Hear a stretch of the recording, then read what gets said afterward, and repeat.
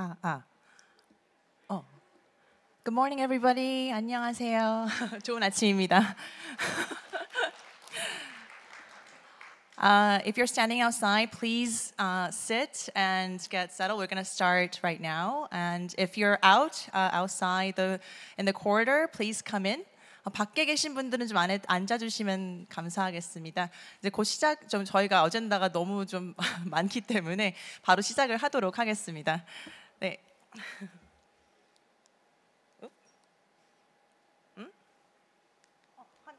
좀 띄워주시겠어요?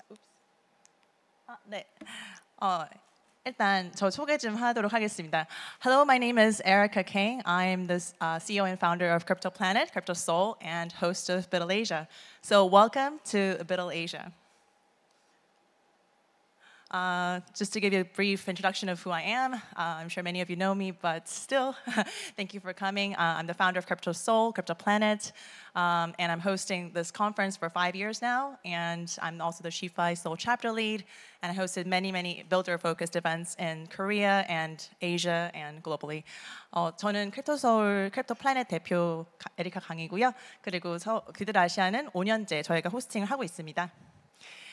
Uh, so we're expanding the brand a little globally. Uh, so originally it was KryptoSeoul, and I've been having this brand for about seven years now. And now we re- rebranded to KryptoPlanet, implying the fact that we're going global. 어, 저희가 이제 크립토 서울에서 이제 서울에서 나아가서 크립토 플래닛으로 좀 확장하고자 하는 어, 좀 어, 야심을 담아서 올해부터 리브랜딩을 좀 했습니다. 그래서 크립토 플래닛이 비더 아시아, 이드 서울 다 호스팅을 하는 걸로 이제 그리고 더 앞으로도 아시아 전체적으로 좀 호스팅을 많이 할 것 같습니다. So we're all for the builders here, um, and this is 100% for builders, community driven, and I'm a part of the community, very active member. Um, so we try to be neutral, agnostic, uh, fair to all protocols who are building really hard uh, to better the ecosystem. And uh, as you can see, the lineup, it's very well balanced. A lot of amazing protocols out here, builders, founders um, joining us and we are very, very tech focused and research oriented, which is very rare in Asia. And as you can see in many conferences in Asia, it's very hard. Well, it's a very uh, difficult theme to tackle, and I've been having this theme for about seven years now. So hopefully, you're now used to our agenda and our amazing, compact um, insights that are going to be shared in the next two days. 저희가 이제 그 빌더라고 해서 저 비들 아시아라는 이름인데 조금 더 빌더에 좀 치중한 좀 어, 그런 컨퍼런스인 거는 좀 저희가 5년째 어, 고수를 하고 있고 커뮤니티 멤버로서 조금 더 커뮤니티에 많이 열정적인 좀 포커스된 그런 컨퍼런스를 진행하려고 합니다. 그리고 저희는 테크니컬한 내용이 좀 많기 때문에 기술적인 내용이 조금 많은 거를 좀 양해 부탁드리겠습니다. So we're in our fifth edition this year, and I think everyone agrees that we're stronger than ever.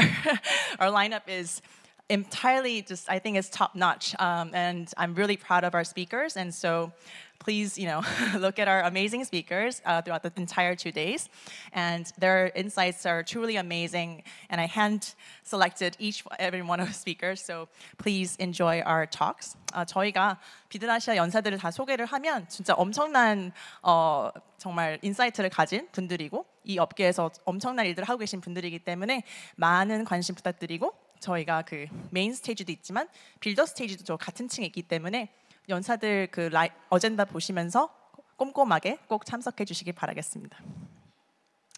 And a big thank you to our sponsors. Um, so thank you to our major sponsors, platinum sponsors, Near, uh, Internet um, DFINITY, and Anoma, and also the other sponsors. Um, they've been our you know, consistent sponsors over the years, and we're very thankful to um, have their support. Uh, 저희가 그 스폰서들은 정말 저희 몇 년째 같이 함께하는 스폰서들이 많기 때문에 매년 생각하고 저희 컨퍼런스를 이렇게 있게 되, 되었습니다.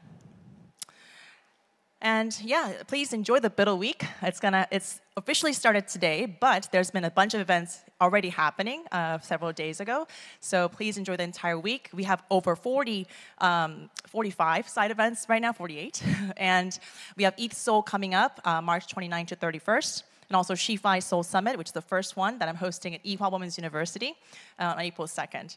아, 저희가 그 이번 이 비들 아시아 컨퍼런스 외에도 비들 위크라고 해서 일주일 정도를 한 40개 사이드 이벤트를 지금 지- 다 진행하고 있고 같이 관리를 하고 있습니다. 가장 크게는 이드 서울이라고 해커톤을 진행을 29일부터 31일까지 하고 있고요. 그리고 4월 2일은 여성 그 컨퍼런스인 She-Fi 서울 서밋을 이화여대에서 진행을 할 예정입니다. Yes, and welcome, fellow uh, builders, and let's build together. And we are welcoming back our keynote speaker of BUIDL Asia. Um, welcome back, Vitalik. And this is our history over the years, sharing some fun photos um, that we, uh, we go way back since 2017. And it's always an honor to have him back. It's, our it's his second time in BUIDL Asia.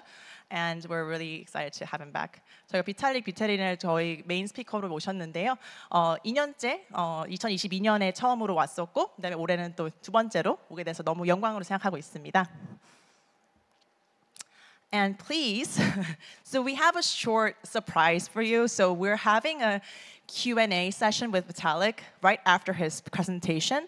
So please scan this QR code. If you have any questions for Vitalik, you can submit it anonymously. so feel free, and we're gonna scroll down the questions together after his presentation. So um, whatever you may have, you can, you know, uh, give it all you got. 저희가 이 QR 코드를 스캔하시면은 거기다가 그 비탈릭 비테린 발표 직후에 5분에서 7분 가량 어, 질문, 질의응답을 할 예정입니다. 어, 한국어로도 하셔도 돼요. 그러니까 제가 조금 통역이 가능할지는 모르겠지만 웬만해서 영어로 해주시면 너무 감사하겠고 만약에 안 돼도 한국어도 괜찮으니까 어, 마음껏 네, 진행해 주시기 바라겠습니다. 스캔 바로 해주시면 감사하겠습니다. 그러면 now Let's welcome Vitalik to the stage. 저희 비탈릭 비탈린을 환영하겠습니다. 박수 큰 박수 드리겠습니다.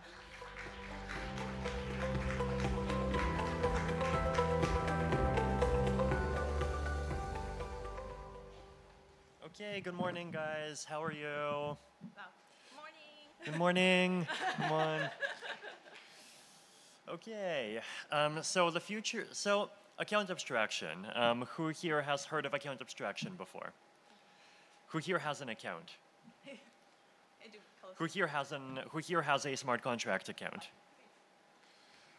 Um, who here feels safer with a smart contract account? Um, who here feels that their life has been more convenient with a smart contract account.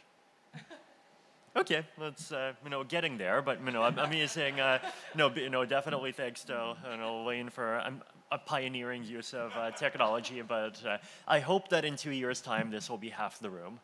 Um, so why account abstraction originally, right? So this is a uh, topic I've really been talking about for over 10 years now. I uh, remember even before Ethereum started, back at the end of uh, 2013, I pub- published this article on uh, Bitcoin Magazine where I was basically shilling multi-sig wallets and arguing that we should move over to multi-sig wallets being the default kind of wallet that everyone has. And okay, uh, the uh, goal basically is that you know Ethereum has a big and crypto in general has a big security problem, right? So the by default, there's basically two ways to use crypto. One way is you hold your keys in your own wallet that is controlled by your own private key. And if you lose that private key, you're screwed. Your retirement savings are screwed. If your private key gets uh, taken by someone else, then you're also screwed. They're not screwed, but, but they're going to be happy, but you're screwed, right? Um, so, who here feels safe um, entrusting their life savings to a piece of 12 words on a paper? Okay, um, one, um, so who here feels uh, safe entrusting their, uh, their life savings to a uh, 32 bytes in a piece of digital memory on their laptop or their phone? Okay, exactly zero people, so that's good. Um, so basically, and then the other approach to having your coins is, you know, you just store them on Coinbase or store them on Binance or um, or store them on a uh, a platform with a trustworthy, charismatic founder who takes pictures together with people like Bill Clinton, and then you know you discover two years later that like the money's not there. Uh, so the basically, you know, we have like a version of decentralization that does not work for people and we have a yeah, version of centralization that is not what the space is about, and that also does not work for people. And so the question is like, can we find something sane in the middle, right? And uh, you know the idea of multi-sig wallets is basically you have multiple keys, right? You control one of the keys, and then maybe you have one key on your laptop, maybe one key on your phone, or maybe you control one key, and then some institution controls a second key, or maybe your friends control a second key, or maybe there's three keys, one on your computer, one that's the 12-word passphrase, and one that's uh, held by some institution, and you need two of them to sign transactions. And so like somehow use multiple keys and avoid having any one single point of failure, right? Um, so I do this to store like basically almost all of my funds, um, and uh, look, this is I think these days generally considered to be the uh, the safest way to store large amounts of money. But the problem is that using these kinds of wallets is not efficient enough, right? So the way that Ethereum was originally constructed, unfortunately, is that even though you have this amazing property where the transaction, the applications can have arbitrary code, the uh, accounts that transactions start from cannot, right? The accounts that transactions start from, which are called externally owned accounts, those accounts um, need to can only be controlled by a single private key. Um, and so if they're controlled by a single private key, then you know there's basically no way to give them this extra level of security. And if you want to store your funds in a smart contract, then you can, but you have to go through extra hoops, right? You have to like have this extra account that stores extra funds, and then you send your transaction through that account and then into the multisig, and it just gets like needlessly complicated, right? So the early um, account abstraction proposals, particularly EIP 86, were basically attempts to try to solve this problem, right? And basically say, just like applications in Ethereum can have whatever code you want protecting the, uh, the account and, the, and, and, its assets. Accounts that users use can also have arbitrary validation code that defines the rules for how you uh, use the wall, uh, wallet can approve transactions. EIP86 ended up having a lot of flaws. A later proposal called EIP208 also ended up having flaws. Um, also, the scope started expanding. Um, EIP 2938, which was around 2019, was the first sort of full account abstraction proposal that really tried to take all the issues into account and really tried to be like a fully specified thing that you could put into Ethereum.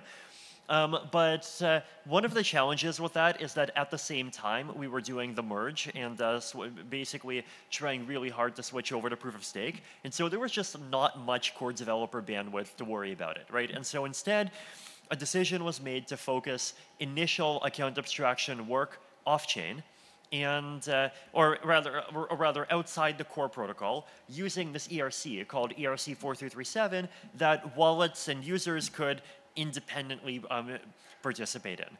At the same time, there was also interest in ERC 3074 and various work on what's called sponsored transactions, where other basically other people would pay your transaction fees for you, which could also allow you to pay transaction fees using ERC 20s uh, other than ETH. And a lot of those work streams really uh, ended up merging, right? So this is uh, probably one of the probably the most important slide here. This is a modern account abstraction, right?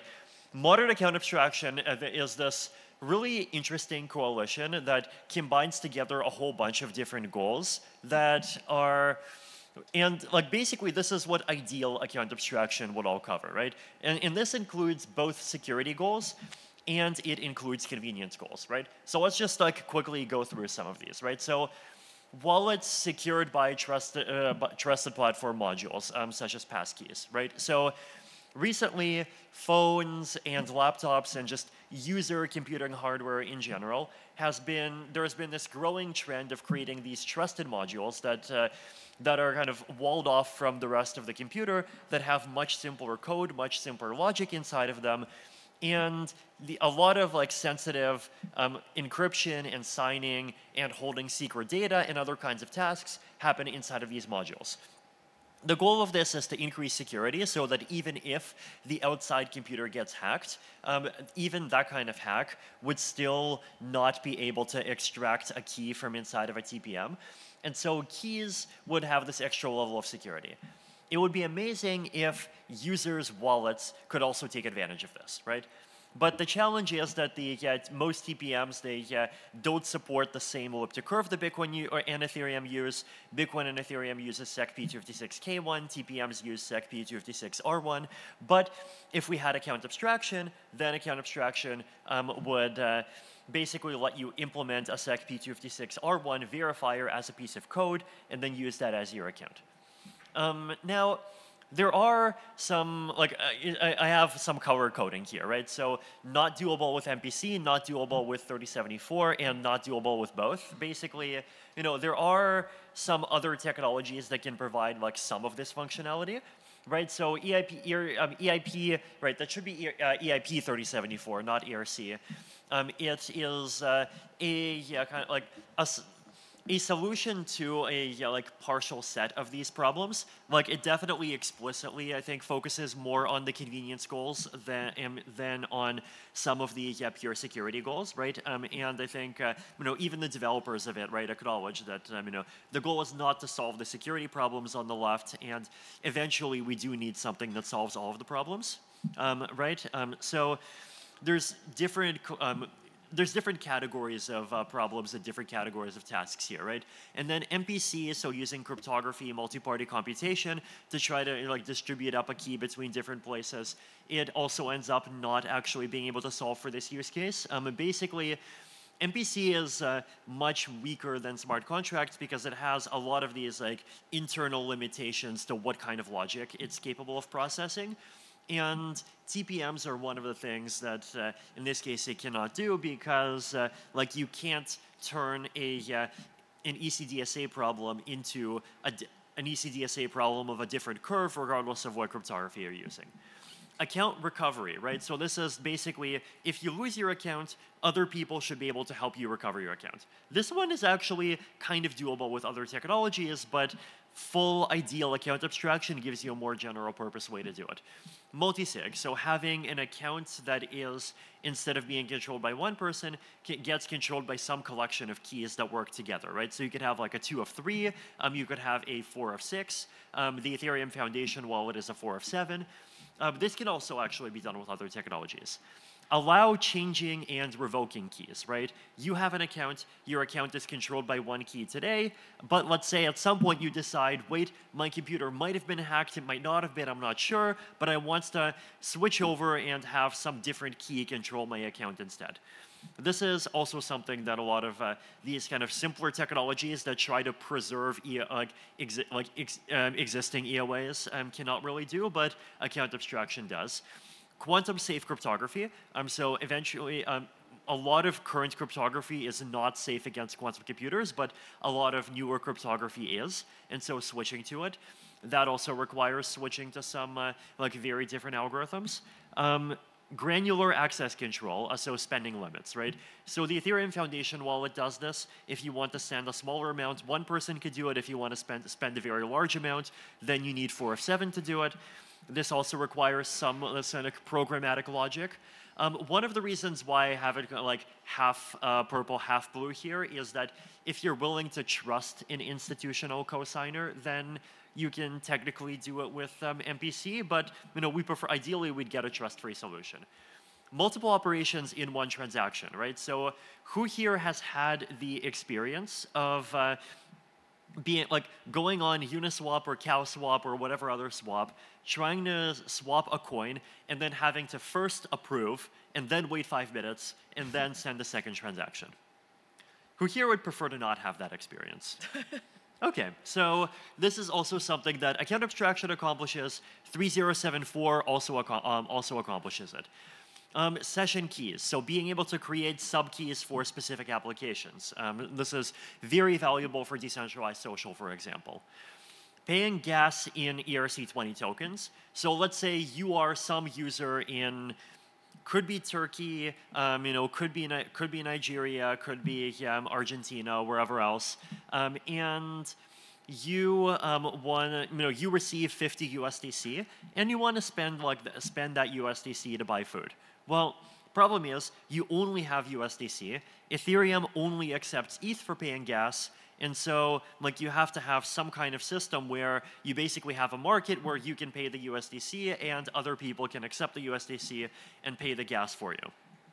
Um, you could do this with your 3074, though the solution there is definitely more dependent on centralized actors. With account abstraction, you can have a more full mempool for these kinds of things. Um, signature batch verification. So this is the idea that if you have a thousand transactions with a thousand signatures, you can combine them all into one with BLS aggregation or ZK snarks, and, and that combined signature becomes much easier to verify than the thousand of them separately. This is especially valuable on layer twos, where on layer twos, computation is cheap, but data is still expensive, and so there's a huge benefit to compressing data. Um, automation, so being able to pay per month, right? Um, so this is uh, a really nice one. So who here pays for monthly subscription services with their credit card? Um, who here would love to be able to do the same with crypto? Who here would love to be able to do the same with crypto without having to manually sign a transaction every month? But keep the uh, ability in their hands to be able to cancel the subscription at any time. So like you don't have to call one, you know, like 1-800 blah blah blah in order to cancel a subscription and go through 40-minute customer service. No, you say you stop paying and, and and the corporation needs to notice that you stop paying and it's up to them to shut down the service, right? This is, you know, this is how things should work. Um, but so can, but can we have that you know in a way that uh, like actually does create this open ecosystem doesn't depend on everyone coordinating around one centralized actor right account abstraction can help. Um, MPC with trusted um, institutional guardians um, you know, could also potentially do it. Uh, basically, you could pre-sign and um, you know, the institution could do the monthly signing for you. Sponsored transactions, um, so basically being able to app applications paying for transaction fees on behalf of users um, and um, being able to um, parallelizable nonces. So being able to send lots of transactions in parallel and have them get included in arbitrary orders, right? So there's a lot of security features here, right? And there's a lot of convenience features here. So who here wants their on-chain experience to be more secure? Who here wants their on-chain experience to be more convenient? Who here wants both? Who here doesn't care much about either? Okay, so this is why account abstraction, right? Now, there's a lot of things in this slide, and I acknowledge that I like blasted you with a whole bunch of concepts, but there's a reason why this is a slide, right? And um, you know, there's a bunch of terms here, and I highly encourage everyone who doesn't fully understand to just like go off on your own time and like Google each and every one of these terms that you're interested in, understand ERC3074 understands um, ERC4337, um, you know, like RIP7560, um, and like basically really kind of poke in, you know, like how account abstraction actually can give you a lot of these things that, are, that really are super valuable in helping you keep more of your own money and keep more of your own time. Um, so this, I think, also feeds into an important uh, broader context, which is that for the past 10 years, Ethereum has really been focusing a lot on improving the very yeah, kind of bottom level theoretical properties of the chain. So switching from proof of work to proof of stake, switching uh, from being an L1-centric ecosystem to being an L2-centric ecosystem, um, and in also um, you know Verkle trees. So Verkle trees already they're the next big thing after the blobs, and uh, Verkle trees already have testnets. Uh, we have the blobs as of a few weeks ago. A bunch of rollups already got much cheaper. Uh, we uh, have proof of stake as of uh, already about one and a half years, and uh, you know the Ethereum network's energy consumption has decreased by more than 99.9%. So a lot of very meaningful technical upgrades at the base layer have happened, but the next 10 years are going to be about improve like really upgrading the ecosystem at the user level, right? And really upgrading the ecosystem from the perspective of let's make something that people out there in the world, um, you know, the, mm, especially um, you know, people in lower income countries just can actually go and use, right? And account abstraction is going to be a big part of this, right? And this includes making it easy for them to actually use in the sense of just having them not be confused with really complicated UX to send a transaction. It also includes user experience of security. If you receive 50 USDC, you should, and you're not good at technology, you should not just like have a, a, a high risk every day of randomly losing it. Um, so let us solve both of those problems. So we have security, we have uh, basically, we value security, decentralization, openness. Users value convenience and low fees. We need to and we can provide both. So concrete challenges with account abstraction, right? One is short-term functionality. Basically, this roadmap is uh, something that is going to take uh, quite a long time before it gets to everyone's wallet. You can try ERC4337 wallets today, um, but you know they do have uh, they, they do have downsides, and users want short-term functionality on existing accounts, right? Um, and so one of the largest pain points is batching, right? Being able to do things like approve an ERC20 and then spend within the same transaction. ERC3074 and a big alternative, ERC4806, are also um, able to, um, are both able to do this. Key challenge two, cross-chain. Who here has assets on multiple chains, including layer one, layer twos of Ethereum, whatever else? Great. Um, so one of the big questions is, you know, do you use the same address across chains or do you use different addresses, right? And this is still like one of those where I think different groups are going in different directions, but like my view is that I think we're increasingly going toward a different address on uh, different uh, chains world. And the reason basically is that like eventually you're going to get to a chain that does not support the same cryptography that you support, right? And when you do, then your address on that chain is going to be different because you just have to use different cryptography to be, uh, to be on that chain. ERC 30 or 770 um, lets you have these addresses where the network is part of the address. And so if you give someone, um, you know, ETH colon blah, blah, blah, they're not going to be able to accidentally send you those coins on Optimism unless they do something horribly wrong. Um, so this is uh, one of those things that, like, in my opinion, needs to be uh, uh, kind of like standardized and accepted across the ecosystem more, but you know, still needs to make progress. Um, a big one is also how do you do recovery and key changes across chains, right? So if you decide you don't trust your current key anymore, you want to change your key, or you lose your key, you want your key recovered, how do you actually do that when you have assets on 20 different chains? Short-term solution, you just send 20 different recovery transactions on 20 chains. It's not perfect. It costs a lot of gas. Um, you have to keep track of all the chains that you have assets on. But you know, it's easy to implement. It kind of works while it's starting to do it already. Longer term, there's this idea of key store contracts. Key store contracts basically, they let you have a single place on one single um, L2 where you store the data that's related to your account, especially the keys and the or the algorithm that's needed to spend from it. And then you have a bunch of accounts on a bunch of different layer tiers that all point to it, right? And that pointer can actually be zk'd, right? Like basically what happens is any transaction from any one of your accounts would have to make a zk snark that proves the current key in your key store and that also proves that you made a signature from that key. So the nice thing about this architecture is you can keep your um, keys, key store, and your do your account management in one place, but then you automatically have your assets on every one of these L2s. Uh, basically, you know anything that where there are like trustless uh, bridging mechanisms, and in, you know you can change your key store, do whatever once, and it immediately affects um, or very quickly affects all of your accounts you also get privacy for free, which is very nice, right? Because if you use ZK snarks in, in this way, then basically by default, every address becomes a stealth address. Um, so we get to improve on privacy, we get to improve on account management. This gets much easier if we standardize the ability for layer 2s to directly read the state of, of layer 1, but this is something that, that, that also is going to take some time.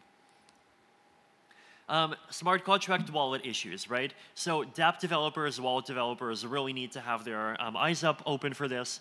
Lots um, ERC 1271, off-chain signatures for smart contract wallets. Lots of wallets, lots of dApps do not support it yet. gas costs of ERC4337 need to go down. This is a protocol level problem. Inclusion lists, a feature that's being um, worked on and likely will be added soon to Ethereum to basically prevent um, like centralized block builders from delaying um, uh, transa- when transactions get uh, get included and uh, like basically discriminating between different applications. And uh, that's a feature that we'll also have to support smart contract wallets. So a lot of technical stuff to work on. Also, I think um, the roadmap, right? So he, this is basically my diagram of like a realistic way to get from here to there. Um, essentially, yeah, the question here is to like think about both the short term and the long term, right? Short term, we basically have two different kinds of wallets today, right? We have externally owned accounts, um, and we have smart contract wallets that have much stronger security and functionality properties, but which are less efficient and which have worse UX, right? In the short term, we can do short-term um, extra EOA upgrades. And short-term EOA upgrades basically kind of lift up the functionality of EOAs to get to the point where we solve some basic user needs, like being able to do transaction batching, for example, right? Then, at the same time, we work on improved account abstraction EIPs. And this, I think, must include layer one stuff, right? 4337 was good for getting um, account abstraction out the door, but I think ultimately it does need to be converted to a layer one thing. And that needs to be, uh, basically what happens is we do these EA, AA EIPs to improve efficiency and compatibility of smart contract wallets. Then at the same time, we have other EIPs to improve some of the functionality of EOAs. And then both of those paths end up converging into smart, smart contract wallets of tomorrow, right? So basically, within um, you know two to four years, the goal would be that the an EOA with extra functionality would be equivalent to a very particular and very limited subset of external uh, of smart contract wallets that uh, would become well, are possible today, but would become possible and convenient in the future, right? And so short-term, increase functionality, medium-term, increase the uh, efficiency and composability of smart contract wallets, and do this in such a way that instead of creating two separate ecosystems that compete with each other, we're building toward one common ecosystem that shares infrastructure, right? So this is the really key thing. Um, and once we're all in the smart contract wallet world, then things like uh, uh, upgrading accounts from one type to another becomes easier. So something like this, I think, is um, a possible goal. So conclusions, right? Account abstraction is shifting from research to production. For the first five years of account abstraction, well, for probably for the first seven years of account abstraction, account abstraction was theory. Basically, a lot of this like very abstract discussion of like what would an ideal account model look like. These days, it is a very real thing. There are lots of wallets that are creating smart contract wallets that you can go and use today. There's growing consensus on what the goals are, and uh, there's growing consensus on an ideal final state for this whole ecosystem. And the main challenge is basically this very in the weeds, this very user level challenge of how do we gracefully move the existing ecosystem over to new and better approaches. Um, and so, big thank you to all the wallets who have been tireless working, tirelessly working on this. Be you know, big thank you to all of the uh, developers of, uh, you know, both ERC4337 protocol developers and other account abstraction related EIPs and um, ERCs, as well as everyone implementing anything on all the layers of the stack.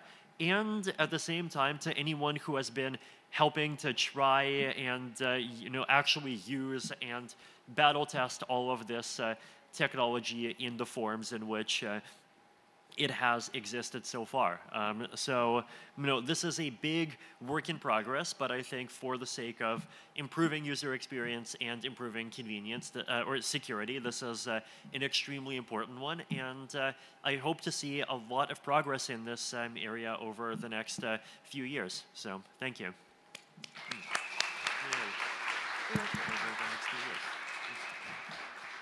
All right. Thank you for your presentation. Oh. Um, so we are going to answer some questions. Okay. Come on, come here. 아까 질문 주신 거 조금 발표 좀 같이 볼게요. So do you want to scroll down? Do you want to scroll down and see if you want to answer any questions? Okay. It's Um, not there, but Yeah. Um, okay. Let's see. My favorite color is purple. Um, yeah. Yeah. My favorite color is purple. really? I think so. Okay. Um, okay. Yeah. I'm just uh, scrolling down. Um, it's like some people asking why Vitalik has not uh, recognized their favorite projects. Um, from yeah, some questions of like why Vitalik has not recognized their favorite project. I think for like multiple projects. Um, let's see. uh, Yeah. Tr- Um, oh wow, people are asking me on um, AI safety. This is interesting. Um, yeah, okay. Tomorrow we'll have a panel with uh, or a chat with Ilya on AI safety. Um, is quantum computing real? It is. Uh, it's definitely slowly becoming more real. Um, basically, yeah, it's. Uh, like f- for a long time, quantum computing has been kind of a grift because um, you know you'd have uh, like there's what we talk about when we talk about quantum computers, which is like computers that can break cryptography, and then there's quantum computers that D-Wave are selling, which are like this much crappier thing called adiabatic quantum computers that they would try to like push as being the same thing when they totally are not. But my impression is definitely that the state of quantum computing, like real quantum computing technology, is slowly improving, and uh, it's getting to the point um, where like I don't know what the timelines are, but I think uh, we definitely do need to act as a crypto ecosystem as though quantum computers really could come at any moment. Um, so I view this as one of my uh, areas of uh, very uh, of uh, some pretty big un- uncertainty, and we just need to be prepared. What optimizations would I make for application-specific EVM chains? I think one thing that's underrated is like if you're making an application specific chain, it doesn't even necessarily need to be an EVM, right? What I think it needs to be is like take the logic of your application, turn that logic directly into a ZK circuit. Like there's increasingly good tools for doing that, and then just use that logic as your you know, as the rules of your layer two directly, right? I think uh, if you're building something for one application, then like that that just feels like definitely the right the much better path to take, right? I think uh, everyone having the EVM with five different applications on every side, like it, to me, it actually starts to feel less sen- less sense. Like I feel like I'm, you know either either be the EVM or be something uh, very very specific, like really specific that really is what you need. What do I think about the metaverse? Um, I mean, I think okay. So, to me, yeah, I'm like the metaverse is one of those things that's like very poorly defined, right? It's like a brand name more than a product, and it feels like everyone has this this abstract idea that there is this like virtual universe that they can all participate and be part of, and that virtual universe is not actually owned by anyone, and all of these things, right? Uh, but uh, the challenge is like all of the like it often gets connected with virtual reality but then with virtual reality the kinds of things that people actually need end up being much simpler right? It's like okay you know like i yeah like you basically want a laptop without the laptop right? And that's like super useful but that's like it's not really averse. Um, and so the thing that i expect is most similar to a metaverse that I think actually makes sense is like it's not something that tries to be a metaverse, but something that just like takes all of the different virtual world things that we already have, in including crypto parts, including virtual reality parts, including some AI parts, and combining them together in the right way. What's my take on EIP 30074? I think already answered, right? It solves a bit a, a- a significant number of problems, but it's definitely far from like being a full um, uh, solution that I would call ideal account abstraction. What do I think of FHE rollups? I think uh, FHE rollups are, um, well, I mean, fully homomorphic encryption is super valuable for a bunch of applications. It does have very high overhead, so I think there's specific applications where it makes a huge amount of sense. Um, voting is, I think, um, a big one. I uh, expect there to be others as well. Um, bridging and interop that are decentralized and require a trusted setup. I mean, my view on bridges is like I'm fairly, uh, I'm fairly bridge minimalist in the sense that like I believe in like I believe in cross layer two. I uh, and I believe in interchain. I do not believe in cross chain. And what I mean by this is that I think uh, generally, yeah, like the nice thing about layer twos is that the end game of layer twos is that you actually have bridges that are fully trustless, right? Like if you have coins that are issued on Optimism, you can create a version of that coin on Arbitrum, and you can have like you can actually have a hard, unbreakable guarantee that if you have the Arbitrum coin, you can walk through the, the withdrawal mechanism and you can get your original Optimism coin back, right?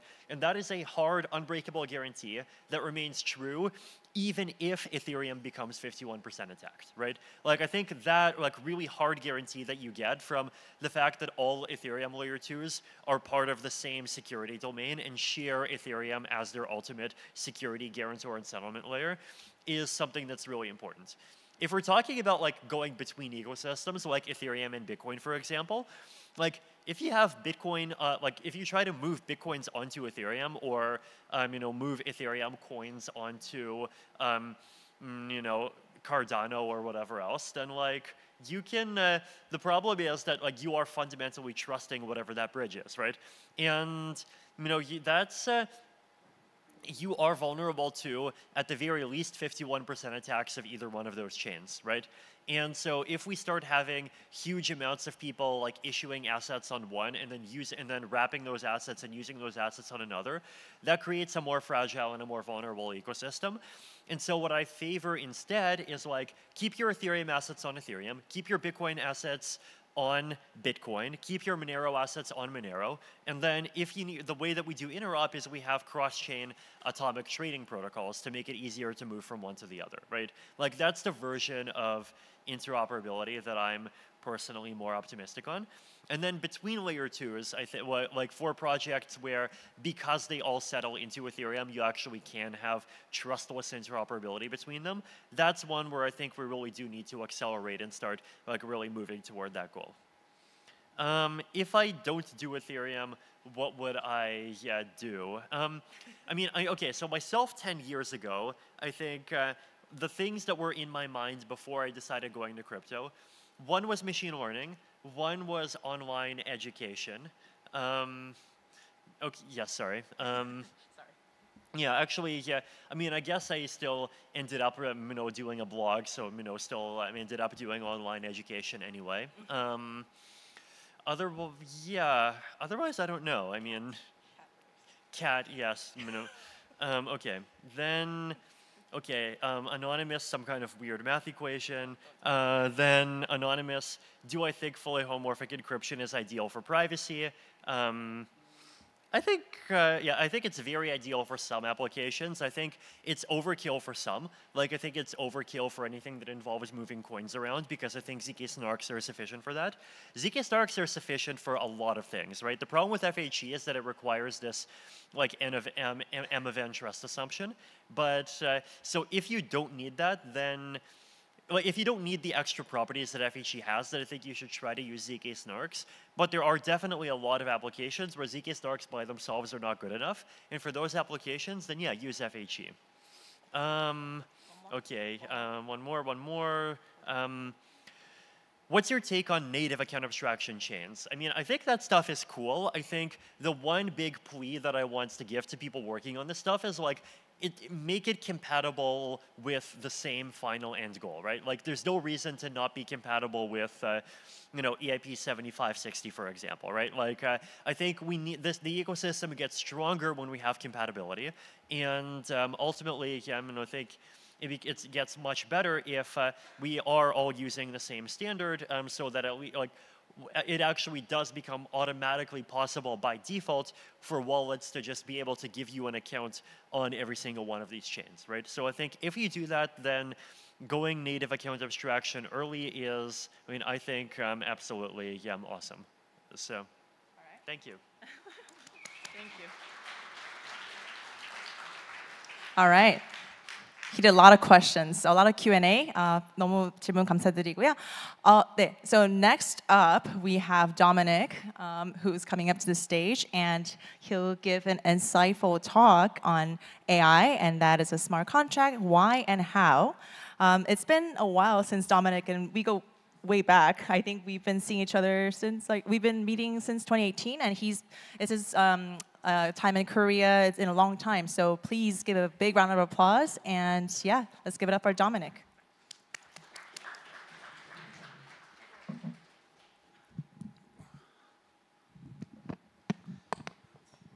Boom. Hello, everyone. Uh, I'm, I'm Dominic Williams. I'm the founder and chief scientist of the DFINITY Foundation. DFINITY is the largest contributor to the Internet Computer Network. And today we're going to talk about AI that runs as a smart contract on the blockchain.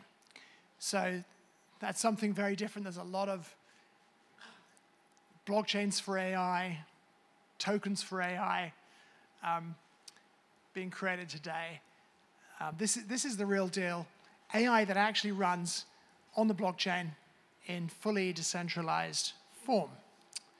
So, for those of you that don't know, DFINITY Foundation is probably the blockchain industry's largest ongoing R&D operation.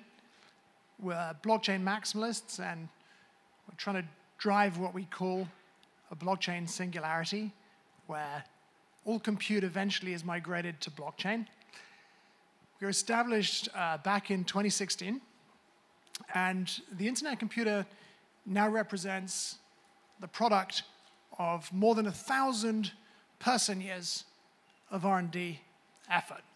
Uh, we're a Swiss not-for-profit. Uh, headquarters is in Zurich, and we have one of the world's largest teams of famous cryptographers, and, and generally the team um, includes a lot of kind of well-known and very brilliant cryptographers, computer scientists, engineers, and that's why um, we have so many research papers and academic citations and things like that uh, to, to our name. And the team really is a mixture between early blockchain, early crypto people, and people from organizations like Google and IBM. So the big deal with the internet computer is that compute is now on the blockchain itself. And that's very different to what we're used to in, in Web3.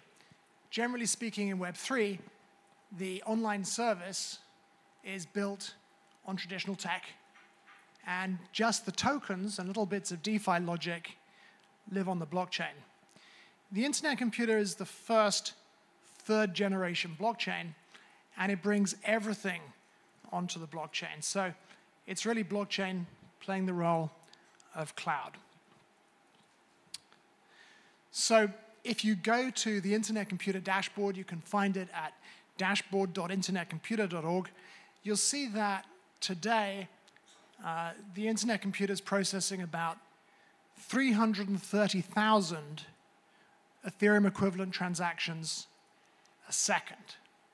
That's measured by looking at the, the low level number of instructions processed by the virtual machine on, on the blockchain.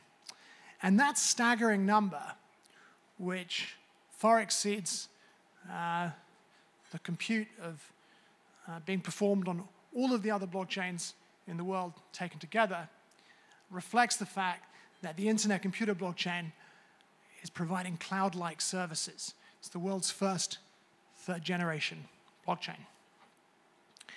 So, the Internet Computer supports something called canister smart contracts. It's a much more uh, advanced evolution of traditional smart contract software. And developers can build anything with canister smart contracts. So full stack decentralization is happening today. Full stack decentralization occurs when people build things that run 100% from the blockchain. So today there are social networks running on the internet computer blockchain. And they're decentralized end to end. There's no traditional IT involved whatsoever. All of the data, all of the media, all of the computation, the user experience, everything lives on the blockchain.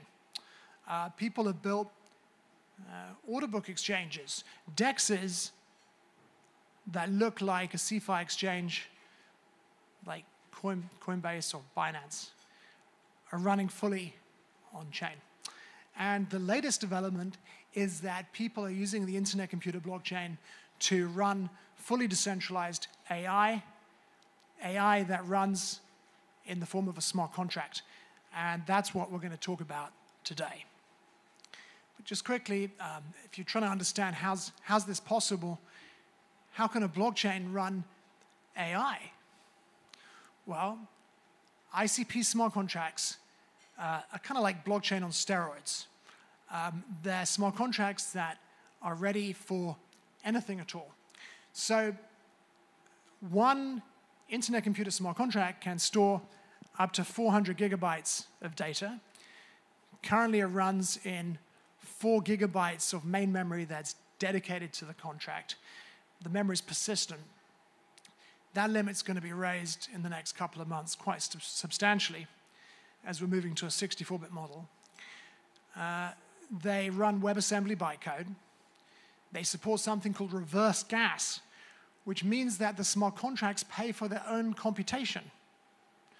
So when a user interacts with a smart contract, they don't have to create a transaction, or at least they don't have to create a transaction that makes a payment for gas. The smart contracts pay for their own computation. These smart contracts run in parallel. For the technical people here, uh, the internet computer implements something called an actor model.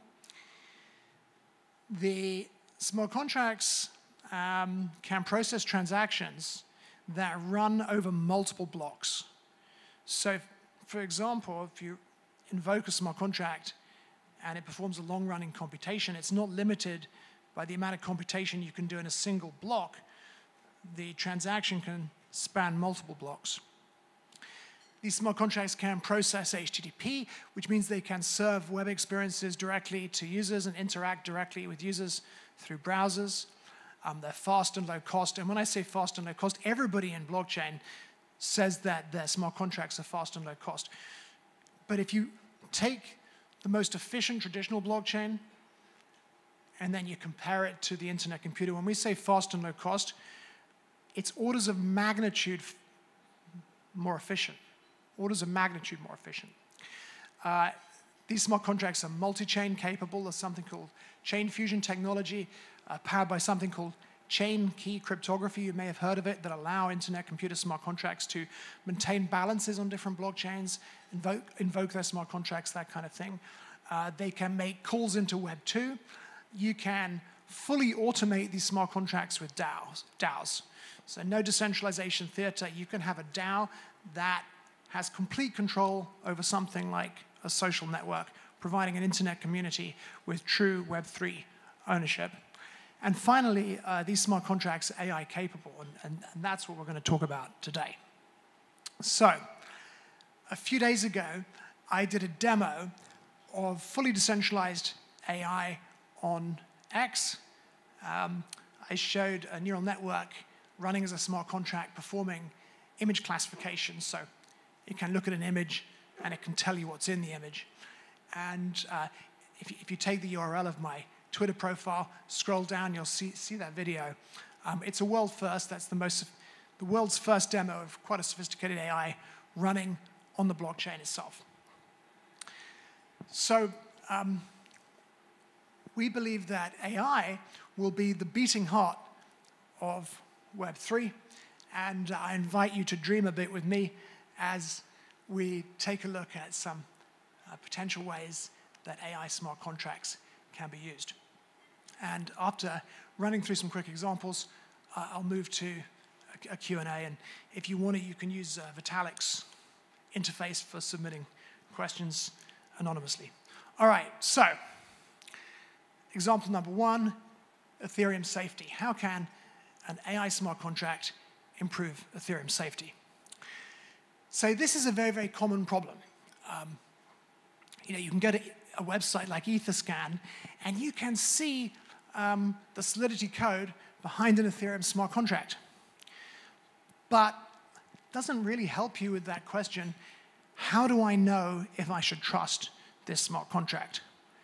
Is its Solidity code kosher? Most people aren't Solidity engineers and most Solidity engineers don't even have time to go and audit other people's smart contracts. So you can see this Solidity code, but is it vulnerable to a reentrancy bug? Are there any backdoors that make a rug pull possible? Does it contain some malware? Uh, might this Ethereum smart contract attack uh, another smart contract? Might it do something malicious? So AI smart contracts on the Internet Computer can solve this problem. They can scan the Ethereum blockchain. They can match the code hash of a smart contract to its Solidity software code. And they can verify there are no reentrancy vulnerabilities. They can verify there are no backdoors. And they can um, verify that there's no malware inside. And then they can produce a certification that can be displayed by a website like Etherscan. Um, so when the user is looking at that Solidity source code for a smart contract, they can see that it's been certified by an AI audit and thereby um, get some additional reassurance that the smart contract is safe to use. All right, second example, autonomous KYC. So KYC is know your customer, and it's what um, systems have to do that allow you to interact with things like security tokens. So a future problem is that uh, DEXs are going to want to enable DGENs to trade security tokens. Um, things like stock tokens, real world assets, and tokenized commodities like gold. The challenge is that once you get into um, that field, there are a lot of regulations. And almost certainly, uh, people, for example, that are issuing um, stock tokens are going to require that people buying and selling them have performed KYC. There's some kind of know your customer involved. And this is a big challenge because a DEX is meant to be decentralized, right? It's a decentralized exchange. That's what DEX stands for. And that means it should be created using smart contracts. And how on earth can a smart contract KYC somebody? How can a smart contract even interoperate with a company that performs KYC. It's a big problem. Um, and how on earth can all these DEXs enable security tokens to be traded? Well, again, AI smart contracts provide a solution. So I mentioned uh, that uh, video of a demo that's on my uh, X Twitter profile. And uh, that, that was a demo of an AI smart contract performing image classification, a neural network inside a smart contract performing image classification. Well, that um, image classifier has been retrained and can now do face recognition. And this is a very, very cool thing because now you can have a, a KYC smart contract with AI inside that can, first of all, verify um, that somebody's a live person. It can ask somebody to, you know, look left and right, hold four fingers up, that kind of thing. And then it can match that live person to an identity document like a driving license or passport. And once it's done that, it can record their identity, probably in encrypted form, and issue, for example, a Web3 credential to an authentication system like Internet Identity, which can uh, now enable uh, the DGen to get into the DEX and trade security tokens. Nice, right? Okay. Third and last example. Um, and I've called this an intelligent catalyst. What, what I'm talking about is um, an AI um, that's a kind of Delphi for your team, startup, company, government department. Um, obviously, it's uh, a large language model, so um, without getting into the technical details, you know, that's our objective. We want to have large language models running on the internet computer as soon as possible, and there's a lot of work um, optimizing the, the network for that task ongoing at the moment. Um, so here we imagine an AI, we'll call it a Delphi, that works for, say, a startup company. And this AI is connected, first of all, to the company's confidential sources of information. It's probably connected to Slack and looking at messages on Slack. It's connected to Calendar. It's connected to email. It's connected to GitHub. It's connected to Jira. And it's, you know, ingesting all of this information. And it's also talking to the team members, right? So um, members of the team are, you know, giving it inf information like my team is blocked by this problem, or I've got this great idea to improve this thing. And, you know, then people are interacting with this AI and they're saying things like, hey, can I get a meeting with such and such this afternoon? Um, how near are we to closing this deal? Uh, what's our current monthly burn? If, I mean, there'll be permissions, right? It, you probably need to be the CFO to ask what's our current monthly burn.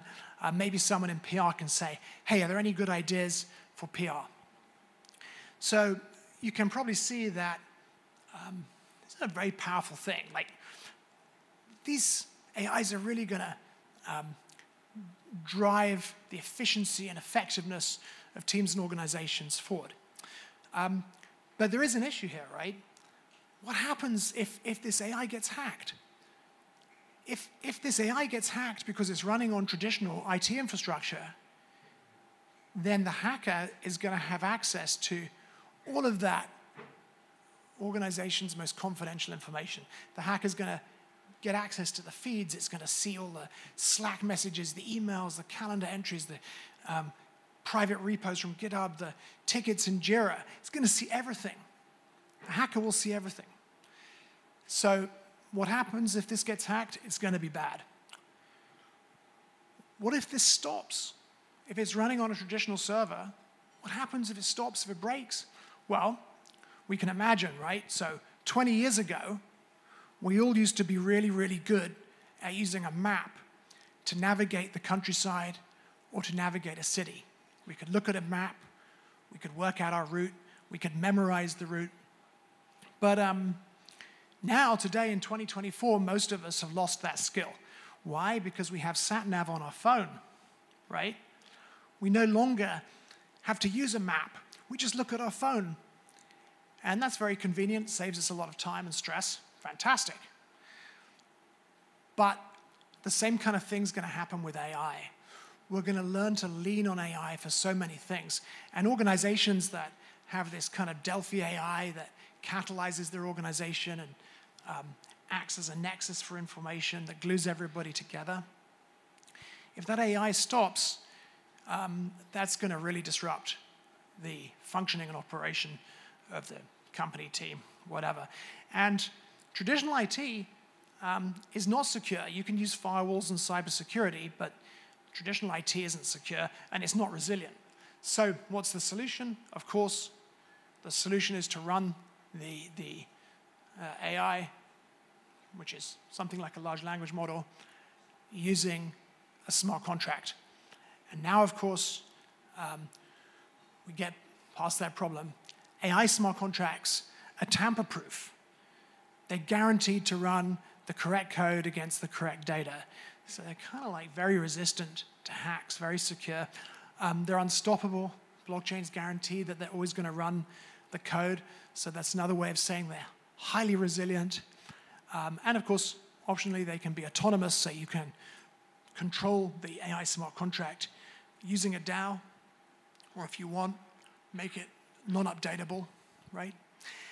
And AI smart contracts are intelligence that's fully decentralized, and today they're only possible on the internet computer. So I invite you to join us if, if this is the kind of thing you're interested in. Uh, we have um, a, a, network of things called ICP hubs. They're independent organizations, and they're springing up all, all over the world um, and increasing in number all the time. So ICP hubs are a great place to, to start. Um, so here's some emails if you want to get in touch with Dfinity, and that um, QR code will take you um, to, to the internetcomputer.org website. Um, go to my Twitter if you want to see that video demo. And um, we have, it's changed on here, but I was going to throw it open for, I think we've got about seven minutes for, for questions. So if anyone's got any questions, feel free to ask. If you put it onto that uh, question system that Vitalik used, that works too still have this live, so um, do you want to scroll down with me? Just like maybe sure, a sure, few? sure. Let's do it. Uh, we have like limited time, but like let's see. 질문 좀 받겠습니다. All right. Okay. So. Um, when am I coming to OpenChat to do an AMA? That's, that's a really good question. I should do that. If someone um, chases me and su suggests a time and chases me, I'll be very happy to do it.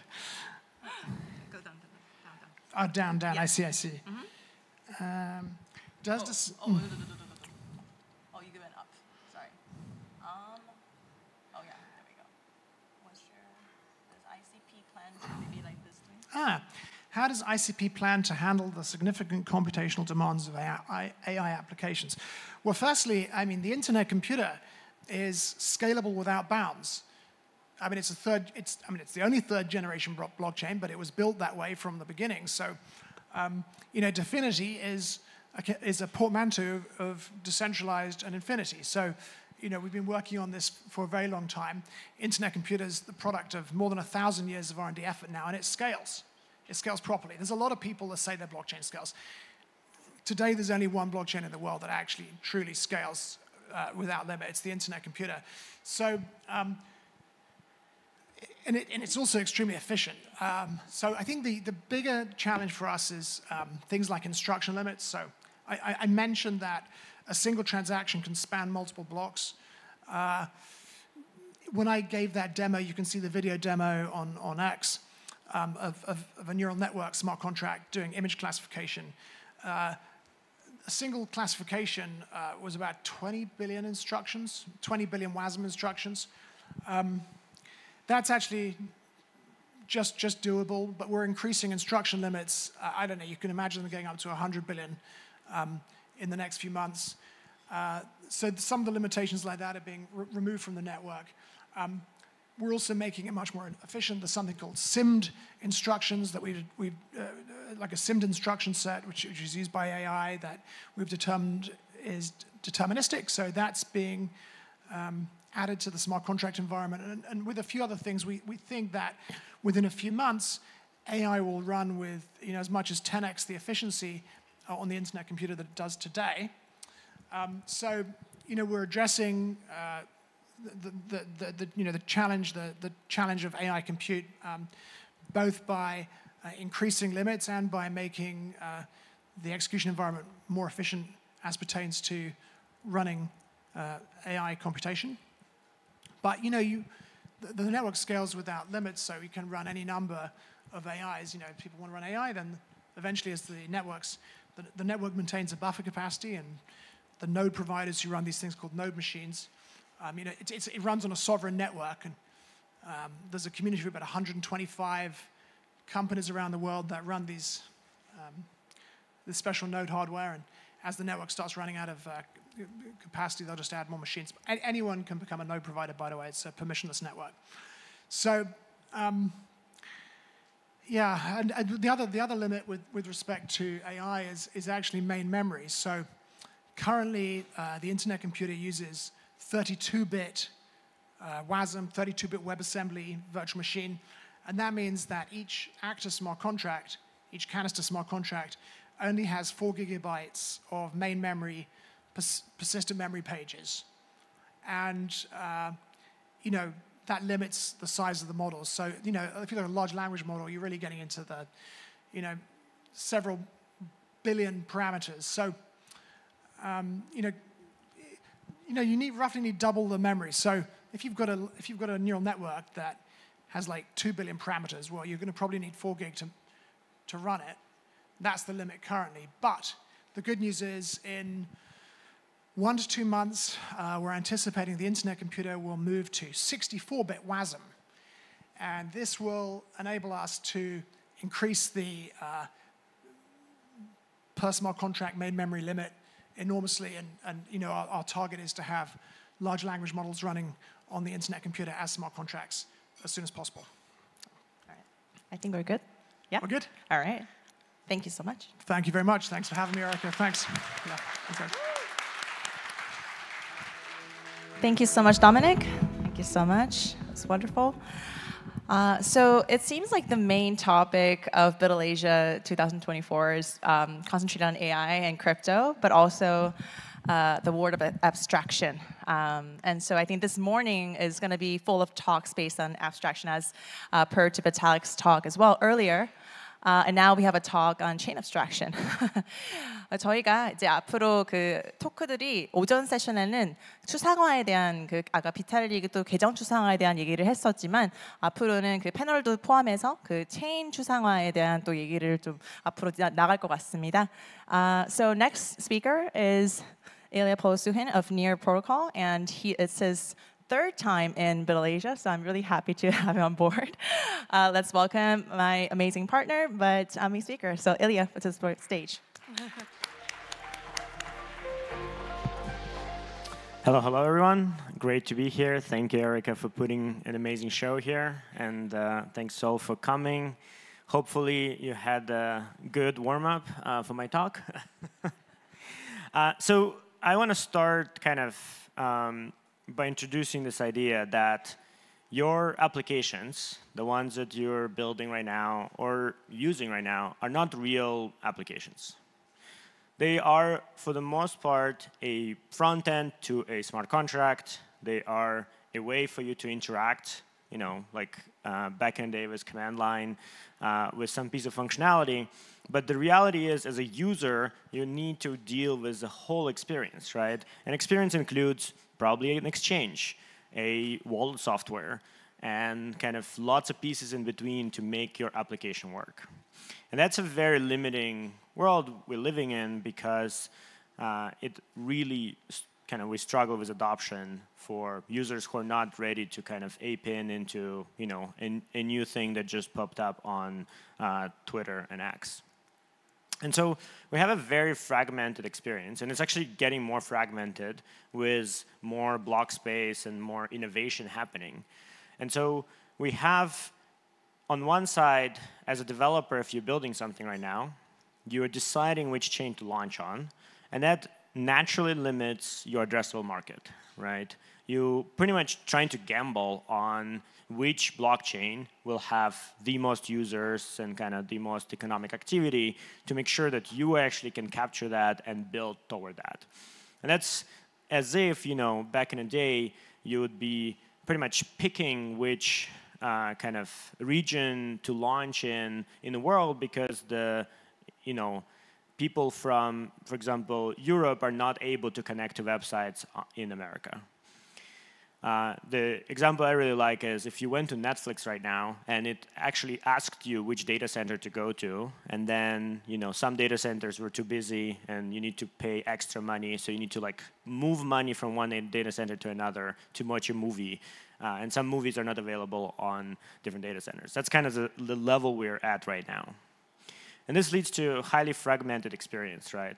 And for developers as well, you have, for example, applications you want to compose with which are not available on some chains. And in turn, you're not able to build functionality unless you actually tag along with that chain, but then you limit your target market to that chain as well. And on the user side, you also have a limitation that you're actually having trouble finding these applications, right? Somebody's launching somewhere a new app, and there's no way to like see that. There's no way to actually figure out, you know, even if you are looking on chain, right, and kind of indexing every single smart contract launch, what exactly is this application? Where is it? And in turn, you also have lots of security issues because this front end's, you know, getting hacked. Like Curve uh, had a front end hack, as for example. People have kind of fake front ends. You know, if you Google for an application, there's a lot of uh, scam pretty much in uh, that running ads that trying to steal your money. Now, again, as a user, I have, I think, a dozen different wallet providers. In each wallet, I have, you know, lots of different accounts. I have, like, you know, sometimes spending time just figuring out where do I have on which chain, uh, kind of what assets. And that, you know, continues growing, right? There's probably like 10 new chains launched since I started talking. And uh, you're probably all, you know, already signing up and setting up accounts for that. And at the end, as a user, I just care about finding, you know, interesting applications, you know, new experiences, cool, you know, entertainment, or a financial kind of economic opportunity. I want to find, you know, kind of the product and not really care about the specifics of infrastructure. And so, kind of the core idea that I want to introduce is instead, kind of in this world of, you know, lots and lots of new infrastructure, we, we have this kind of move to defragment this, to really aggregate all those experiences, and now have a single entry point, single wallet, single kind of uh, super app potentially that as a user you can go through. Now, there should be alternatives, but from an experience perspective, there should be one wallet for all chains. And so we started this chain abstraction movement uh, kind of with a lot of folks, in, in, including here, you know, from Ethereum ecosystem, Cosmos ecosystem, kind of broader Web3 ecosystems, uh, from research and development, from blockchains to kind of applications and wallets, because uh, this is kind of the idea that you want to abstract out this complexity. You want to ensure that uh, users and developers are not limited by any kind of, of the limitations of infrastructure and really able to navigate the whole Web3. Now, the chain abstraction is a broad movement that includes a lot of technology, right? Chain abstraction is what we're trying to achieve. We're trying to achieve um, kind of this invisible infrastructure, similarly how internet works, right? Again, you're not thinking about when you go into a website if it's on Google Cloud, Amazon, or you know somebody's server under the desk. You're just using the website. And to achieve that, right, there is like lots of technologies in Web 2 that need to happen, and similarly, there's a set of technologies in Web 3. And so aggregation that, for example, Polygon is moving orchestration with Agoric, Intents with Anoma, uh, modularity kind of across the whole spectrum of L2s and Celestia. All of these are technologies that really fitting into this chain abstraction movement. And so for us, this journey actually started back when we, when we just uh, were considering to build Near Protocol. And the reality is, we started because we actually wanted to use blockchain to solve our own problem, building a different startup near AI. And we ended up realizing, so you know, in our use case, we wanted to pay people to do work. And the experience of a user needing to figure out a number of steps, including actually fund their account to actually start getting paid, is as if you know you go to work, uh, you know, you come into your first day and they say, well, you need, you know, you need to first deposit $100 to actually start working and, you know, you'll receive your salary later. So that's not the experience we want. And for us, we always wanted to remove all of the complexity of the blockchains from kind of user purview. And so we focused on that. We built a lot of the Near infrastructure itself in that manner, right? Near has account abstraction from day one, enabling pretty much uh, through access keys, different devices, multi-sigs, recovery. Any account is a smart contract, and you can go and, for example, sell this account. You can turn it into an NFT. Uh, you can have different access keys, for example, as tickets to the events. There's lots and lots of functionality and flexibility. There are meta transactions that allow to hide transaction fees so that when users just starting to work and starting to earn, they don't need to pay transaction fees. The kind of whoever pays them able to cover that. And there's a lot of other functionality from standards and wallets that to kind of uh, overall flow that needed to happen to enable this. Now, all of that was focused on Near, right? And we've kind of um, build a lot of this uh, inside near blockchain. But as we saw over past year, year and a half, we had an explosion of multiple chains uh, and kind of approaches and modularity. And it's pretty clear that we're going to have lots and lots of different kind of either you know differently branded or differently customized block space uh, existing in parallel. And so with Near, we decided that we're going to go beyond just Near protocol and really expand this idea of chain abstraction to all of the chains. Now, we started with kind of fundamental pieces because at the end, the blockchain is about security. And so you do need to have a security aggregation. You need to make sure that if you're relying on another chain uh, and transacting through it, there's some way to tie in security of these things. And so at the bottom, we have near uh, protocol, which is you know uses a sharding mechanism called Nightshade, allowing to continue scaling the network. And we actually had increased the number of shards uh, from four to six over past two weeks, pretty much adding 50% more capacity as we actually had growth of some applications. Now, Near itself has data availability, which allows to have rollups and app chains that post their data on Near to kind of interlink the security uh, with this. And the benefit, again, because uh, chain itself can continue adding capacity, the data availability actually scales. We went from 16 megabytes per second to uh, pretty much 24 megabytes per second in the last two weeks of data availability, which, I don't know, a, a 100x multiple over uh, Dencun. Now, you still want to link to Ethereum, and you want to have the Ethereum security. And so EigenLayer provides an extremely powerful tool set to actually link security of uh, different pieces. And so we're working with them on a fast finality layer that connects uh, layer 2's Near's data availability and Ethereum validators all together into one security zone. Finally, zero knowledge proofs are a technology that allows to scale security from, you know, if you run something on one server, if you have a ZK proof and you post it on a 100 billion, 400 billion network like Ethereum, you're able to have security of that, even though it didn't do replication of the execution. And so we're working with Polygon on zero knowledge proof for WebAssembly, which is the Near's VM, that would allow to actually have this probability. So all of these pieces working together to provide this security layer that you can now interlink between different chains and have the guarantees uh, to enable this. Now, there is another layer which is a front end, and we don't usually talk about it. But I mentioned, you know, people getting hacked, for example, constantly uh, through front ends, through wallets. It's a pretty kind of sad reality of crypto that um, we have we have these problems. And so one of the things we invested in is a decentralized front ends framework that allows to have the front ends living together with smart contracts. So the front end itself, the way you access application, is checked in on a blockchain, can be permissioned in exactly the same way as your smart contract. So you can have you know upgradability in the same way, and you can have now applications which aggregate front ends from different uh, chains and uh, smart contracts. So I mentioned your dApps are not dApps is because your dApps are actually just front ends. And now you can have applications like DapDap, which have 14 different chains, 150 different kind of dApps, you know, front ends, all in one experience where you don't need to go and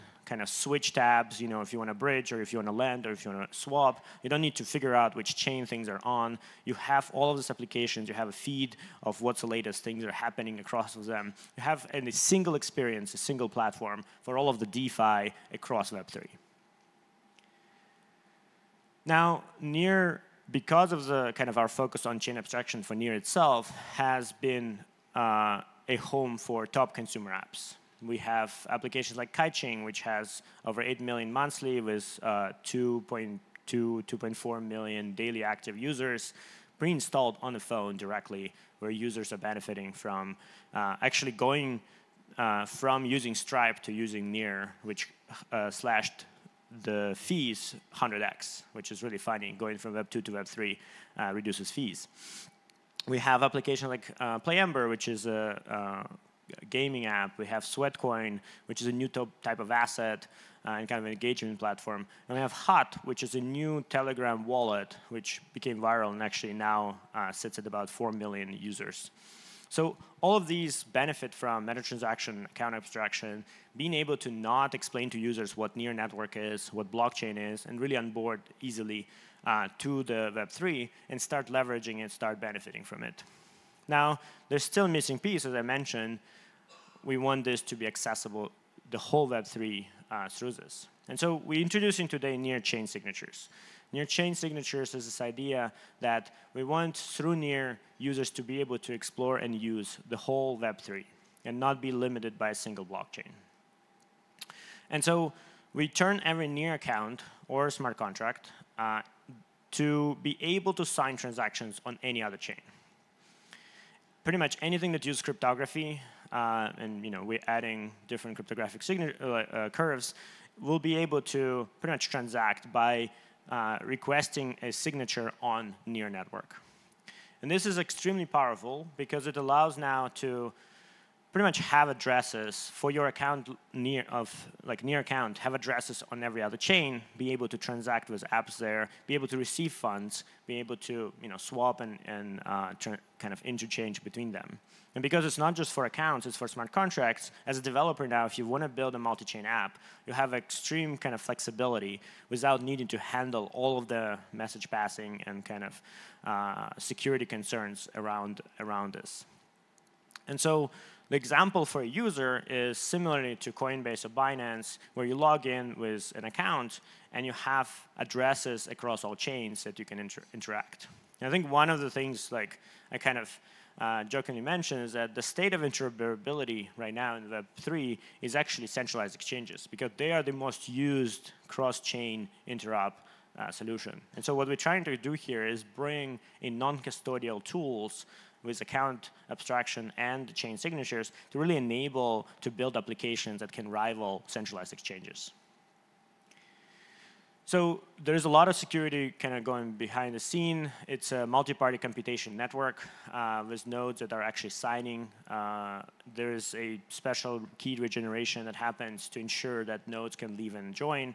And we uh, kind of have node providers from both near network and from EigenLayer, meaning Ethereum restakers, uh, to actually secure this network. So we want to expand the security of this as much as possible to ensure that you can have as much as possible of value through these accounts. Finally, just signing, signing is not enough, right? You requested a signature, you got, for example, signed transaction, but it sits in a near network.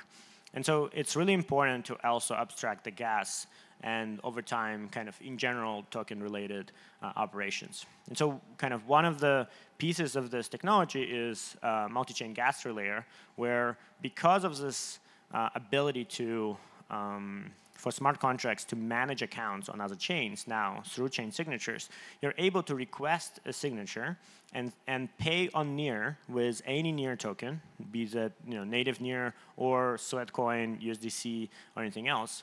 And then a relayer, a kind of third party, can pick this transaction up that was signed and pretty much pay for it on the other chain.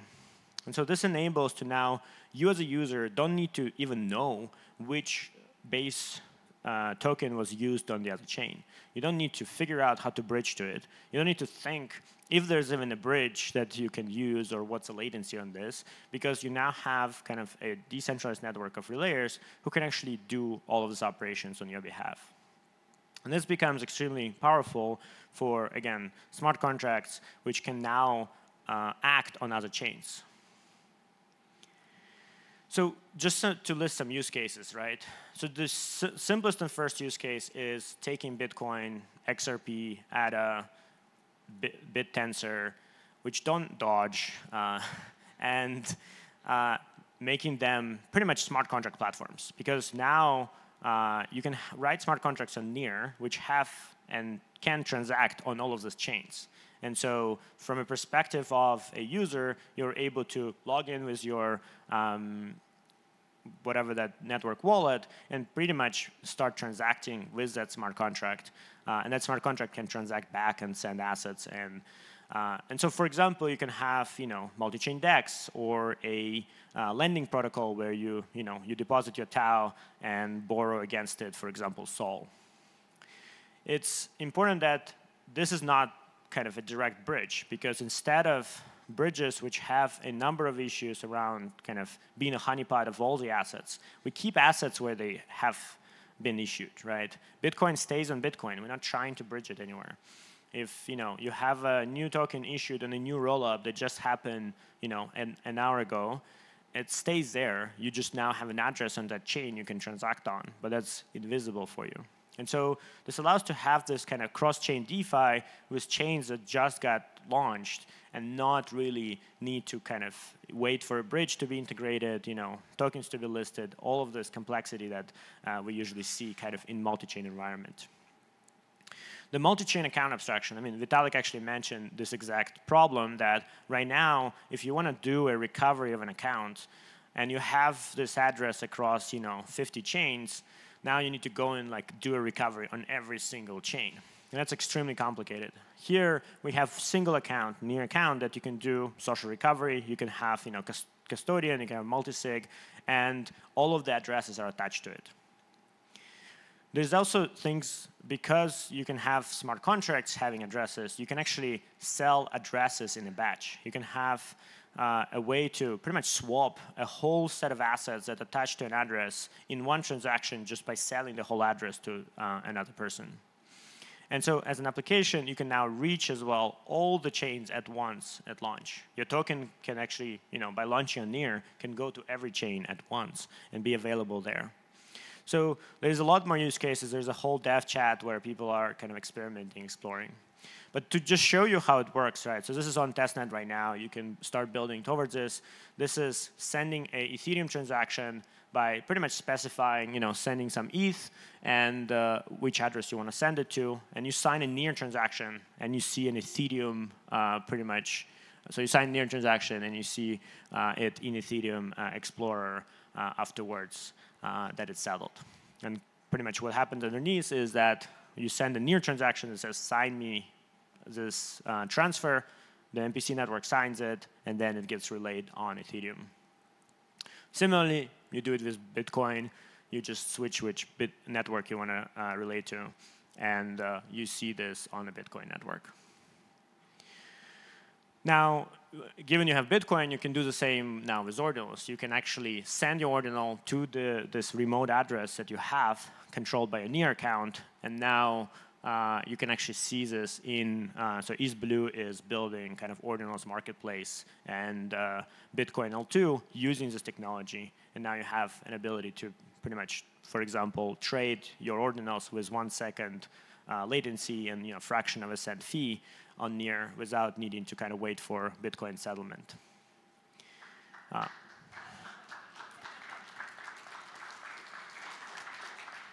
I see what audience likes here. Nah. Should have should have uh, did a different talk on ordinals, I guess. Yeah. So and you can obviously uh, withdraw this ordinal back to another like uh, Bitcoin address controlled by a Bitcoin multisig or anything like that. Similarly, Sweatcoin, which again, it's 150 million user application. Their wallet has, uh, I think, over like 20 million users with you know a couple million uh, monthly active, and so this uh, wallet is going to be rolling out the ability to transact across BNB and later Solana and other chains. And again, their users, they're not crypto. They're not actually, uh, you know, degenning and like having you know 500 wallets. They're able to use all of this from one place in a very convenient experience, being able to swap between different assets, not even knowing that they are on different chains. And that is an experience that you know you usually see in Coinbase and Binance in a fully custodial, but this is a non-custodial, you know, fully decentralized uh, kind of secure network.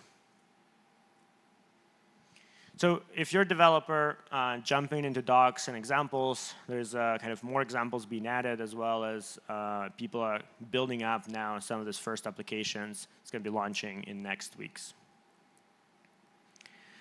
So I'll just leave you with this idea, right? Right now in this fragmented web, right, people are constantly like, you know, having fun stuck and withdrawing, managing gas tokens. A number of times I'm like, I bridge something and then I'm like, need to figure out, okay, now I need to bridge something else to actually pay gas on that chain because you cannot swap what you bridged without gas token, even though you have money there. Um, you have obviously, you know, which bridge to use, which bridge works, is it going to hack, did it get hacked already and I don't know about it yet uh, lots of wallets, lots of different applications. And so we want to move to this chain abstraction world where you can access everything that's happening in Web3. You can see it in one place. You can leverage any asset across all chains and swap between all of them and being able to capture kind of all the economic opportunity and all of the fun that's happening on chain. So I'll just uh, kind of invite everyone to assemble into this chain abstraction movement. And uh, there's a lot of people already uh, kind of following this. And uh, if you're excited about it, uh, follow me on X or on your social and uh, join chain abstraction group. Thank you.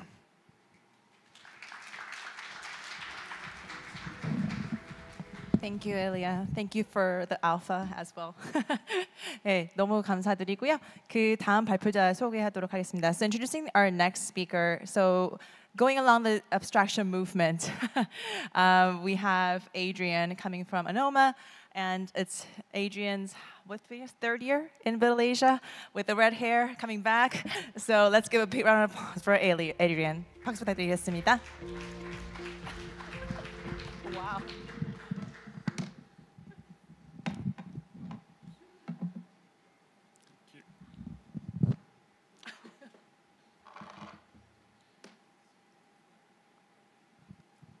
All right, perfect. Thank you very much, Erica, for the introduction. Uh, yes, this also works. Great. Thank you very much. Uh, thank you very much, everyone, for coming here. Um, today, I am going to talk to you about sort of third generation architectures and really this idea of moving from VMs to IMs, or moving from virtual machines to intent machines. And I think this is sort of going to be the theme in I expect the next sort of five years or so that along with this chain abstraction, we'll actually move away from directly building against virtual machines. We'll still use them as execution environments, but we'll very much move at the user and at the developer level towards intent machines, where users can specify their general intents and then specify the settlement conditions that they care about, and maybe those intents then get settled on Ethereum or they get settled on Near, uh, the intent machines generally are agnostic to specific execution environments under the hood. Um, so yeah, if you only take away one thing from uh, this talk, um, it's ANOMA is uh, the universal intent machine. That's really the TLDR. Um, if you've remembered this, you've remembered most of the talk. Uh, and now, so I'll start by going a little bit through historic evolutions of how we got to where we are today and sort of what the next generation will look like. Um, so it all started with Bitcoin and transactions. And Bitcoin and Bitcoin-like systems that were fundamentally, fundamentally transaction-centric. Yes, they had limited scripting capabilities, but that was about it. So you could start building sort of limited applications on it, um, but really you didn't have a full programmable environment that you could use. Um, and there were many things like Bitcoin during that time. Sort of when you think Litecoin, Zcash, Monero, they all fall into this generation one of transaction-centric systems. From there, we moved to virtual machines, and all of a sudden, instead of having limited scripting capabilities, we have we now have this is sort of the current world. We now have virtual machines and full programmability.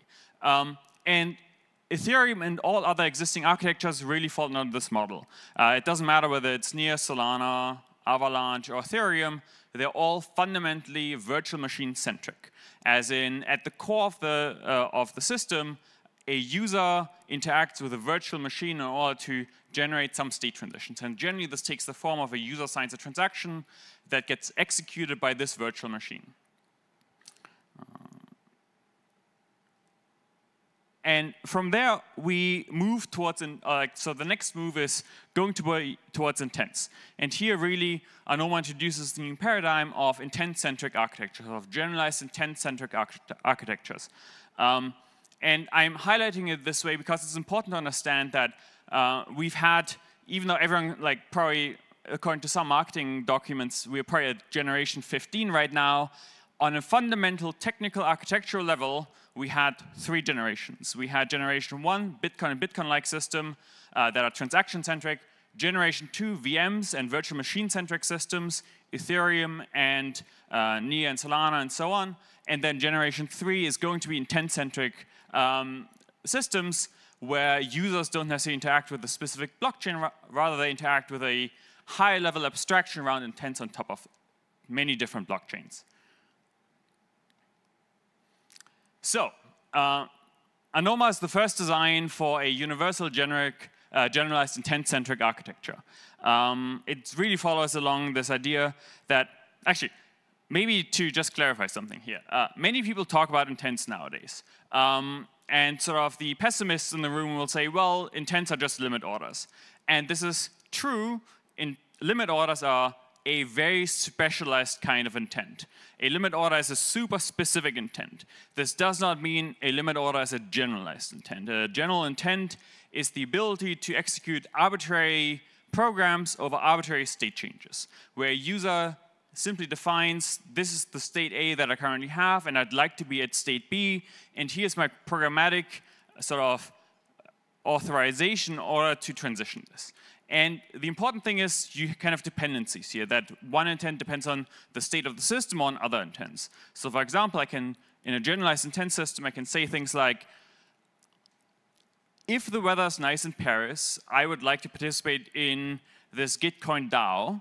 And if the weather is nice in Seoul, I'd like to sell all my Bitcoin, right? Like you can do arbitrary complex dependencies here, but that are always written as I have currently state A, and I'd like to go to state B, and someone else can figure out the compute. This is actually the really fundamental abstraction that um, intents describe state changes, not execution traces. And essentially in all the VM-centric models, users always describe execution traces, as, as in, I want to execute this opcode, that opcode, that opcode, and yes, it results in some specific other state, but the user didn't specify that future state. The user specified and signed over a specific execution trace. Whereas in an intent-centric world, users sign over the specific end state, and then they don't care how to achieve this end state.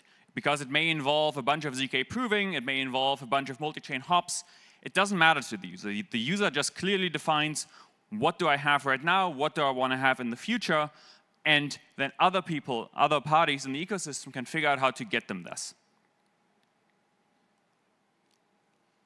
Um, yes, so as a little bit of a recap here, what is a VM? A VM is an instruction set, a program counter, many different layers of memory and so on that sequentially runs a program. Uh, a very good example, and probably the predominant example of virtual machines is currently the Ethereum virtual machine. And this is really at the heart of Ethereum. The Ethereum virtual machine is what makes Ethereum work. Um, whereas what is an intent machine? An intent machine takes a batch of intents and computes valid possible state transitions. Um, possibly selects one of them according to some defined criterion that can be encoded in the intents too. This is not encoded at the protocol level in the intent machine. This is rather encoded by users. Um, and then executes the, and then updates the system state. Um, for example, here, uh, the only model, and I think we will see many different intent machines going forward, um, but so the first one that we're working on is called the Anoma resource machine. Um, and again, here it's important to highlight that intent machines are not replacements for VMs. Um, we're building on the shoulders of giants. Without VMs, we can't have intent machines. So we must always, like, this is, this is not, Anoma is not designed as a replacement to existing systems.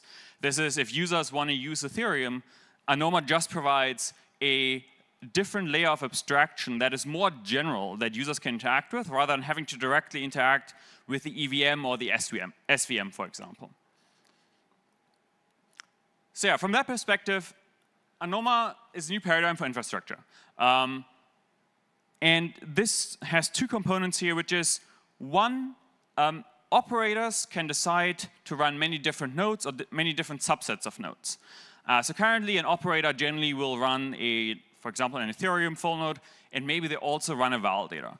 Um, with Anoma, operators may also still do that, but they can also run many different sidecars that enable this intent-centric paradigm. Um, and yeah, this is this actually goes to the second point, which is from a user perspective, everyone becomes a one out of one blockchain, essentially. Like when you think of a blockchain, Ethereum may have 100,000 validators, but I can build a blockchain that has just one validator, which is me, my phone is not a client that connects to some full node over an RPC call, right, which is a current model. Really, we have full nodes that are running somewhere, and then users on their phones connect to those full nodes via RPC clients. But they're fundamentally architecturally different. Like a client is different than a full node. In Anoma, a client is just another node on the network. They just live on the same P2P stack, and they just expose different capabilities. Um, which is really, really important when you think from a sort of, depending on the size of my phone or the powerfulness of my phone, my phone could decide to run many different softwares, right? It, if it's very um, sort of uh, non-compute intensive, uh, if it doesn't have a lot of compute power, it may just will like try to read some intents and submit some intents. If it's a very beefy phone, it may decide to run a light client verifier. So like, but I can locally configure this on my node. I don't have to install different node software. This is just all the same node configured, all, all the same software configured with different runtime parameters effectively. Uh, for builders, you get the benefit that you get decentralized counterparty discovery and distributed solving, as well as a bunch of novel properties around information flow control. Um, for example, for builders, um, an intent-centric model or the intent machine enables the capability that uh, you can actually build fully decentralized rollups where there are many different solvers in the network rather than, or many different sequencers in the network rather than a single sequencer. Uh, whereas a user, you don't, have to, you don't have to pick, but you can, for example, if you wanted to. Um, and then here on information flow control, this relates to um, with intents, users can choose what data to reveal versus not to reveal. And this is not to say that uh, this provides privacy. No, it just provides optionality to users that they can decide to reveal some data versus others. Whereas in a transaction-centric world, you really have to reveal everything. Um, yes, and then I, I'll briefly sort of mention this, which I think is very important in this move away from transactions towards intents, or away from signing of execution traces to signing over specific state changes.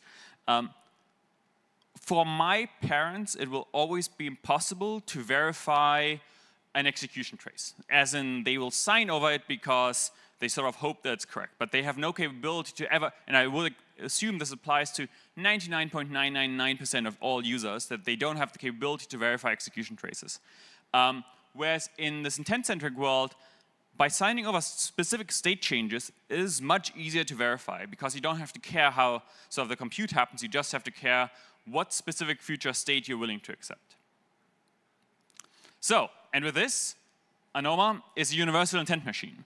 Um, it provides four key affordances. Um, it provides permissionless intent infrastructure, intent level composability, information flow control, as well as heterogeneous trust. I'll sort of go through them in the later half of this talk. But most importantly, ANOMA is an intent machine for Ethereum. Um, builders can just write dApps, but instead of writing using transactions, they can use intents.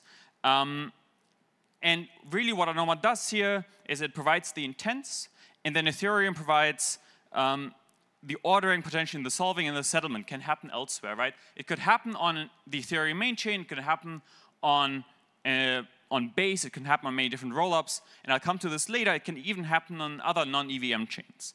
Uh, this is fundamentally, we are making an architectural jump away from being very chain-specific to intense general abstraction across many different execution environments. Um, and as such, one of the big advantages of this kind of system is that it helps with the fragmentation between different security models and, and the execution models. Uh, right, like if everyone, if you're in a transaction-centric model, you have to pick which mempool you submit your thing to. You have to pick your either on Near or on Solana or on Ethereum. Uh, with an intent machine, you can say, well, I have an, I have an intent and it could be either settled to Ethereum, or it could be settled to Near, or it could be settled to Anoma. Uh, the intents don't care. The intents are fully abstracted away from specific execution environments. Oh yeah, right, this is very important, important actually. Uh, Chris, my co-founder, just dropped uh, a very nice talk, a very nice blog post, sorry, not a talk, um, on ETH research. Uh, if you haven't read it since three hours ago, um, there have been updates, so please check it out. Uh, I'll also include the link uh, towards the end. An important distinction I want to make here is that ANOMA is an interface. It's not an intermediary. Um, and I'm saying this specifically because I think a lot of people are starting to throw around this idea of intents, and really what they are building is intermediaries, people that are sort of actors on the network. And as a result, a lot of these actors can extract rent like MEV extraction. Um, however, ANOMA just provides a universal intent interface. Um, and an interface is really a protocol which translates one semantic, for example, in this case, declarative intents, in terms of another. In this case, imperative ordering, compute, and storage. Uh, TCP/IP is a great example of this. Uh, that it's a protocol, it's an interface, it's not an intermediary. Anyone can use TCP/IP without having to go through the single server run by Oracle.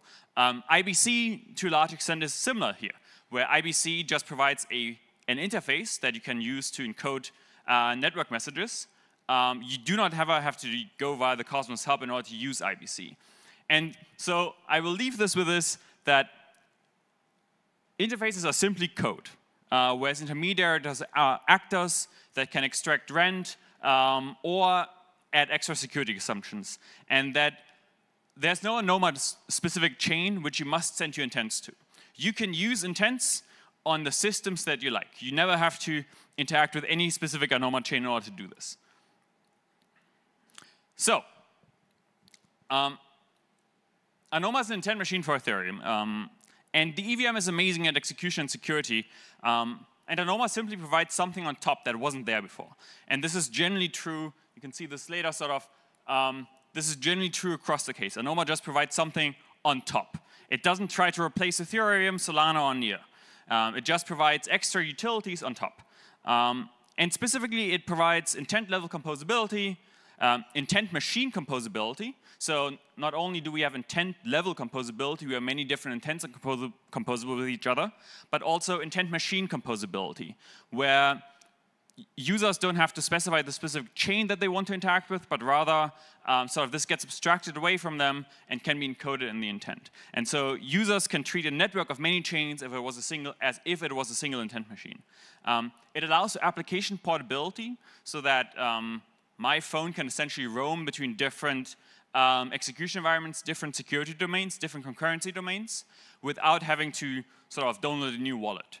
Um, and it ANOMA provides um, permissionless intent infrastructure.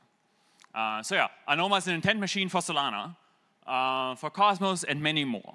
Really, ANOMA is an intent machine for your favorite execution environment slash security domain. And I will say this also that ANOMA is also an intent machine for a proof of authority chain run by the Swiss government, for example.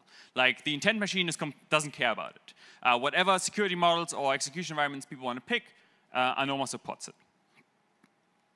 Um, yes. Uh, ANOMA is also scale-free. This is sort of, um, and I'll have to go a little bit more into what this actually means, which is that it provides both local as well as global scalability. There's not supposed to be just one instance of ANOMA.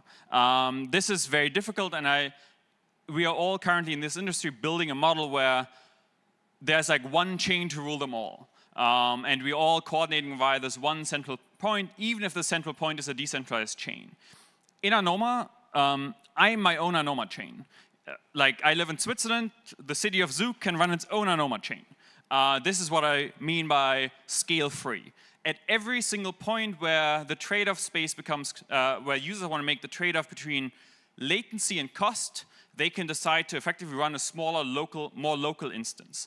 Um, and sort of if you come from trading, this will actually make a lot of sense to you because latency constraints are fundamentally bound by speed of light. Um, and if you want to have the fastest, cheapest execution, if three of you, are, of you are in a room, it makes no sense to run via a server in New York. Uh, you should be trading and settling locally on your own local instance uh, rather than relying on a global security model. Um, and so, by the way, this is just like a property of distributed systems in physics, this is not something that you can sort of get beyond. Like, if three of us, if we can have infrastructure where three of us in a room can just like settle their trades directly locally, we can run out of our LAN or fiber optics. Uh, this will always be cheaper and faster than going via central servers, even or central systems, even if these systems are decentralized, because you will never get better in terms of latency than three people in a room. Um, yes a little bit on, um, and I touched on this in, on uh, multi-chain atomic settlement. So with ANOMA, you get this capability to have multi-chain atomic settlement. Um, and what this effectively means is that you can have a homogeneous architecture, but with a heterogeneous security model. That different people will have different requirements in terms of what security model they care about. Um, but you get a homogeneous intent machine abstraction so that people don't have to also change um, like change the applications that they want to use. And like a very good example is international roaming of mobile phones. It'd be very stupid if I have to buy a new mobile with a new standard for every single country I go to, right? Like one of the very nice benefits of mobile phones is nowadays that uh, my phone roams across the world. And this is because we fundamentally have a homogeneous architecture for how cellular networks work in heterogeneous security models, because whenever I go to a new country, I'm entering a new security model. And this is sort of the same abstraction that ANOMA allows.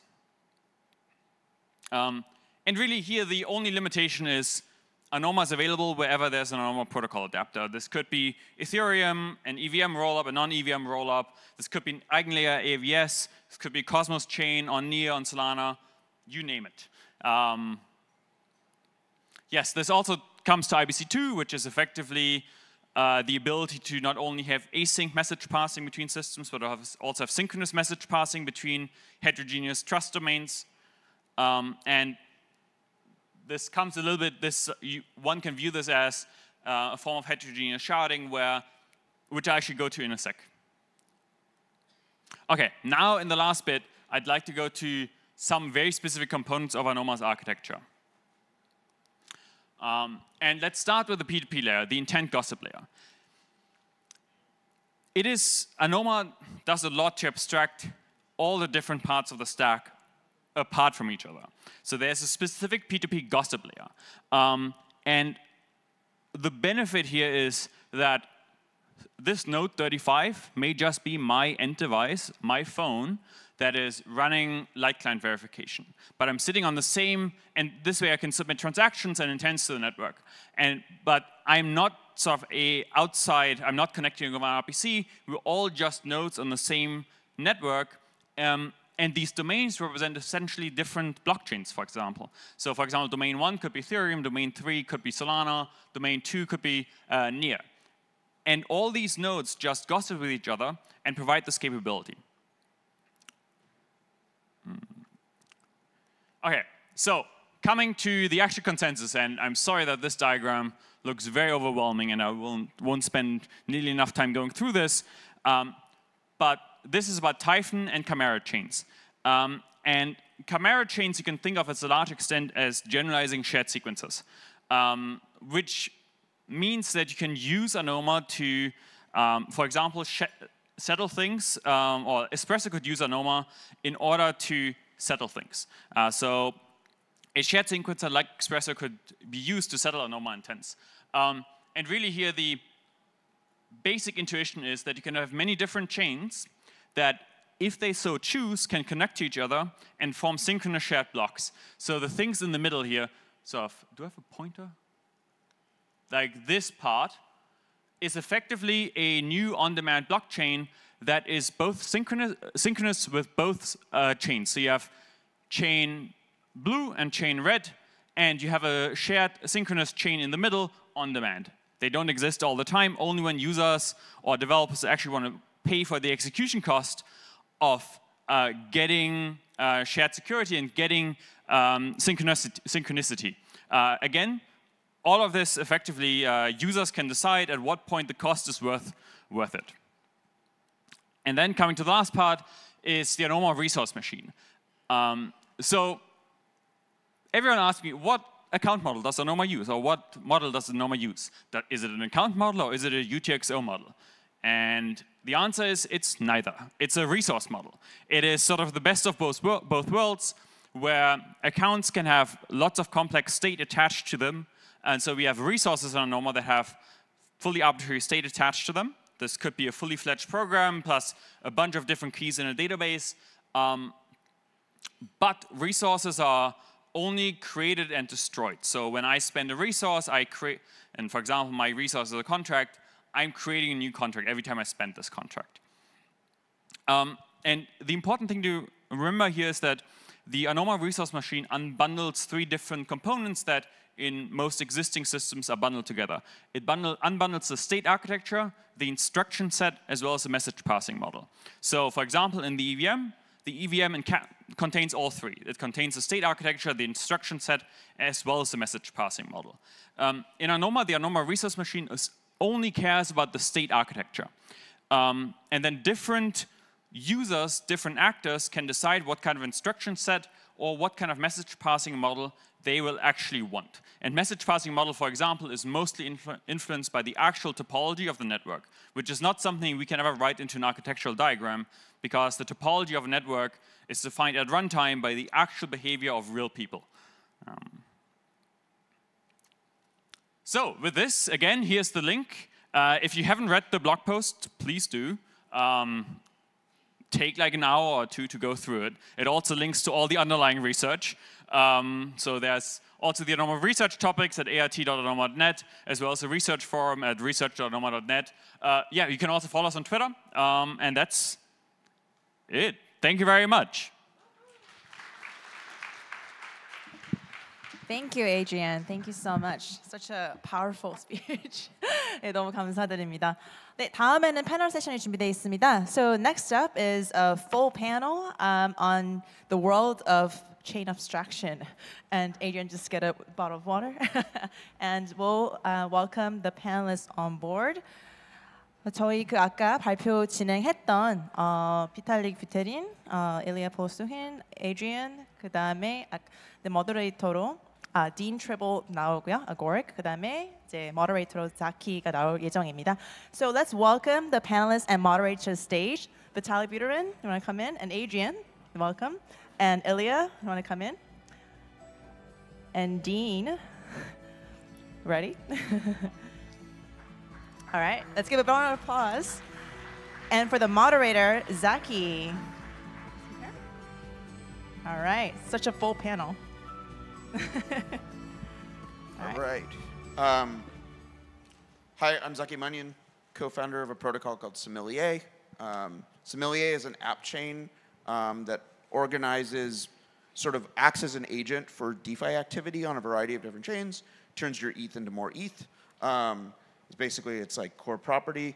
Um, and somewhat relevant to this question of what does it mean to be building a chain abstracted app. So it, it uses a Cosmos app chain behind the scenes, but every user who uses it is interacting it from Ethereum or from an L2. So you can think of it as an early, uh, uh, as an early chain abstracted app. Um, and so I'll be moderating the panel. Um, I think everyone has spoken except for Dean. So you guys should all, Dean, you want to quickly introduce yourself? Sure. I am uh, Dean Tribble. Yes, I'm Dean Tribble. I'm CEO of Agoric. I'm Dean Tribble. I'm CEO of Agoric, and that is a Cosmos-based layer one blockchain um, for doing smart contracts in JavaScript, but really it's for doing, implementing business logic for cross-chain applications, for multi-chain applications, where it can use native IBC and all of the various bridges to be able to orchestrate the activity that, that, that needs to be done in order to achieve the kind of chain abstraction uh, visions that, that, that, we talk, that we'll be talking about here. All right. I think like what we could probably start out with is maybe like an exploration of like the trade-offs of building a chain abstracted user experience app um, versus like what people are building today. Um, how is this world uh, uh, changing? I would say that like, um, well, I guess the joke I would make is that like in the old world, the the beginning of building an app was always you like you build a new chain, then you vampire attack Ethereum, um, and then you, uh, uh, you know, try to get builders on your chain. And I think we're trying to build a different world. So maybe we could talk a little bit about that. Like, what is, what are the trade-offs of chain abstraction today? Um, yeah, since uh, I, I, think the big difference is that uh, not everyone will want the same security model, and I think this is sort of, uh, in my opinion, becoming obvious. Like to me at least, my parents will not want global Ethereum security, no matter how decentralized it is, right? Like different people have different trade-offs here. They don't want like localized security, and I think chain abstraction is actually one thing where we can have still very composable infrastructure, like a very composable ecosystem of very cool applications in the space, but people can individually pick which specific settlement layer or security zone they want to be using here. And for example, if you live in Argentina, I think probably like you're not going to trust your local government. You're going to trust global Ethereum. And so like depending on which sort of environment you're in, uh, you will have different preferences with regards to which chain you actually want to be on. But I think from a user perspective, it'd be nice if not if I don't have to re-architect my workflows, my my applications, if I don't have to carry like 500 different wallets because I'm now flying through like five different countries where every single city wants to run its own blockchain. Uh, at some point, we need to get to this abstraction I was talking about earlier with regards to like phones just roam and it just works magically under the hood. And I think this is to me what chain abstraction is really about. You were starting from this idea that anyone even knows what the chain is. So if we're going to reach millions of users, I mean, you know, my, my analogy is when I order a hamburger, I have no idea what cloud service my application is using. So, so you know, traders care about, about the infrastructure that they're, that they're using at some high level, and we want to be able to not hide those counterparties. But as we go out to, to much larger user bases, they will care less and less, but they will, they will rely on experts to provide them guidance as to what they can use safely, but when they're experiencing it, they just want to get, you know, they, they just want to take their money and, and buy, you know, stake TIA or whatever NFT is, is, is exciting them this week. Yeah, maybe to add that the current state of the world is that centralized exchanges are the kind of main inter uh, chain protocol. And so that, I mean, that's kind of where we are. And so we relying on them to, you know, not steal our money or, uh, although they fail at doing that sometimes. And so like transitioning from that to, you know, non-custodial, but unified experience where you can actually transact with all of them with all of the applications across all chains. Uh, now you still, like I think the, the important part, you want to keep the assets where they were issued because the asset issuance is kind of the definition of the security for that for that asset, right? So I mean, the example of Bonk, right? It lives on Solana, and so the kind of you can bridge it to other chains, but now you have multiple extra um, kind of counterparties involved when you actually want to, for example, transact with it on Near or Ethereum. Versus if you are saying, hey, I want some Bonk, and you're getting it on Solana, and it's like, but you don't need to think about that. You don't need to like figure out how to bridge your assets to Solana, how to set up a wallet, how to get the gas for buying it, etc.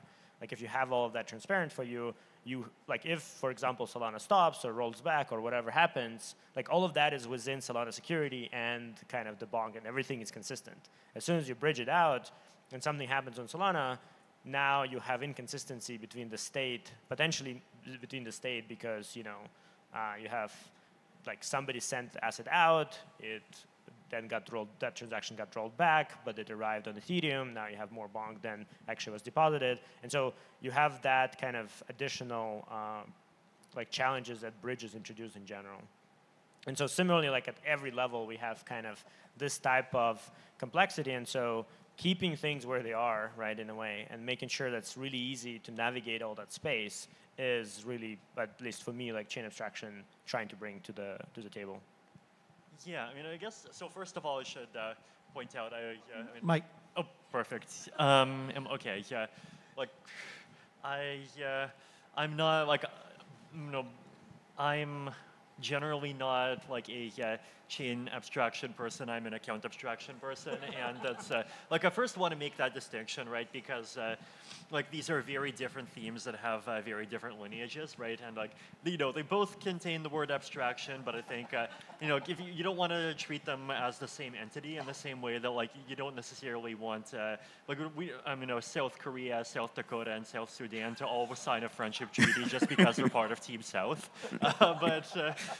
Uh, so putting that aside, right? So you know, different themes. I think. Uh, I mean, the well, like the valuable thing here, right, is um, you know like expanding the uh, the scope of standardization, right, and uh, basically, yeah, you know, like if uh, users are doing the yeah, same, the same thing or can be doing the same thing, like you want the same infrastructure to be able to like uh, provide you know, whatever whatever service the infrastructure is providing across um, a uh, much larger set of these uh, projects as possible, right? And uh, you know the reason why that's valuable is basically so that you don't have to start network effects from scratch, and so we don't have this problem where we have like 15 um, you know, like different standards, and then someone comes along and make one to fix it, and then you have 16 different standards.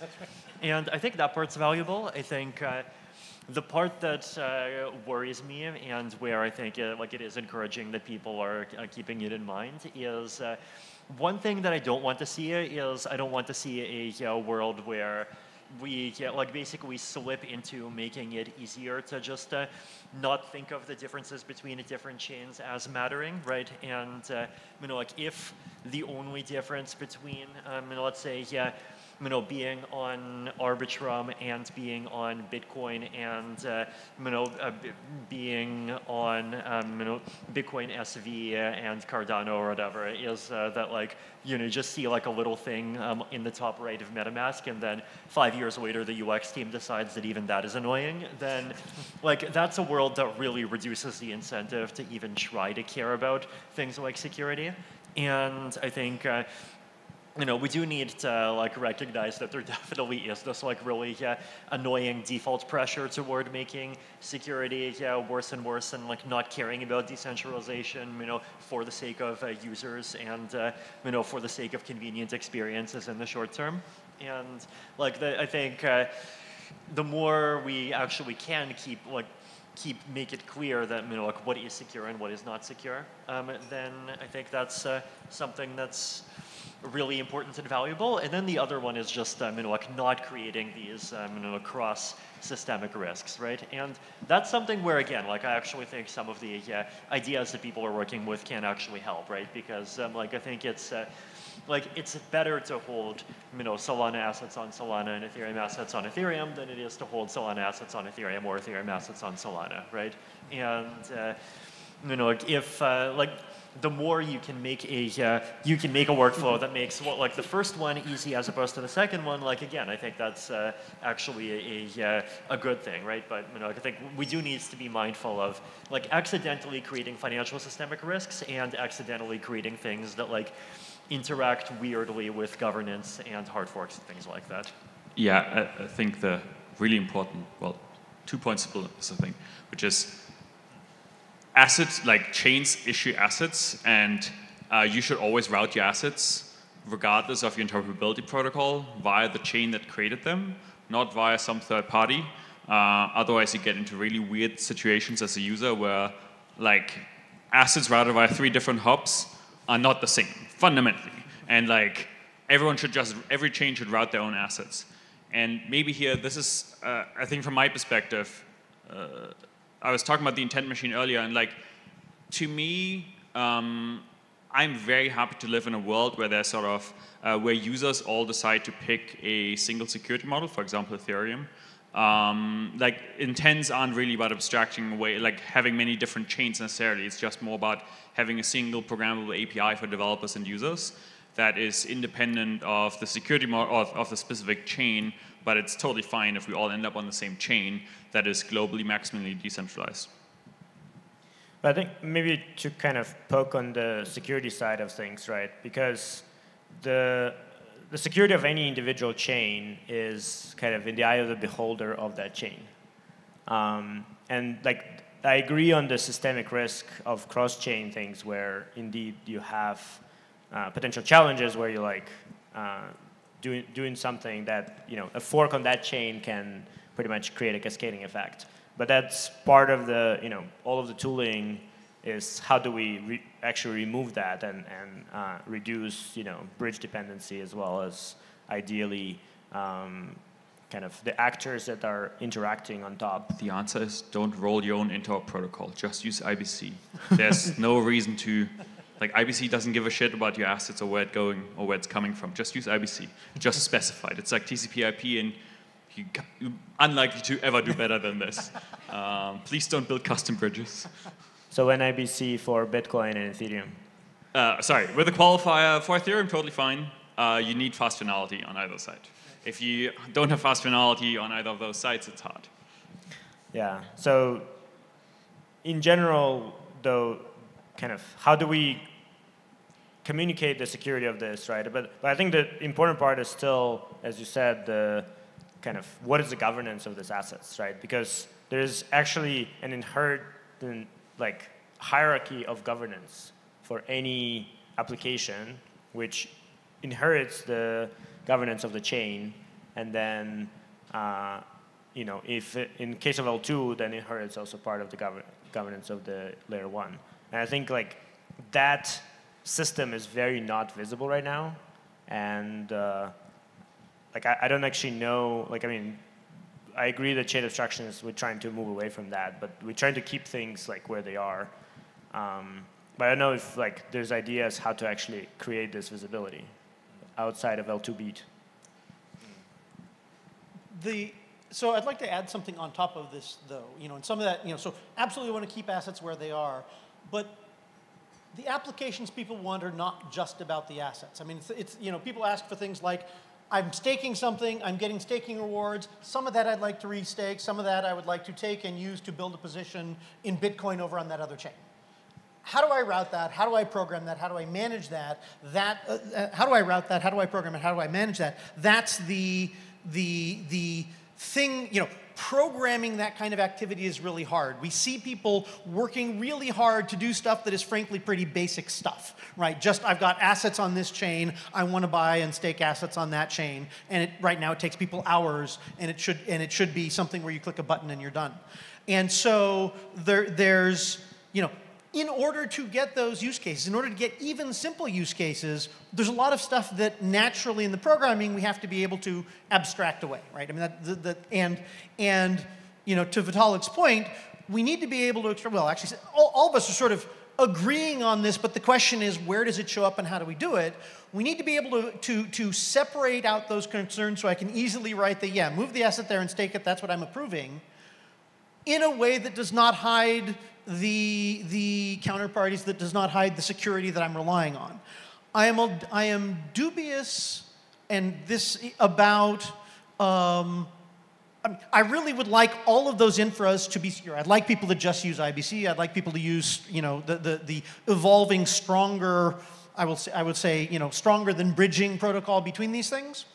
But oh my God, there's a lot of crap out there going over rickety bridges, right? And the thing, you know, and those are the things where we need to be able to build apps that can subsume that and then enable us to you know, keep our eye on the ball and make those more secure, right? Keep our eye on the ball and replace some of these multi-sigs with stronger, um, with stronger security and represent that out, as you were saying, represent that out to the user or, or out to the auditors and the development community so that we're all sort of aligned with, with, with, with, with hardening those up as opposed to simply getting rid of the icon that says this is risky, right?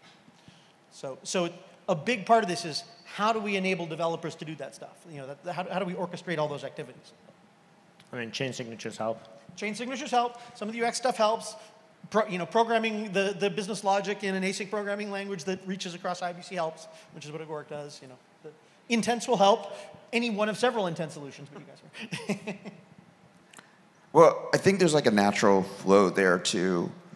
I think a lot of what we're trying to do with chain abstraction and account abstraction. I think like where there is a continuum is they are about delegating authority. So like when do you want to be able to like when does it is it easiest to develop delegate authority to a to a device? You know, so you can have some subdelegation. When do you want to have an agent involved? When do you want to have an intent? How does how do you how do you think about what the applicability of intents are you know, along this like spectrum? Um, yeah, I think intents are a standard, a way for users to define what kind of authority they want to delegate into whom. Like ANOMA or intents make no preference choices for users on their behalf in terms of you should be going to an MPC solution, you should be going towards a chain signature solution, you should be go going towards a smart contract account.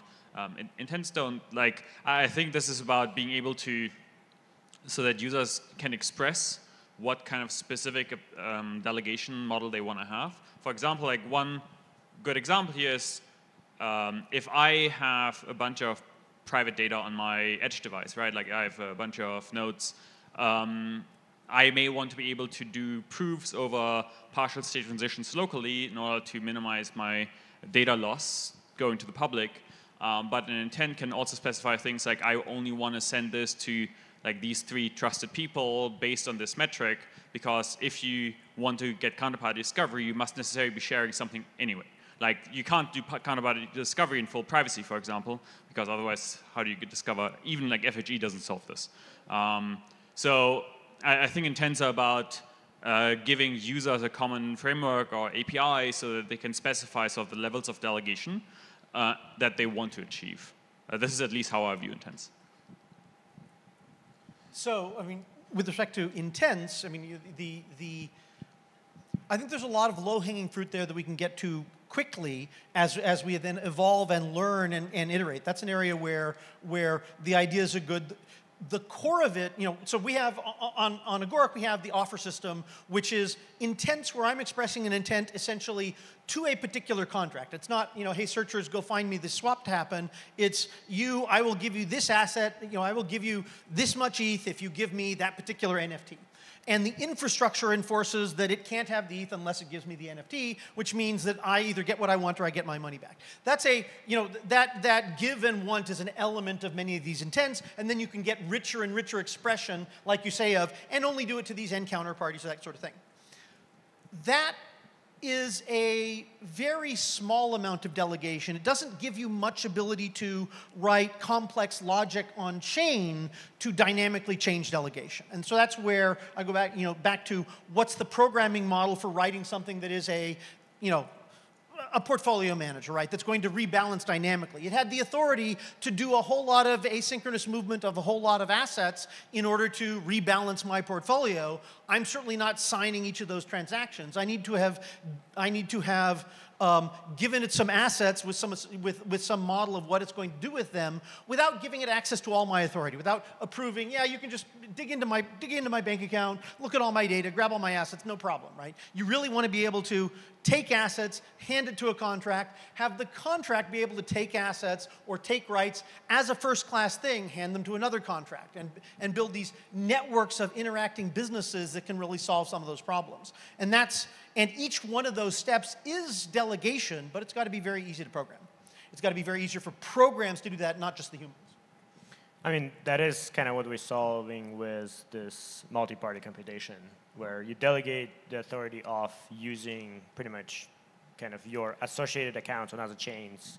And now you can write a smart contract that, you know, rebalances things across all chains, you can write a smart contract that you know borrows against it, the one that you know executes multi-chain intents.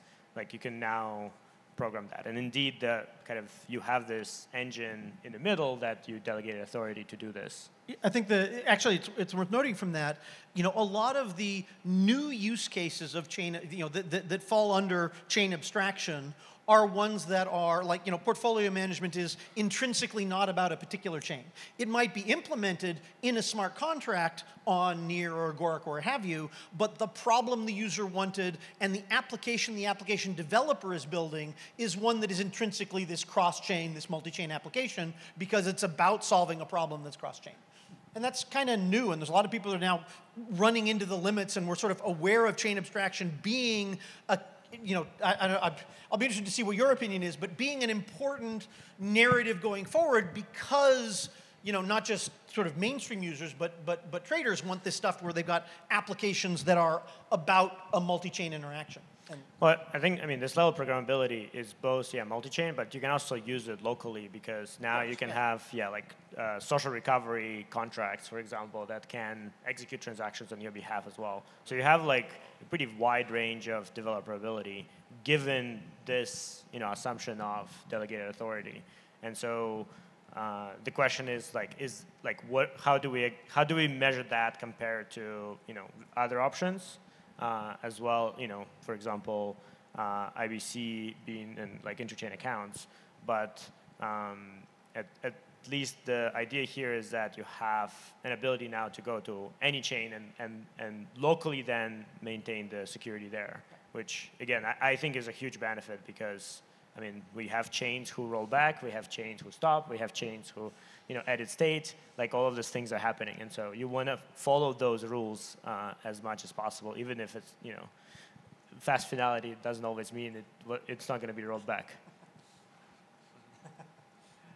Yeah, I mean, I think uh, one thing that's uh, important to keep in mind here is that like chain abstraction probably should be concentric in the sense that there are things that it makes sense to ab abstract across the entire um, crypto ecosystem. There are things that make sense to abstract across a yeah, security domain, for example. There's things that make sense to abstract um, across uh, like say uh, the set of uh, chains that share that like exactly share a particular VM um, or across uh, a particular sub-universe like uh, you know the Starknet um, you know sub-universe for example and then you go down to individual domains and you go down to individual applications right? Like uh, if you're a wallet, right, then and you want to offer your users social recovery, for example, then there's like one way to do that on Ethereum. There's one way to do that on uh, Bitcoin, which basically involves just like moving all your assets over to new addresses.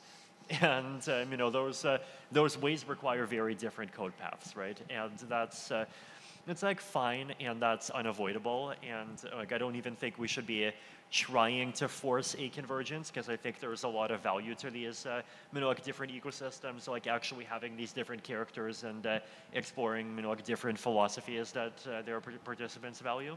Um, but then if you know, if you go, you know, if you look at, you know, like within the Ethereum security zone, for example, like I just, uh, you know, a couple of hours ago talked about key store contracts, which would basically let you, you know, like store the mutable part of an account in one place, right? Um, so it depends on like what you know what what specific thing you're talking about, um, like what what and like what specific functionalities that thing depends on, and I mean like what is. Uh, what actually is the size of the zone across which um, that functionality actually holds. And sometimes it does, but then sometimes like if you're offering a, a service, like you're just going to have to do ongoing work across many ecosystems, right? Like at a very minimum, for example, like if you want to have a portfolio manager across, um, you know, let's say both Ethereum and Bitcoin, which are two ecosystems that have off-chain governance that's independent of each other, then you will have to make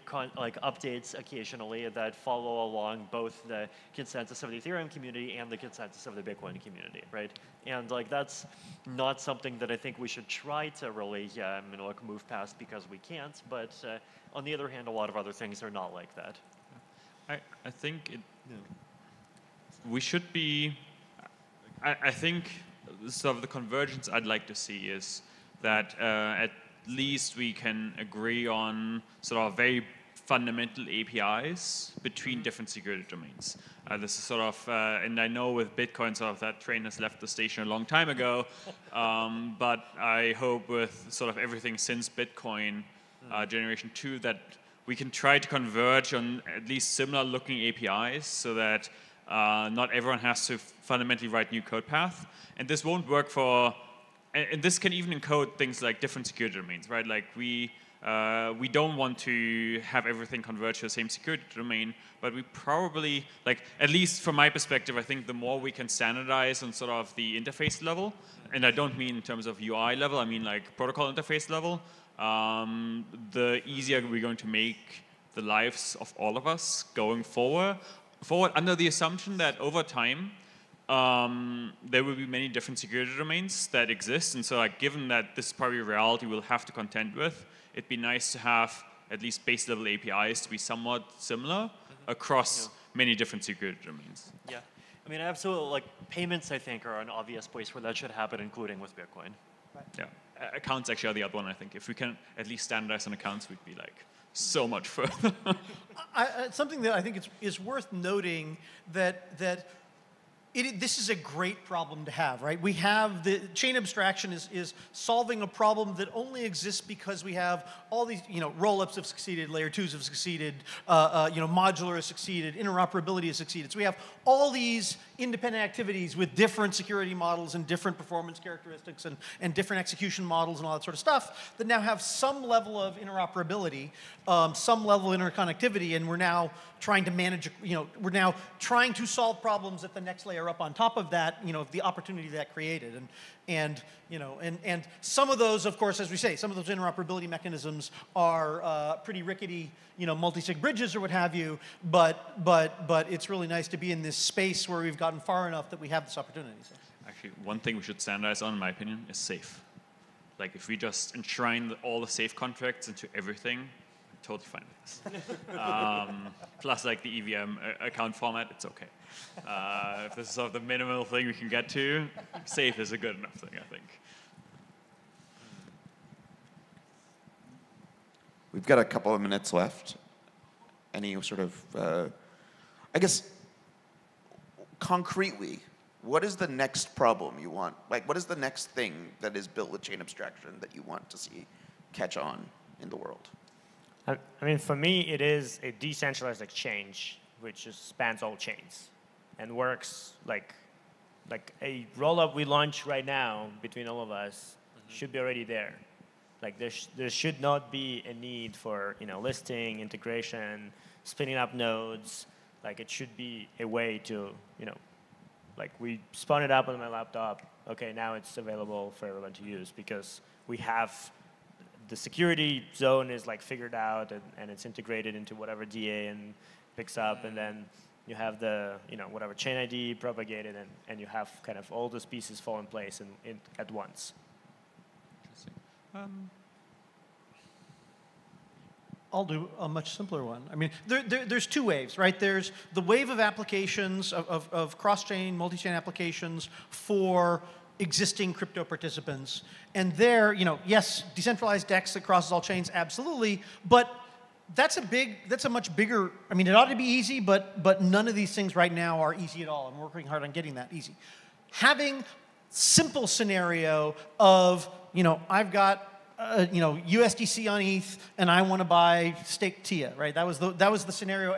You know, several billion dollars did last month, right? Turns out that's really damn hard, and it's absurd how hard it is. And so, you know, let's make it so that those simple scenarios are easy because it turns out there's a lot of them and there's a lot of people that concurrently want to build that. And so I think that, you know, that to me is at least, you know, maybe that's the crawl, walk, rock, crawl, crawl, walk, run stage and you're talking about the walk. But man, let's make sure that crawling is easy and, and then it'll be much easier to understand how we get to that exchange that spans all of these, uh, you know, all, all the different chains straightforwardly from a user, in a usable way. And then the next wave after that is these cross-chain applications for end users, I mean, for, for mainstream users. I, I think from my side, I'd like to say see more sort of Typhon and Chimera chains because I think there's a large benefit to having a specified protocol for a shared sequencer. Um, like that's a generalized shared sequencer. I think this is going because like if you look at sort of the existing model, a lot of these things are starting to fragment, and I think if we can do more work on sort of shared sequencing and like generalized shared sequencing with something like Chimera chains, I think that'd be very helpful. Uh, personally, the thing that I'd be very excited about is like as a very practical thing, like have two cities run a chain that can opt into like a shared block once in a while, so that you can have like a local currency issued in chain one, and a, like in the city of Zug and a, like in the city of Berlin runs a share, runs its own chain, and like people can actually use localized security domains. I think that'd be very cool. I- I think we'll solve Web3 faster than cities will run blockchains. Hopefully, hopefully. You thought crypto governance was hard. All right. Anything else? Yeah, I mean, I think I, uh, I mean, I generally, f- you know, like focusing on the 80, you know, the 80-20 or even the 90-10, right? It's like, you know, the, the 95-5 of uh, intents is limit orders, right? And uh, the, yeah, Sadly, and yeah. I think, um, you know, probably in this case also the, yeah, the 90-10 of, uh, you know, chain abstraction, like what is it? I mean, I think actually, yeah, like cross-chain exchange and cross-chain payments is like a really big one, right? Like uh, the thing, you know, for every user that even knows what it means to yield farm and have the yield immediately go out to some other yield thing, there is like 10 that just want to pay people. And, uh, you know, most of the, you know, whenever I've had to pay people on an L2, a lot of the time they were on a different L2 from me, right? And it would be nice to just, um, you know, have a wallet and, um, you know, you could put it, type, paste in an address where you have, um, you know, the chain colon whatever your, your underlying address is, and then it just like automatically routes it into either a uh, regular um, pay- payments on chain or through um, you know, like whatever kind of uh, DEX uh, you're willing to accept, um, and uh, like d- depending on what the source and output chain is, and that just is something that would work across the ecosystem. Like I think yeah, that would be amazing. All right. You know, Thank you very much, everyone. Thank you. Thank you so much for having us. Now know what to build at each soul. That was a great panel. Thank you so much, everybody. 아, 네, 너무 수고 많으셨고요. 지금 어, 점심 시간이 1시 반까지 진행이 됩니다. 자리 꼭 잡으시고요. 어, 어, 미디어는 미디어 어, 언론 방이 따로 있습니다. 거기 가주시면 되고 연사는 연사 방으로 가주시면 되고 네, 됩니다. 그래서 바로 시작하니까요. 맛있게 점심 드시고 1시 반에 뵙도록 하겠습니다. Uh, so see you at 1:30. Uh, we're having lunch, so please stay seated and it's going to be a very full course, so enjoy. Uh, and I'll see you promptly at 1:30. Builder stage presentations begin at 2 p.m. promptly. Thank you so much.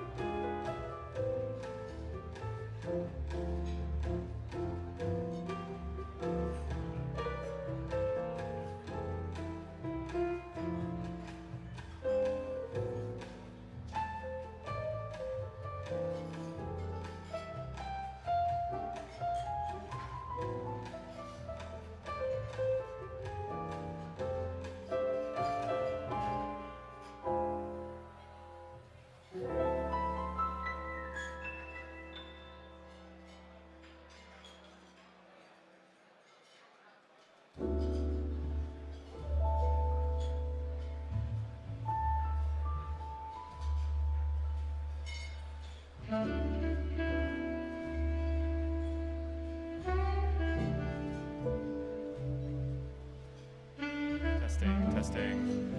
Hey, everybody. I hope you are enjoying the lovely lunch. Just a quick heads up we're going to get started in just about four minutes with our next presentation. So please uh, enjoy wrapping up the lunch, and uh, I'll be back in about four minutes to introduce the first speaker. Thank you.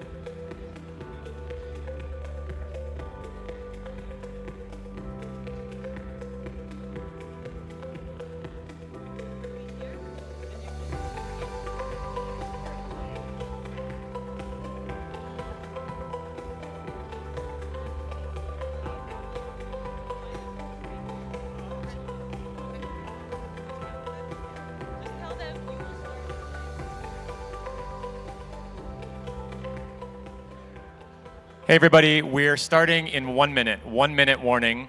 Enjoy uh, the, the end of the lunch. I'll be back in one minute. Thank you.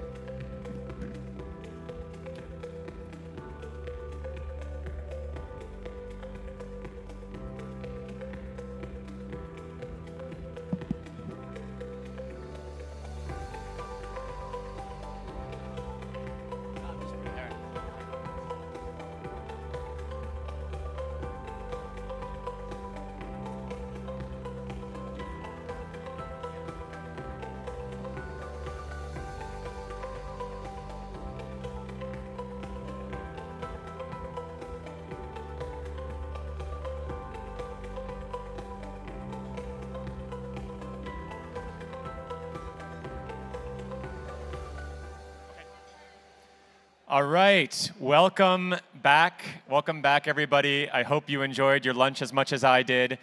Um, my name is Lane, and I will be your MC for a portion of the afternoon. So I'd like to welcome everyone, welcome everyone back here to the main stage. Um, you'll have to bear with me. Uh, my name is not Erica.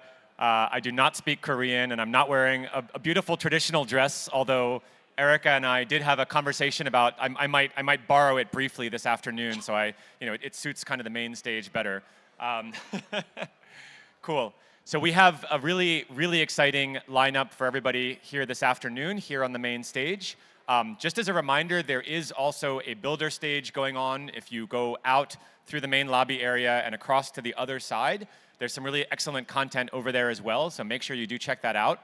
Um, yeah, so without further ado, I'm going to go ahead and introduce our first speaker of the afternoon.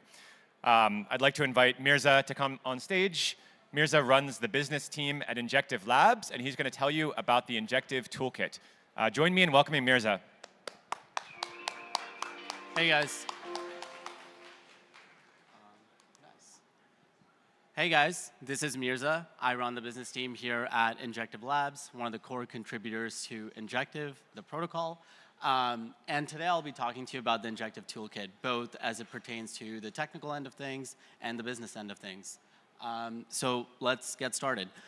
Before we sort of jump into things, um, I want to explain to all of you what Injective sort of is on a high level, um, and we'll get into all the nifty features and functionalities on Injective itself.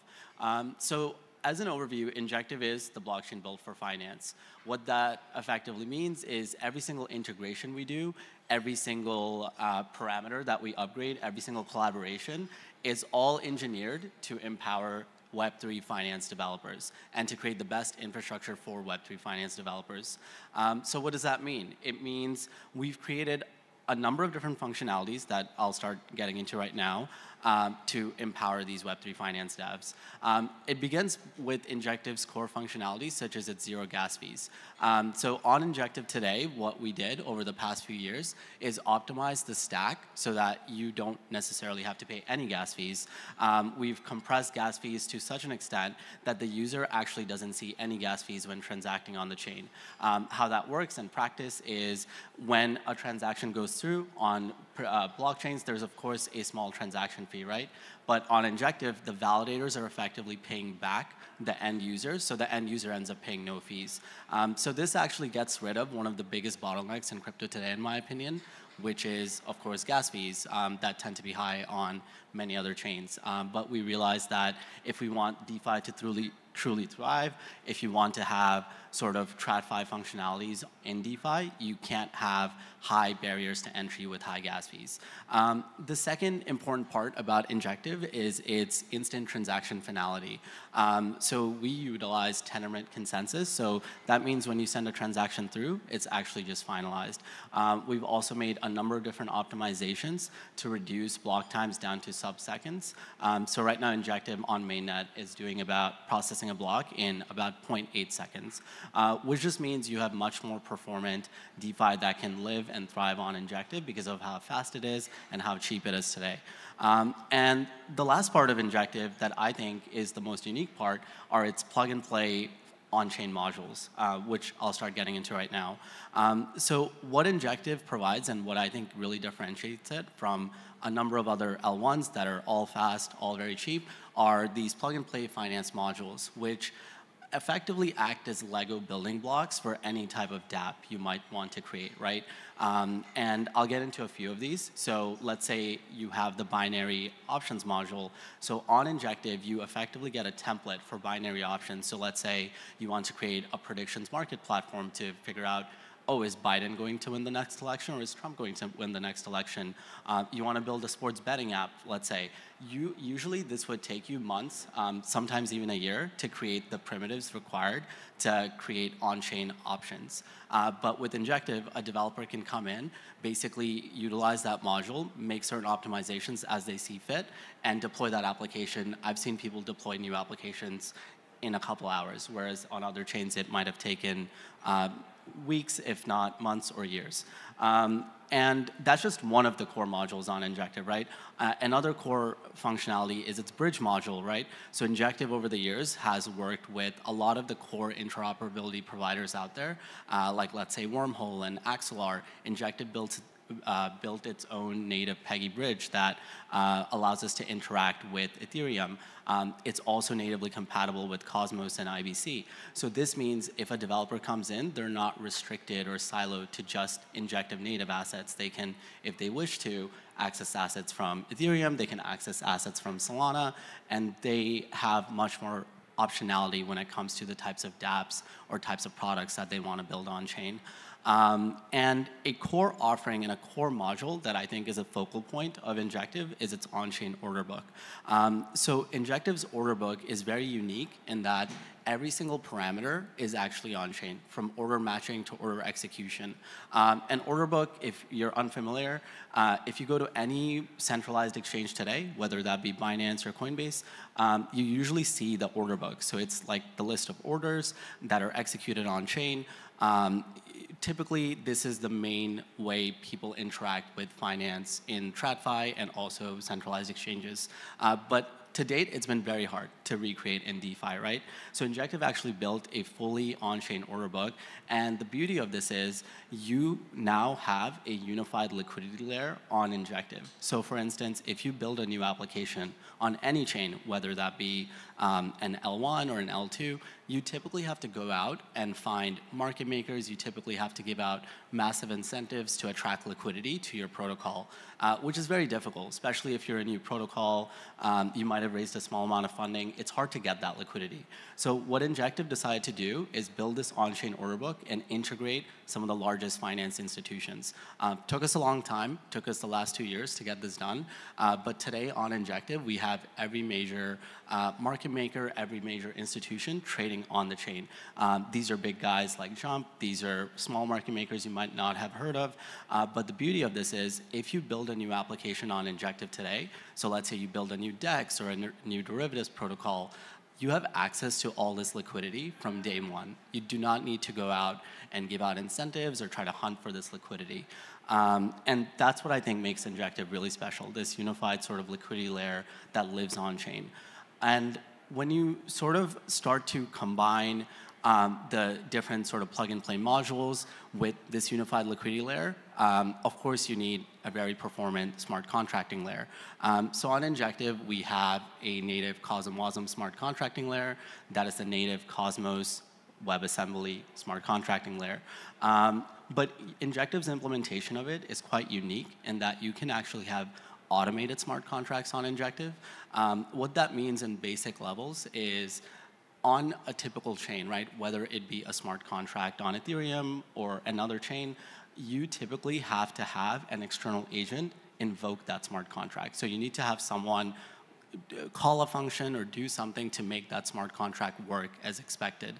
But on Injective, you don't need to do that. On every single block, you can have self-executing smart contracts. So based on preset parameters, the smart contract can execute on its own. Um, which means if you have a, it, you can now build much more sophisticated applications on Injective, whether it be much more advanced lending applications, much more advanced trading protocols, you can build it because of the smart contract functionality um, that lives on chain. Um, over time, what we realized is while we had this very performant smart contracting layer, it is not for everyone because the a lot of dev mindshare today still lives on EVM, or it still lives on the Solana Sealevel virtual machine. So we wanted to attract some of these developers as well. Um, and this gets me into the final part of the Injective sort of technical toolkit, which is Injective's Electro chains.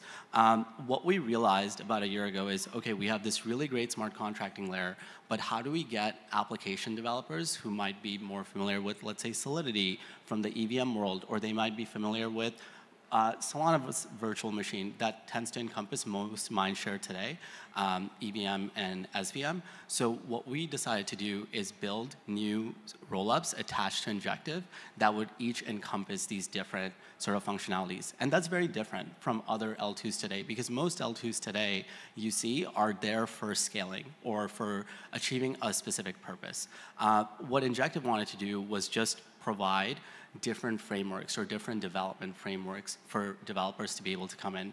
Um, so actually, about two weeks ago, we released the InEVM layer on mainnet, which stands for Injective EVM. Um, this is the, so you can now take applications you would typically find in Ethereum and easily deploy it on Injective. Um, and the idea is it allows us to not serve as, uh, get rid of any bottlenecks that developers might have previously had in terms of onboarding onto Injective. So they can now come on, come on uh, build in Solidity, build in languages that are familiar to them, and have a toolkit that they're familiar with from the EVM world. And later, if they wish to, they can migrate to the main chain, which is the Injective WASM layer. Um, and this works much better than trying to go to a developer and saying, hey, we're Injective, we have this really performant chain, but whatever you're building on EVM, you have to basically do it from scratch. So we wanted to get rid of that bottleneck, so th this is why inEVM exists. Um, and same with inSVM. So Solana, of course, has done a great job in terms of building mindshare outside of the typical EVM. Um, in many ways, it provides different functionalities and performance standards compared to EVM. Um, so about a year ago, we also started working very hard to build uh, a rollup that would be SVM centric. Um, and right now, it's on testnet. It's supposed to go live on mainnet in about the next two, three months. Um, so very excited for that as well, because then for the first time in under one umbrella, you can have WASM developers, EVM developers, and SVM developers all under Injective, all serving one core function, which is, okay, you want to build great financial products, you're not bottlenecked by anything, whether it be programming language, whether it be liquidity due to our unified liquidity layer, or it be the plug and play module. So now you have the whole stack that you need to build very performant applications on top of Injective uh, because you can come in and build applications that would have taken months or years in a matter of days. You have liquidity from day one for your application. And then finally, you're not bottlenecked by programming languages, et cetera. You can code in any language. Um, and that basically is, on a high level, Injective's technical toolkit on in a nutshell. Um, but what I focus on Injective is the business side of things. Um, so I've been there for four years now, and over the years I've worn a lot of different hats when it comes to BD and marketing um, and social media, you name it. I've probably done it. If it's outside of the realm of tech, I've probably done it. Um, so I wanted the next part of the presentation to focus on business development because I think this part is so underrated in crypto where we build extremely interesting products and extremely interesting tech, but there's a common misconception in crypto or in Web2 in general or and Web3 that if you build really cool products, you will get users to come and use it. Like build it and they'll come. That's a very common saying. But what I've realized over the years is even if you build really cool tech and products, it's very hard to get usage. It's very hard to get users. It's very hard to build community. Um, and that's where business and marketing comes in, in my opinion. So the next part of the presentation will really focus on, in my opinion, a few of the core tenets that I think helps build really good businesses in crypto and why I think uh, protocols such as Injective have been so successful in terms of growing community, in terms of growing the ecosystem. Um, and the first point might sound really basic, but I think people really need to start off with asking themselves why.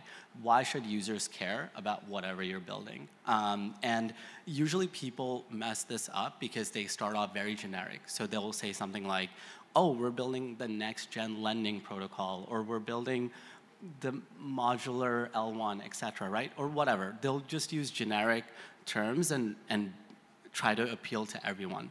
But once you do that, um, what you often miss out on is a core user segment that actually wants or needs whatever product you're building. And this is a very Web 2 thesis, I know, but it really works in Web 3 as well. If you don't focus in or hone in on the initial cohort of users, it's very hard to build from that. Um, and I'll use Injective as an example. When we first started, what we realized is yes, we want to build a very performant chain for DeFi, but DeFi is huge. We want to hone in on one thing. So what we honed in on is dexes. So we wanted to build a very good chain just to build dexes. So what does that mean? That meant like we needed to get liquidity, we needed to build this on-chain order book, etc. Once we had sort of conquered that and built the community around that, only then did we move on to other segments of DeFi in itself. So I guess my first suggestion is really hone in on who you're trying to attract and why you're special and why someone would care about your particular protocol or chain over the 50 other protocols and chains that are out there competing in the same exact vertical. Um, and I think that leads directly into the next part, which in my opinion is the most important part of crypto, it's community development. I think a, lot of people probably agree here, but I think community is the most important part of crypto, and I think that's what really differentiates Web 2 from Web 3. Because in Web 2, when you typically think about business development, you think about partnerships or getting users. But in crypto, many times, users come only if you have an ecosystem or a community that's budding or thriving around you. Um, that's why you see many even pre-product platforms have really good communities. So as soon as they go live, they actually have users, right? Um, but even if you agree that community is important, how do you actually build community, right? Um, if you think about some of the hottest sort of projects out there today, whether it be Solana or Monad or Injective, let's say, um, the reason I think we have lived through the test of time and continue to sort of thrive is because of the community we've been able to build. And that really begins with the first point, which was, okay, you honed in on your particular audience, you built, but how do you actually get to know who you should be building for. I think this has to do a lot with attention to the community. And this doesn't just mean you're hosting AMAs or you're speaking at conferences. It really means that you are in Discord, you're in Twitter, actually talking to the random five people that might be in your community initially. Your community initially will not be big. Um, but it is very important to get their feedback and learn okay, what do these users want? What do these people want? What is their feedback? And from there, that will help sort of ascertain what you should focus your efforts on. Um, and I'll give an example again from Injective, right? So Injective, the community today calls themselves ninjas, right? Sounds very cool. But we didn't think of that ourselves. The Injective team actually had a very hard time thinking of a mascot, thinking of a community name, because the name Injective is a very technical math term, and it's very hard to like make things rhyme with it. It's very hard for us to make sort of a contrived sort of community name. But one of the people in our Discord one day said, hey, what if we called yourselves ninjas because it, the word ninja has INJ in it, which is our native token ticker, and the community seemed to love it. So we just ran with it. So it's, and that just helped create so much more organic attention and traction. Um, and that's where I think many projects mess up today, where they try to regurgitate whatever is hot, whatever narrative is hot, instead of just honing in on what makes them special. Um, and I think that's really what has helped Injective grow over time because even when other narratives were hot, I remember in 2021, play to earn gaming, for instance, was very hot. Um, and then last year, many people thought DeFi was dead. Um, and Injective didn't care because we knew our niche, we knew our core, and we knew our community, and they wanted DeFi. So even if the larger crypto ecosystem was saying like DeFi is dead or like gaming is hot now or you have to pivot to metaverse, it didn't matter because we knew where our users were. We weren't trying to appeal to all of crypto, we're just trying to build around our community. Um, and that really goes into the next point, which, um, in my opinion, the fuel you use to grow your community is very important. Um, and I think one of the things that's really helped Injective over the last year and a half is our ambassador program. So right now, Injective has a community over 700,000 people across sort of socials, across um, meetups, across any sort of metric you might think of. Um, but it only happened because we, again, honed in on community growth and really focused in on community. Um, what that means is we started off very small. We wanted to make sure the same story and the same vision we had, which is, oh, Injective is this blockchain built for finance. This is XYZ reasons we're special. So can we have all the guides and materials we need to inform new users? So when new users on board or new community members on board, they can know that, oh, this is exactly what Injective is. This is why I believe in it. Because if you don't get that initial belief, um, your community won't grow. Even if you throw a lot of money at ambassador programs or anything, your community will not grow. And that's where I think a lot of projects are making this mistake today, where um, they're using different airdrop campaigns or other things to sort of show that they have community, but it's not real community. Because if you are just paying for community or paying for, let's say, um, your traction, that'll be very transient or temporary in nature, right? So as soon as that airdrop is finished, whatever is done, they'll move on to the next thing because that's just how crypto works. Like there's a new hot narrative every single month and it's really hard to capture people's attention. The only way you retain them is if you actually were on the ground, like I was saying before, on Discord, like talking to them, actually going to meetups, even if it seems like it's not a good value of your time or your time might be better spent doing some big partnership or working on some big tech product, it doesn't matter if your ultimate user or ultimate community is not there to use it. So even if you do some big announcement but your community doesn't care, then whatever you did didn't even matter. So that's why, in my opinion, it's so important to just hone in on this effort and make sure everyone on the team is on the same page when it comes to this. Um, which really gets me into the third point, which is business development is all about ecosystem growth. Um, community, in my opinion, helps your ecosystem grow. It helps inform what your community wants, because usually what your community wants is what users want. Um, so for instance, for Injective's case, we, uh, we're a chain, and there are many dApps in the world that we can go after. There are many different segments. Uh, but we knew exactly what our users wanted at what times because we were constantly interacting with them. Um, so I'll, I'll, give a few examples. So these are just a few, um, yeah, and, and a lot of this is dependent on how your marketing and business team works with tech, right? And that's what, in my opinion, helps inform your ecosystem growth or community growth efforts. Um, and what this graphic I want to represent is that business and marketing and tech always need to work in tandem. I think many times at most crypto companies, you basically have one segment of the team that's completely siloed from tech. So for instance, product might be working on a cool product, but business is focused on something else. And usually, if you're not on the same page internally, that'll seep in through your external comms, and it will just create disjointed community efforts or growth efforts.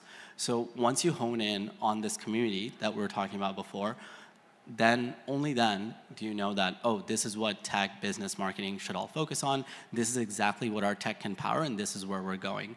Um, and that's how Injective sort of went about growing its ecosystem. And it might have seemed slow at first, but it was all very intentionally done, which is why I think we've sort of remained here even after so many cycles and years. Um, these are just some of the applications on Injective today. Um, so let's take DojoSwap, for example, right? It's, it's an AMM on top of Injective that got up to almost $100 million in TVL in about a week. And the reason it was so successful is because we noticed a couple months ago that a lot of users on Injective were minting new tokens and wanted immediate LP or immediate liquidity for it. But our order book environment, which is what Injective focused on, doesn't necessarily allow you to do that for long tail assets. So we had to go out on the business team and find builders because we listened to our community. We knew we needed an AMM. So we were able to go out and find the best builders to build that. And then because we had helped fill the gap that the community actually wanted, so we got usage immediately. We didn't have to tack on extra incentives. We didn't have to go and promise an airdrop. We didn't have to do any of that because it's what the community wanted, and we went out and found a product that helped fit the community's needs.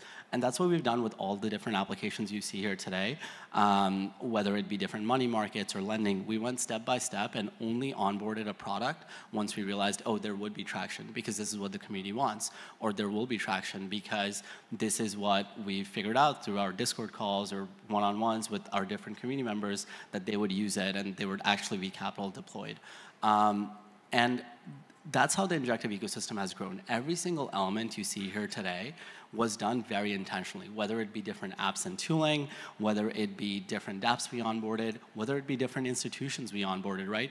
It all worked because we continue to tell the same story regardless of what the overarching crypto narrative might have been, we continue to talk to our community and figured out what exactly they want. Um, and this story has resonated really well with a lot of people. So let's say um, some of our big investors, so let's say Hashed, which is in Korea, or even Mark Cuban or Binance, the reason they continue to back us and support us is because we continue to be so focused, so laser focused on just these efforts. And every single element, again, goes back to the first point I made, where every single collaboration, integration, or opportunity we take on has to do with Injective being the best blockchain for finance.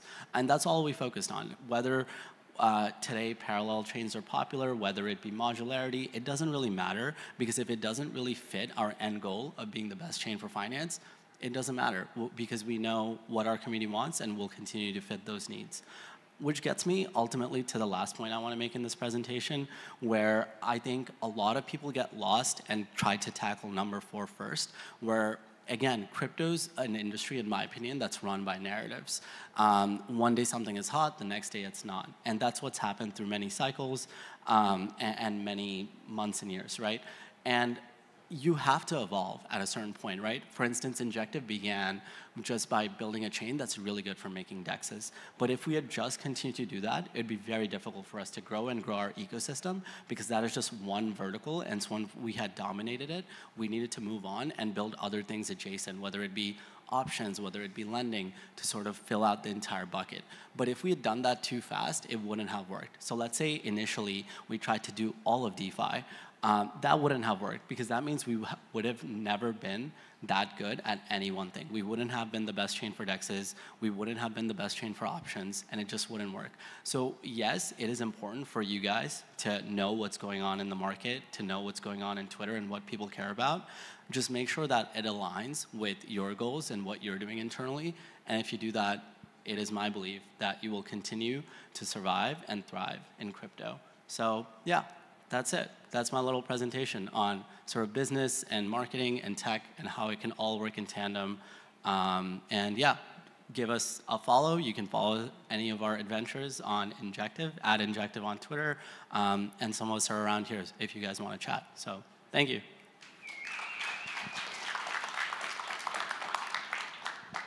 Thanks, Mirza. That was uh, super interesting, super informative. Uh, great to, to learn what's up at Injective. Um, all right, I think we're going to keep moving right along. So I'm excited to introduce you to our next speaker, Yair Cleper, who's here to tell you about another really exciting project called Lava. Yair, are you good to go? All right, join, join me in welcoming Yair.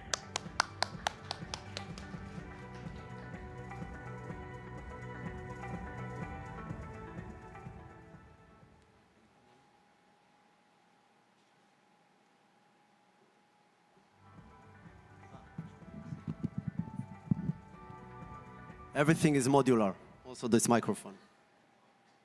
So hello, everyone. Uh, my name is Yair, and I want to start with a question. Who here used the door in order to get in to this room? Okay, I see some teleportation features. Interesting, we'll catch up later. This is actually how you use the blockchains.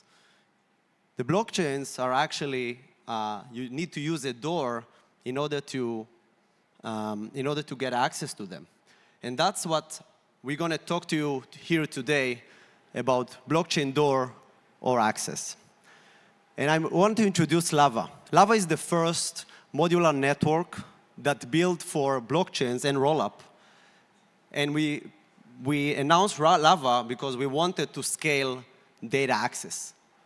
So you know, when you think about how Lava works, we can think about a three-sided marketplace. You can think about chains or champions that can add in-demand uh, specs, APIs. You can think about data providers that offer the services for accessing the data. They are being rewarded by the chains. And obviously, you can think about data consumers, dApps, that, you know, for example, wallets that get the data from those providers. And if we're thinking today about the multi-chain era, we think about uh, modularity, uh, chain abstraction, and you think about how the next bull run will come out followed by hundreds and thousands of different blockchains. You think about more blockchains, it means more fragmentation. And more fragmentation means that there is more pain here for everyone. So the modular philosophy is to let everyone build with a really easy tooling the blockchain that they want. And this is the, that's the future we're going to. And you know, when you think about, for example, how we're trying to reduce this barrier to entry for all of these chains, roll-ups, you know, monolithic says is uh, roll-up centric, it doesn't matter. You see also even with account abstraction that uh, trying to reduce the barrier to how blockchain and how dApps interact with the blockchain themselves. But there is one key that we believe in Lava is missing, and this is the data access. So the future is modular, but at the same time, it needs to be accessible. Because if blockchains cannot interact, read write transaction and data from the blockchain, so how would they evolve? How are we going to see the next killer app? And that brings me to the question, how do you get access today to blockchain? So Lava started with the most basic uh, layer that is RPC. And today we're presenting RPC and indexing as the first layer that Lava uh, building. And this layer, RPC, remote procedure call, is how you interact today, how dApps interact today with the blockchain to, uh, to do a transaction, to get the account balance, and so forth. So when whatever action you think from the blockchain themselves, you need RPC. Whether you're opening the wallet, the wallet check the account balance, it goes to the different blockchains immediately they're querying RPC node. When you want to claim an airdrop, everything surrounds RPC. And this is how RPC translate. Those actions that most of you probably have seen as get balance or gas fees or all these different operation or actions that we querying the blockchains are, are usable today for interacting with that. But there is a difference for our ecosystem look at that because they don't want you to run your own nodes. Who is here running his own nodes? You see, so not many, right? And this is why when you start to build on those amazing ecosystem we see today, the ecosystem offering public RPC. This is where dApp starts, communicating and building on top of that. And the way the ecosystem are doing that today is with a few options. They can run the nodes for you in, in terms of this public RPC. They are sometimes outsourcing that to huge providers, uh, such as Alchemy, Infura, Block, uh, Blockdaemon, all these kind of amazing um, infrastructure providers that reduce the, the, the barrier to entry for dApps to build.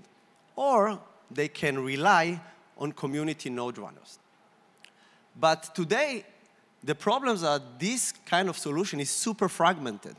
The public RPC in most chains is kind of the backyard of the chain.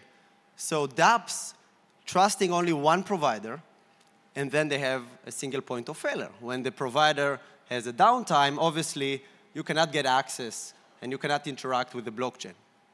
You see that there is a huge variance in quality because it's, if it's a uh, top provider that's running a lot of nodes, sometimes one of the regions in Asia, in South America, is not supported well. So that results in uh, the quality of service. And for the chains themselves, you think that um, it could be very expensive because they don't know what you get. They have a lock-in contract for months and sometimes years, and at the end of the day, they don't know how was the, uh, the quality of service. So that's the issue we wanted to tackle in Lava. I jumped into Web3 uh, three years ago, and at the beginning, when we were interacting, uh, wrote MEV bots, we've seen that this kind of RPC issue is super big, but no one here is addressing that. And I think that part of the, part of the, um, um, the news here that you see, the articles, everyone knows because when there is a bull run, there's a lot of airdrop claims and uh, chains that launching their mainnet. But at the end of the day, it always goes back to how the infrastructure works. So we presented in Lava a RPC, we started by RPC and indexing uh, service. And this kind of layer invites every provider to come and join and monetize the existing uh, infrastructure. So it doesn't matter if you are a, a, professional node runner or you're a small, small community member, you still can list your node and start get monetizing in, uh, on Lava. So let's see how, let's dive in and how the Lava protocol works.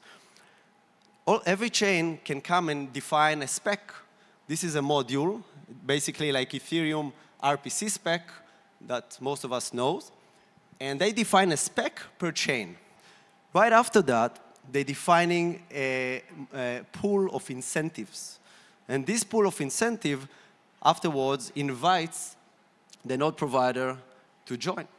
We've seen that this process is taking about few minutes, can take up about few minutes, and immediately right after, the node provider can come and provide services. So the, the service that the provider giving is being scored and clustered by different parameters, latency, availability. And at the end of each month, the node provider receiving the rewards based on the quality of service that they received. So this is how here in Lava, we try to tackle the major significant issues that there are in Web3. Scalability. If one of the nodes is down, one of the providers stop serving, serving you as a dApp, automatically the Lava protocol routes you to another provider. That solves the need from small team to implement load balancing, disaster recovery, backups, and all of the stuff. That's a built-in uh, protocol in Lava. Cost efficiency. When, because Marca, uh, because Lava is based on the market and supply and demand, we believe that the right price for the RPC or for the APIs will take place on the long term.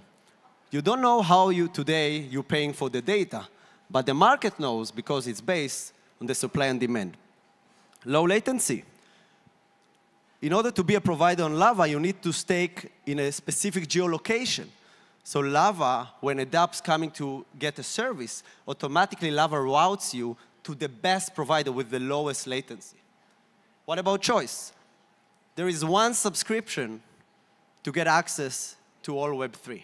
Because Lava is modular, and every, every chain can come and spin up their own specs and invite provider to serve, basically, you get one subscription and access to all Web3. The accuracy and freshness, it's super important and critical. Because at the beginning, when we started uh, and jumped into Web3, we were trusting centralized providers.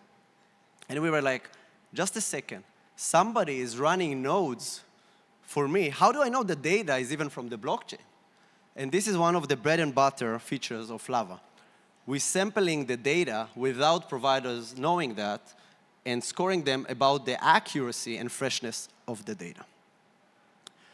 So I'm glad to tell you that since one year ago when we launched testnet, there's been an incredible usage with Lava. We see that more than 1.8 million wallets use Lava and sign up. We see that 10 billion relays is being served and more than 400 providers join. You see that from community node runner in the different ecosystem we serve, or huge providers, the one that I mentioned before. And in the last four months, Lava also distributed hundred thousands of dollars for the providers.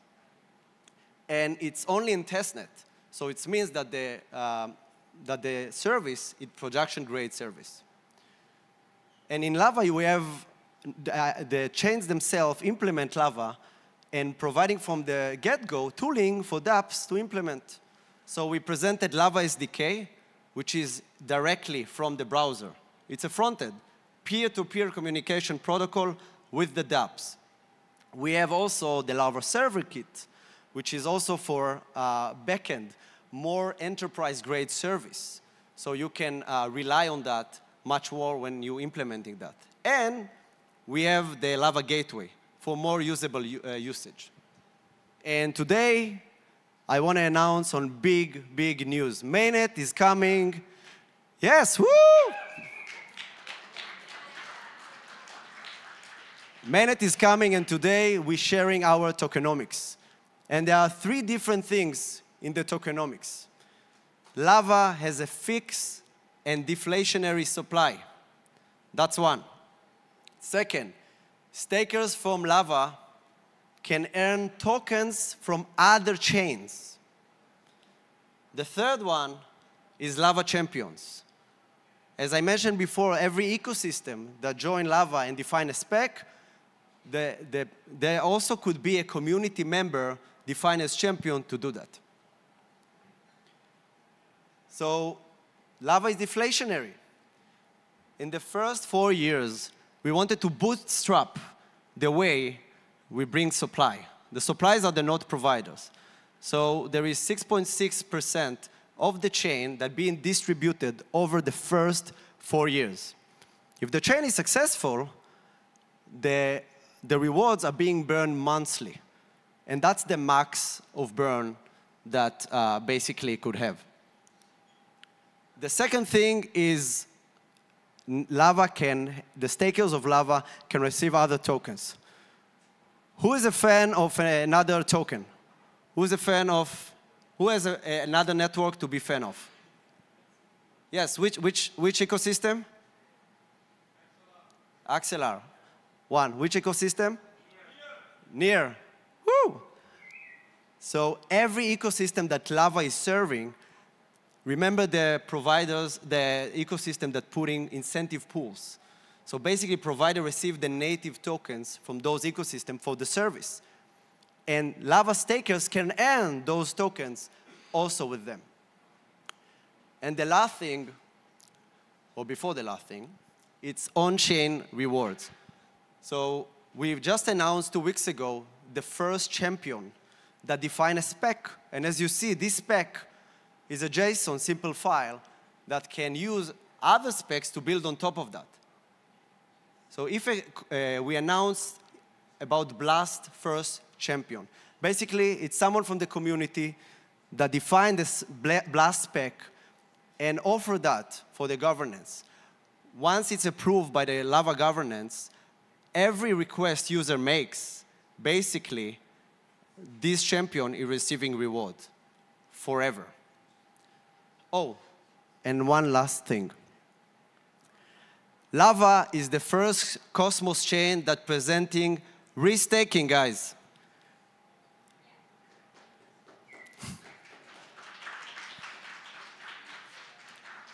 Basically, everyone who's delegating to a validator can also choose his provider to delegate his tokens. And at the end of the day, this creates an additional yield and bootstrapping all this amazing ecosystem that we call in Lava. So the one of you didn't know, we provided the Lava Foundation just announced a Magma uh, point system one month ago. And with it, this point system, everyone can get a boosted points by scanning this QR. So guys, feel free to scan it.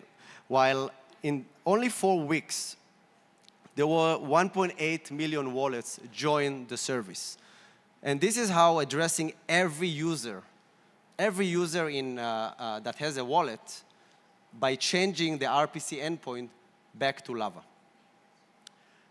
So that was, uh, that was our talk today. I invite you all to join, whether you are provider, non-technical user.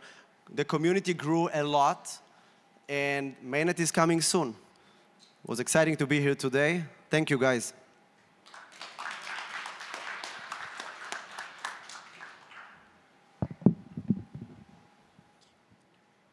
All right, thanks so much, Yair. Very exciting announcements there.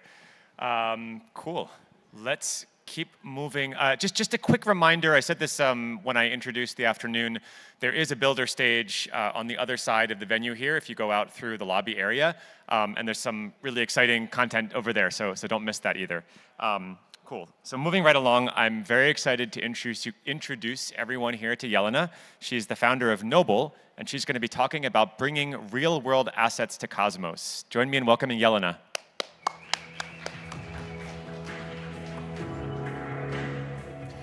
All right. Uh, thank you so much to Erica and the BUIDL team for, for having me here. This is an event I look forward to every year. Not only uh, is there, you know, a great food and a great venue, but it's a type of conference you actually want to like listen to the presentations. Actually, someone said that earlier, and, and I thought that was a good way to put it. Just a very high quality uh, kind of speaker list. And so, thank you so much for having me. It's it's exciting to be um, back in Korea.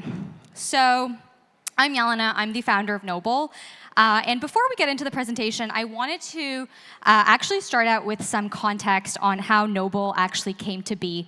Uh, and in fact, some people in the audience will resonate with, with some of uh, what I'm about to share. Uh, so Noble was actually conceived initially in 2022 uh, after we had a very um, large-scale event take place, which was actually um, UST and the Terra stablecoin going to zero. And, and, I know a lot of people here, especially being from Korea, uh, you know, kind of experienced this. And myself, who at the time was a core Cosmos uh, contributor, I and a couple of other people uh, were very much on the front lines of this of this event. Uh, Terra itself is a Cosmos project, and a lot of the activity and the mind share and, and the liquidity coming into the Cosmos ecosystem was a direct uh, kind of result of Terra and, and, and its success uh, at that time. And so myself and a couple of other people, we had this big kind of design kind of question in front of us, which is how do we bring native stablecoins to Cosmos? Now that we no longer have a native stablecoin, um, how do we bring those assets into the ecosystem in a way that is minimalistic, secure, stable, uh, you know, compliant, and, so on and so forth? So that was really the question for uh, that, that was presented to us, and, and really uh, what resulted in, in what Noble is, is, today. So very specific kind of uh, problem set to solve. Um, so Noble is a Cosmos chain. We are an application-specific blockchain, and I like to say that we are the most application-specific application-specific blockchain uh, that, that currently exists in the sense that we are made for one application, and, and that's digital asset issuance. And so this might seem counterintuitive, um, you know, as, as a goal. A lot of chains, uh, you know, uh, spin up and, and they have a lot of different applications, DeFi, trading, AMMs, um, you know, NFTs, so on and so forth. And so you might be thinking to yourself, well, why do you need one blockchain dedicated to this one specific application? And we'll, we'll go into details on why that makes sense, but the thing I want to kind of put forward here is that we serve this one purpose and this one purpose only. And so Following uh, this problem set that we devised for ourselves back in 2022, we went to the whiteboard and eventually came up with the idea for Noble. And so Noble is a Cosmos chain. Uh, we are currently um, the issuance chain for USDC in the ecosystem. And so the numbers that you see in front of you today uh, are about uh, six months of, of, being live with native USDC and the Cosmos ecosystem, and we've issued uh, $205 million or so of native USDC.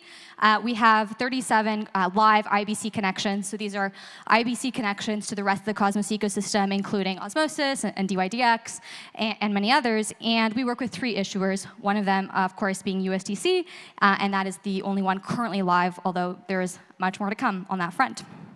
And so uh, in the six months that we've actually uh, been live with native USDC, we've been able to grow quite, quite quickly. And we'll talk a little bit more about why that is and, and how the Noble kind of architecture has been designed to facilitate that, uh, you know, issuance and, and that high growth. But this just gives you here a quick um, overview and snapshot of sort of where Noble ranks in that list of, of USDC issuance. So, you know, we've been able to surpass sort of leading layer twos, layer ones, um, and, you know, cli climbing up the leaderboard, uh, so to speak.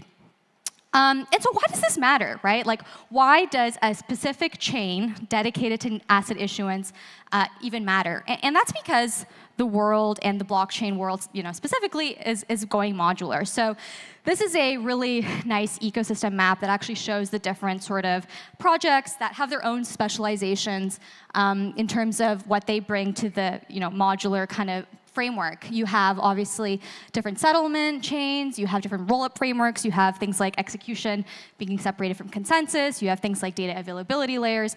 And so as the world becomes more modular and you have all of these different projects sort of integrating and, and kind of working with each other, you actually uh, in, inadvertently need to become even more specialized in, in, your, in your domain. And so that's really sort of the thesis for, for Noble, which is being specialized to, just, to deliver this kind of asset issuance experience in a, in a very kind of concrete way.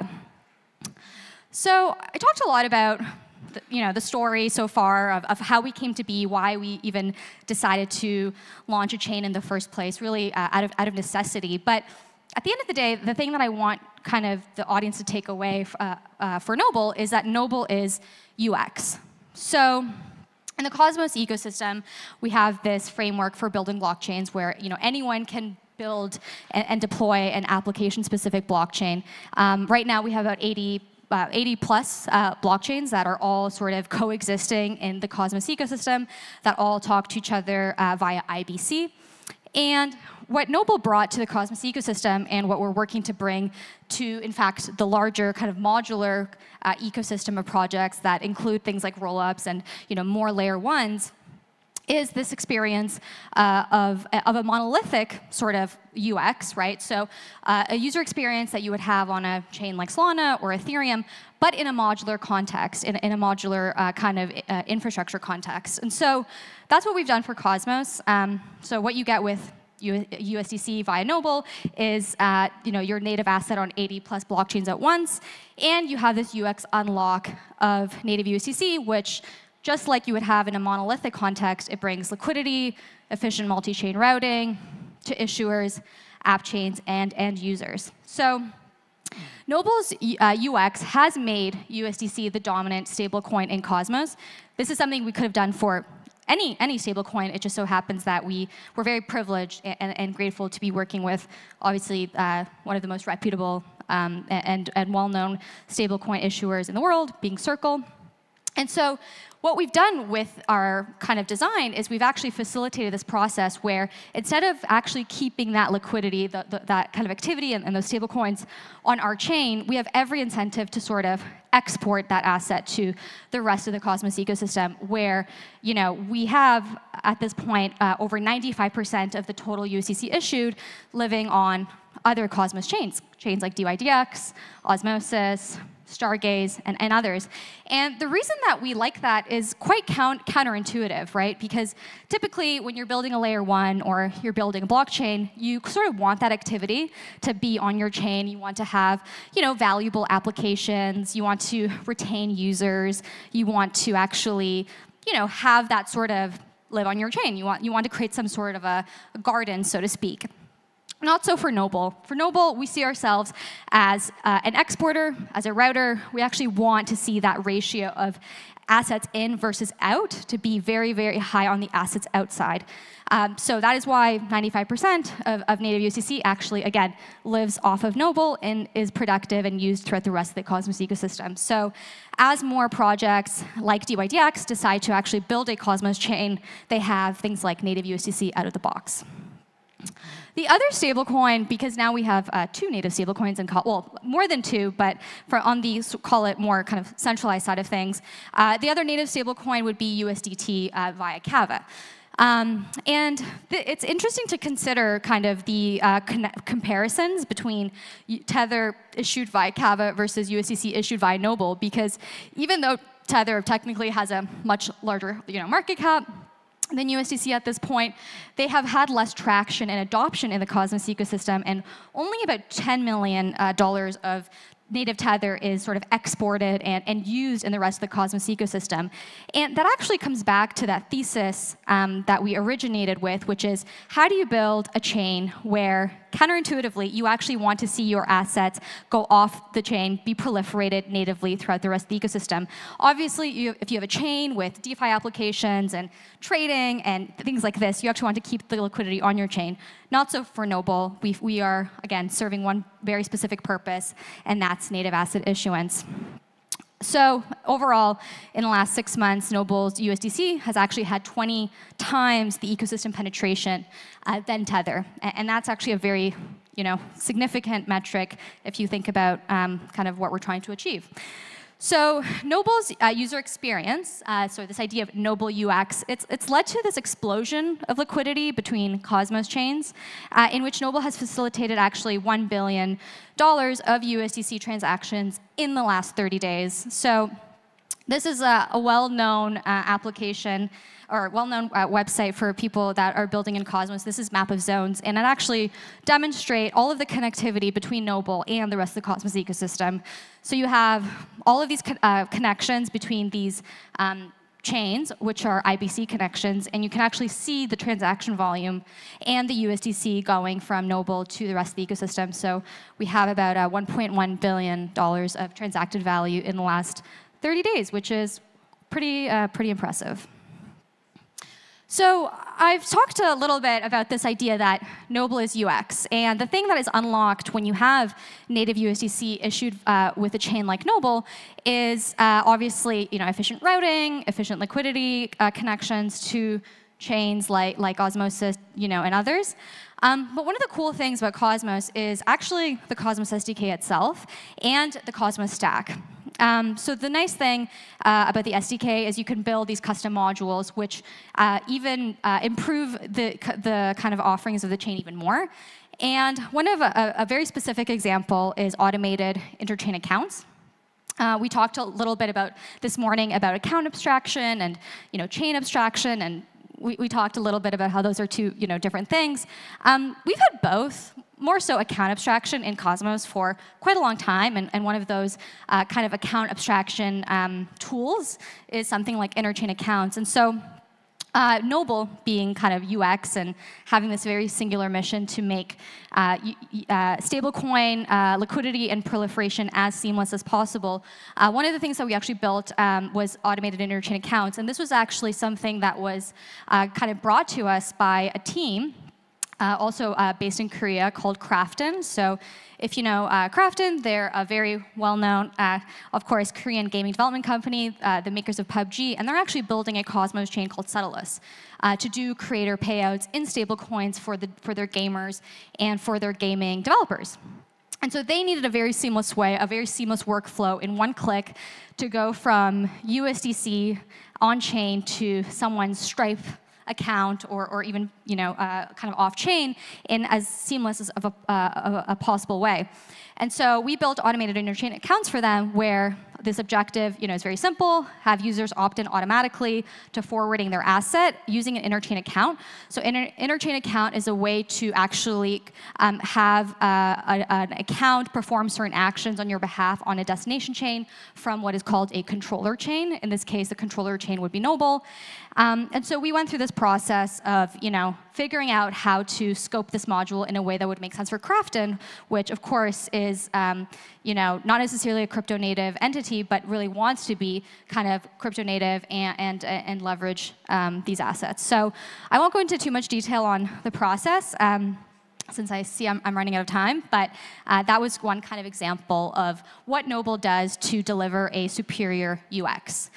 So my presentation is called Bringing Real-World Assets to Cosmos, and I haven't yet really talked about that because I did want to paint the vision and the landscape for how Noble is thinking about uh, blockchain development and how we specifically uh, decided to bring USDC to Cosmos.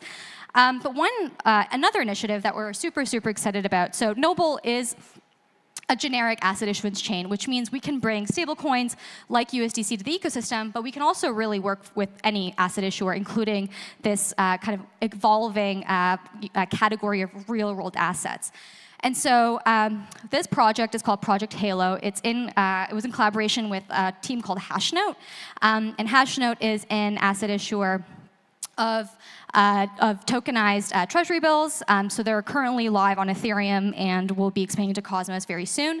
Um, so USYC, it's a first ever vehicle for short-term uh, duration UST bills. Uh, pretty cool. You, you, can do things like T plus zero, even T plus one settlement time.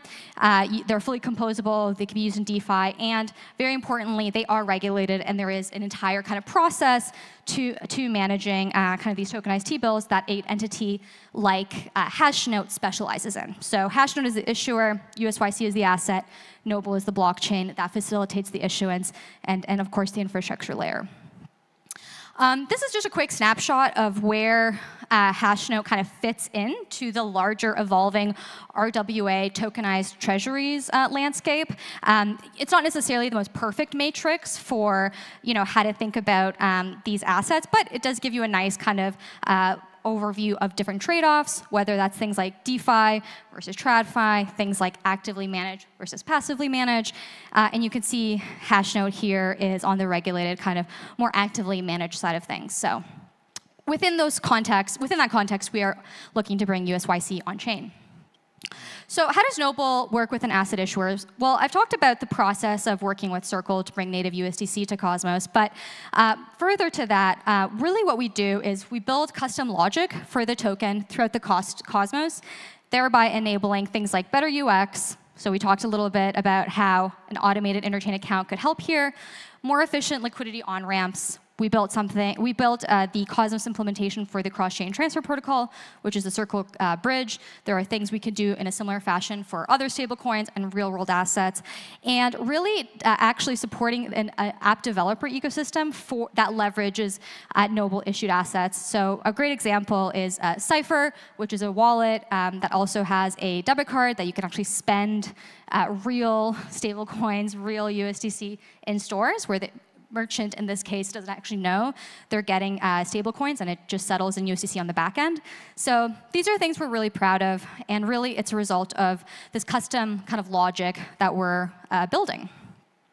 So in the case of USYC, um, really it was, it was, quite a straightforward exercise. Like uh, when, when, you think about it from the outset, um, but it gets more complicated as, as you get into the details. And the objective really is, is translate the EVM contract to the Cosmos SDK. Sounds simple enough.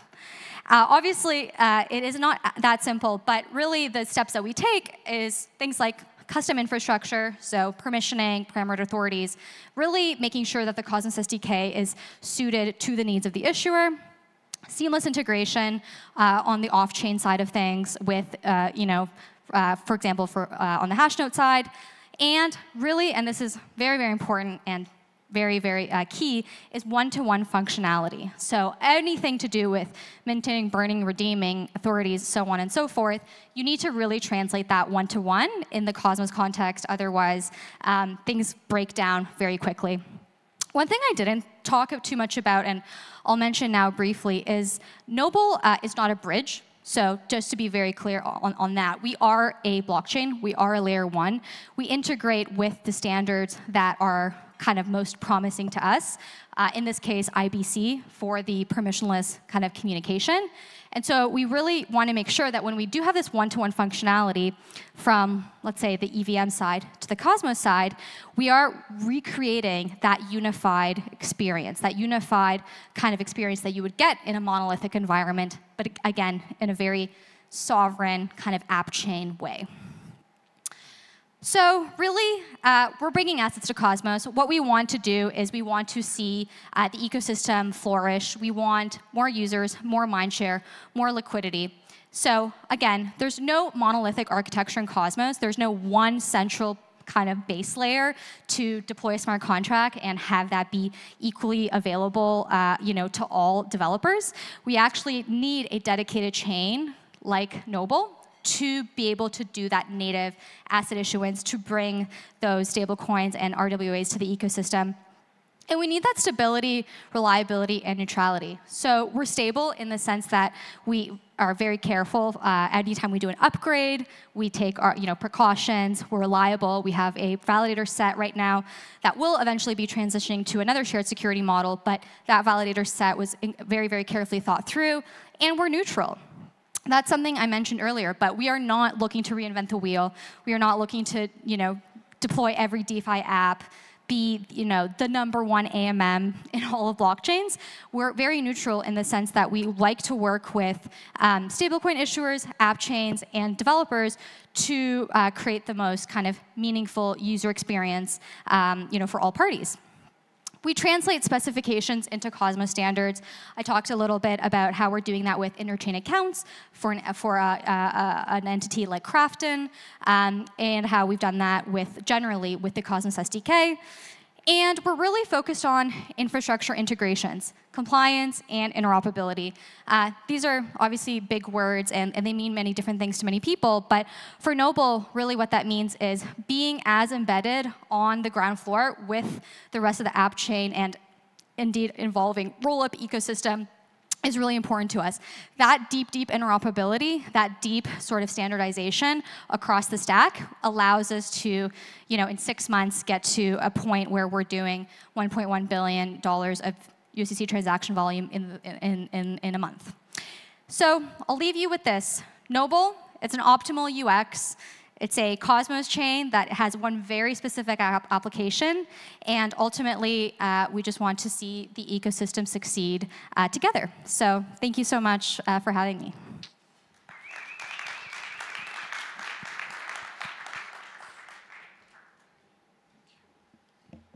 Thank you very much, Jelena. You guys are working on some really, really exciting things. Um, all right. Uh, so moving right along, I'm excited to introduce the next speaker and the next project. If you've spent any time in the kind of crypto ecosystem in Japan, you've probably heard of Astar. Um, so some of us who uh, have not spent much time there may be less familiar with the project, but I'm very, very excited to hear from uh, Sota Watanabe. He is the founder of Astar and also the CEO of Startale Labs. Uh, and he'll be talking about bringing billions of users into the Web3 ecosystem, which I think we can all agree is a very important goal. Please join me in welcoming Sota.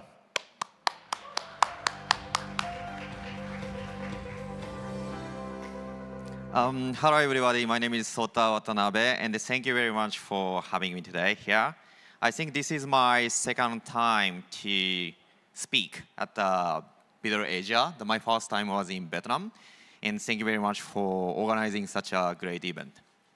Um, today, I would like to, talk about not only Astar network, but also about the, the Web3 mass adoption. Because um, in coming years, we have to onboard a billion, billion of the people into the Web3. This is our mission, as well as this industry's mission. And uh, I would like to talk about how to make it happen. Uh, a little bit about myself. Again, my name is Sota Watanabe, founder of Astar Network and Startale Lab. And I started Astar Network back in 2019 when I was a college student. And we, we started at the research center of the blockchain, um, research center of the blockchain at the University of Tokyo. And we started from Polkadot ecosystem, and we became the one with the first Polkadot parachain, which connected to Polkadot relay chain. And uh, now we are recognized as the leading project in uh, Polkadot ecosystem. At the same time, we do have a strong presence in Japan. So here is in Korea. So I would like to briefly about what Japanese ecosystem looks like. But uh, a lot of people think Astar is the Japanese chain, but it's not. Uh, we are fully decentralized. We have uh, 70 people uh, from 19 different countries right now. A lot of the people think so because I'm Japanese. but my focus is not in Japan right now. Um, yeah, and, and this conference is all about tech, but uh, tech is the one of the factors that drive the society. Another two important factors, um, regulation and also social movements. So I would like to cover this topic as well. Um, apart from Astar and Startale, I also partially belonging to Sony right now to create a blockchain at the Sony. Um, our mission is Web3 for billions, accelerating the universal access to the open, open internet. Um, my interest is all about mass adoption and how to make it happen. Um, this is the Web3 adoption in 2023 and uh, internet adoption in 1999, which is similar. So we're gonna onboard, if everything goes well, we're gonna onboard a billion of the, billion of the people by 2030. And we are on the way right now. And the left side is, I think left side, yeah, left side is the browser, browser what looks like in 1999. And the right side is the browser what looks like in 2023. So what, what I want to say is we are so early right now. And uh, some of the critical innovation will be emerged in coming years. And key components we are looking for, we are deeply researching, and we are implementing right now. Uh, in terms of the tech, uh, ZK and scaling, and ZK and interoperability, and account abstraction, and chain abstraction. And when it comes to business pillars, uh, we are providing the vertical products from blockchain layer to app layer. And we would like to provide experience to the users. Right now, um, a lot of the focus goes to the tech, but the most important thing is the user experience and how to provide like wow experience to the users, just like Web2 company do, like Apple, Samsung, Sony, and so on. And one of our core strategy is leveraging global Web2 products and onboarding Web2 people to Web3. Because in a Web3, we are startup. And it is really tough and it takes time to acquire users from scratch. So we would like to leverage existing product and existing people to onboard Web3. And the left side is the how industry looks like today. A lot of the people are comparing, you know, Solana and Ethereum, Bitcoin and other blockchain, and so on. So people are talking about blockchain versus blockchain, and node versus node, indexer versus indexer. So industry uh, is fragmented, and different people are providing a different service. And, and if you would like to make dApps, you have to rely on some wallet. And wallet relies on indexer. Indexer relies on nodes, and node index relies on blockchain. Um, for us, we are right now making the Astar. Um, and also, we already disclosed the information to make a blockchain together with Sony. Um, this is the blockchain layer. We are also making Startale Web3 service, which include node management service and indexer service and wallet management. And we are focusing on entertainment right now and we're going to deploy some of the dApps in the future. So Startale Lab would like to vertically provide a lot of the service so we can provide experience, good unique experience. And I would like to show you some of the example. So one, one example is Samsung, uh, because I'm here in Korea right now. So Samsung own semiconductor business and a design, you know, design service, and they own the uh, manufacturing the factory, and they own supply chain, and they have shop. So they can provide um, integrated service with strong brand. And, and, and that's why they can provide brand, they can provide unique experience, a better experience than us. And another example is Sony versus Nintendo. Um, Nintendo is the old gaming company, and Sony is relatively new gaming company after Nintendo. But right now, they have a strong presence. Um, probably everybody, everybody knows PlayStation. One of the reasons why they could take market share from Nintendo is they, they have factory. So they are providing the electronics application service. So they could use that factory for gaming. And then they also own the money, um, semiconductor business as well. So they can use their own semiconductor, own factory, own supply chain, and own shop. So user experience is much better than Web2 company as of today. Um, one of the focus at this moment for me is the joint venture between Startale Lab, which is the company behind Astar, and Sony. Uh, we received 3.5 million initial investment from Sony, and uh, we created a joint venture called Start, um, Sony Network Communication Lab. Uh, we combine Sony and uh, Lab, our company. And this chain aims to achieve Web3 mass adoption by leveraging existing asset and service. Um, so we would like to onboard a lot of the electronic application touchpoints, uh, gaming, and bank, um, music, picture in a global scale. So I think some of the critical information will be released in coming months, and this is our one of the focus right now. And I would like to make this chain with a strong alliance with Astar Network. So um, making it happen is actually the most difficult things, given they are such a big company. But once make it happen, this can be one of the biggest projects. Uh, and uh, I'm trying to make it happen within coming months. And one of the core advantage for us is the experience working with a lot of the existing company, uh, such as Sony, NTT, Toyota, Seven, uh, Hakuhodo, and so on. Uh, mainly comes from Japan at this moment. Um, the interesting thing is the Japanese government made Web3 as a national strategy. So the government, as well as the big tech company, would like to work on Web2. I think this is very unique. Um, given that a lot of the country, like, yeah, I avoid saying that country's name. given a lot of the company countries hesitate to work on Web3 and the regulation is not clear.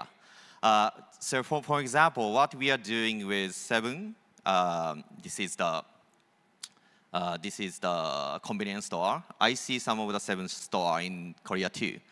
Um, you can donate let's say Japanese yen at the convenience store, and if you donate, you can get a proof of the donation NFT with, I mean, you can get a receipt of the donation. And once you scan QR code, the donation NFT goes to your wallet.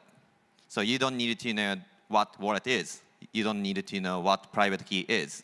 You can get NFT as a proof of the donation. So I think this kind of the POC itself does not make a huge difference. If a lot of the company, a lot of the people use uh, Astar and our chain, and other people can reference the proof of the donation NFT, and then they can integrate that NFT to other service. Or we can make a, um, you know, list of the people, list of the address, which donate and we can use that kind of list for the other service. I think this is the, one of the good point of the blockchain. And uh, we are doing the campaign together with Casio and uh, Japan Airline and so on. What, what we are doing with Casio is a little bit interesting. Um, uh, we have a, I will be speaking later, but we are doing the campaign right now. If you mint um, Casio NFT on Astar, and if you are the one of the you know, loyal customer, you can get the Casio phone, um, watch, the Astakara watch. And we are making these kind of the real products by leveraging the blockchain. And uh, Japan Airline is also interesting. Um, they have a lot of the tours, right? Uh, you can go to a lot of the places in Japan, and a lot of the people goes to famous place. But uh, there are a lot of the good place which is not famous, but worth visiting. So if you have, so for example, and it's, it's not an example, but if you have an NFT, you can go to a samurai house. You can stay at the samurai house, which is pretty much exclusive. It's not on a web page, but you can experience these kind of things if you have, if you have a Japan Airline NFT. So we are focusing on making experience through blockchain, as well as we are also focusing on DeFi and NFT and so on. But our focus is delivering the new experience to the users. But right now, still, it is very difficult to provide Web2-like experience for Web3 users. And that's why we are pretty much focusing on chain abstraction, account abstraction, and so on, um, as well as changing regulation. So from now on, I would like to speak about Astar and our history. So we started from a Polkadot ecosystem and uh, expanding to other network. So uh, from the beginning, our focus was scalability and interoperability. And Astar has um, two networks right now, Astar Layer 1, which is the Polkadot parachain, and uh, Astar Layer 2, which is the Ethereum Layer 2 powered by Polygon CDK, Chain Development Kit. On our Layer 1, we have a multiple virtual machine. So we have a Ethereum virtual machine as well as WebAssembly, so you can deploy not only Solidity code, but also uh, code written by Rust or Go or C++. And if you deploy, you know, let's say, Rust code on WebAssembly, you can interact with Solidity code on EVM and vice versa. And I think a couple of months ago, we, we announced Astar ZK EVM, which is the Ethereum Layer 2 powered by Polygon ZK rollup. And Astar ZK EVM has been deployed, I think, two or three weeks ago. And we, after the launch, I think we have uh, decent the ecosystem adoption and the transactions and so on. And right now, we are focusing on DeFi and NFT. But in the long run, our focus is going to be real life use cases, which general people are going to use without knowing blockchain, without knowing uh, private key, and so on. So we would like to work with the, the, a lot of the companies to onboard their users to Web3. So we're going to be a gateway. And Polygon provide Polygon Chain Development Kit that allow other projects to deploy Ethereum Layer 2. And we are the first project that adapt um, aggregation layer of the Polygon. So aggregation layer allow um, Layer 2 to interact each other by using shared liquidity. So right now, uh, there are only two um, Polygon-based Ethereum layer 2 that has aggregated, that is connected to uh, aggregation layer. So the networking effect is pretty much limited. But uh, we can interact with uh, Polygon ZK EVM and Astar ZK EVM seamlessly right now because we connected to uh, aggregation layer. And I personally interested in expanding this aggregation layer to other blockchain as well. So uh, one of the scope which Astar Foundation would like to implement is the aggregation, multi-chain aggregation layer uh, powered by ZK. Um, I think I can skip this page, but uh, in terms of the real life use case, Astar has been fighting with Polygon in Japan. Uh, according to the poll by Japan Blockchain Association, 44% of the Japanese developers chose Astar, 25% chose Polygon, so we combine, then in total 70% we can get. Um, and Astar goes to modular as well. So right now we have two uh, R&D section. One is the modular blockchain. So right now, Astar ZK EVM is, is the Validium, which means the, we are managing data availability layer off-chain. So but in, in the long run, we would like to implement data availability layer or use data availability layer. And another thing is the layer three. So Astar ZK EVM's gas fee is 0.07 US dollar or 0.05 US dollar and so on if you mint NFT or if you swap token. But it's still expensive. So it can be near zero. So we are implementing um, layer three right now, and this is one of our focus. Um, even though we deploy our ZK EVM mainnet two or three weeks ago, uh, our ecosystem is growing. Uh, we have uh, multiple decent projects, and some of the enterprises and some of the daily use cases will be built on Astar in coming months, coming weeks.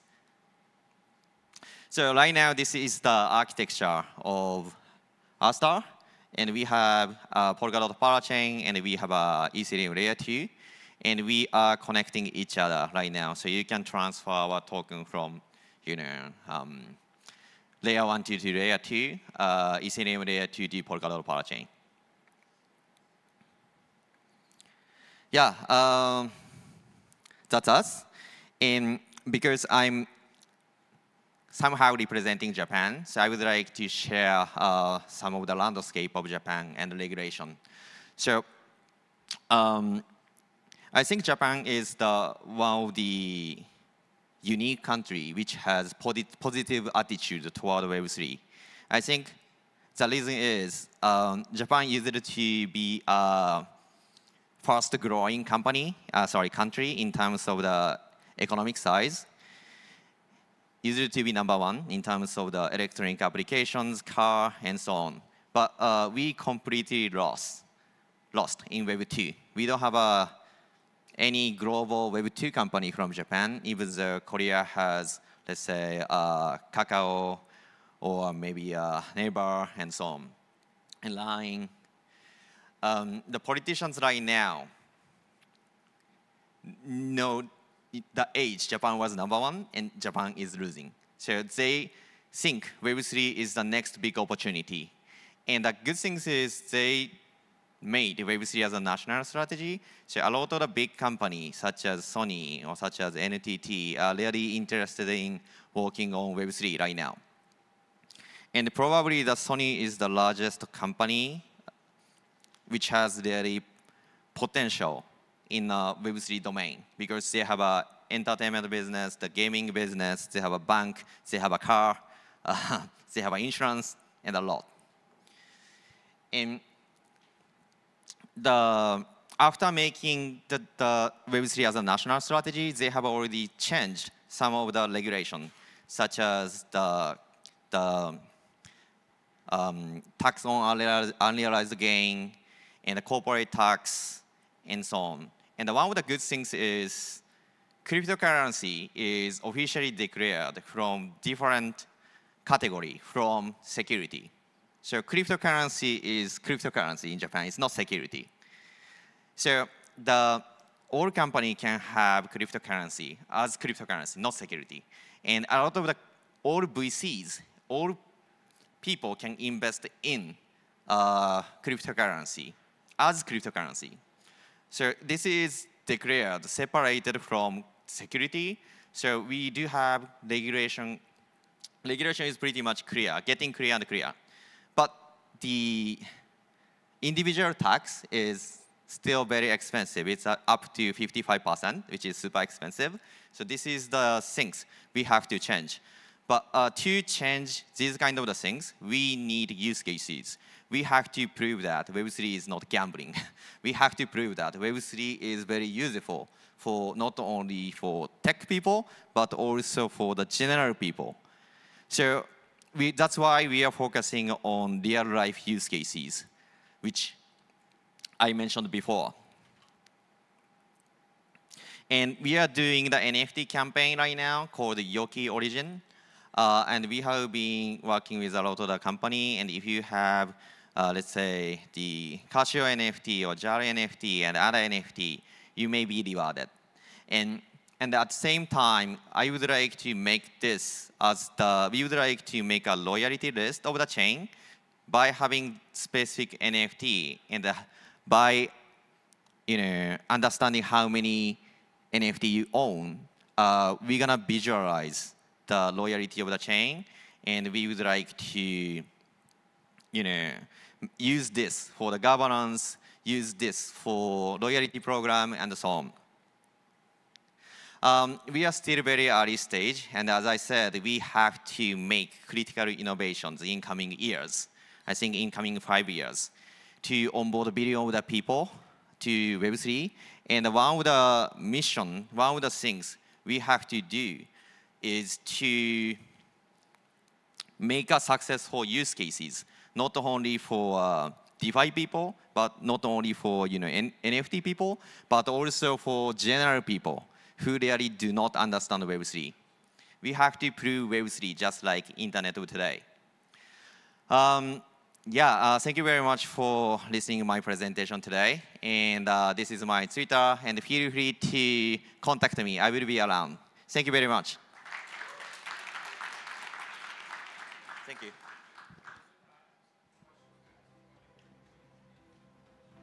All right, thank you very much, Sota. Very exciting stuff going on um, on Astar.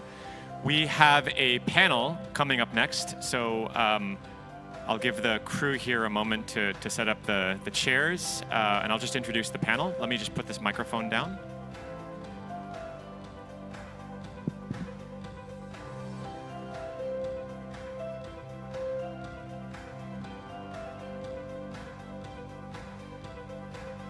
So I'm personally very excited about this next topic uh, of the panel. I'm sure many folks, maybe maybe all of us in this room, uh, are familiar with the notion of kind of uh, these two competing visions for what blockchains uh, are going to look like in the future. And, and, of course, as the panel title suggests, this is kind of modular versus integrated. Um, and we have a, a really stellar panel of uh, five experts who are going to come and explore the topic and talk about some of the trade-offs and some of the different approaches being taken in um, the respective ecosystems, including Ethereum, Solana, Near, et cetera.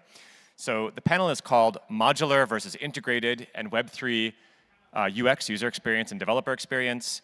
Um, it's going to be moderated by Sam Reynolds from CoinDesk. Do we have our, do we have our panelists here? They can come on out if, uh, if they're ready.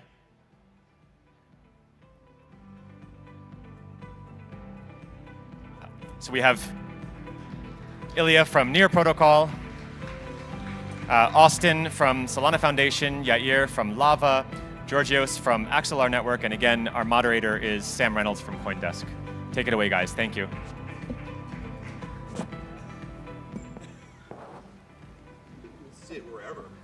we got, we got the heads. Oh, okay. Well, we're kind of screwed up, but that's okay. Tell uh, us about Axelar. Well, look, so modularity, that is a term we see a lot in crypto, but really, what does it mean? And to help answer that question, how it works with like Web3, I've got these gents on stage, you know, some of the top minds in Web3 and crypto. So let's start with that, like modularity. Like, what does it mean, and how does it work in Web3?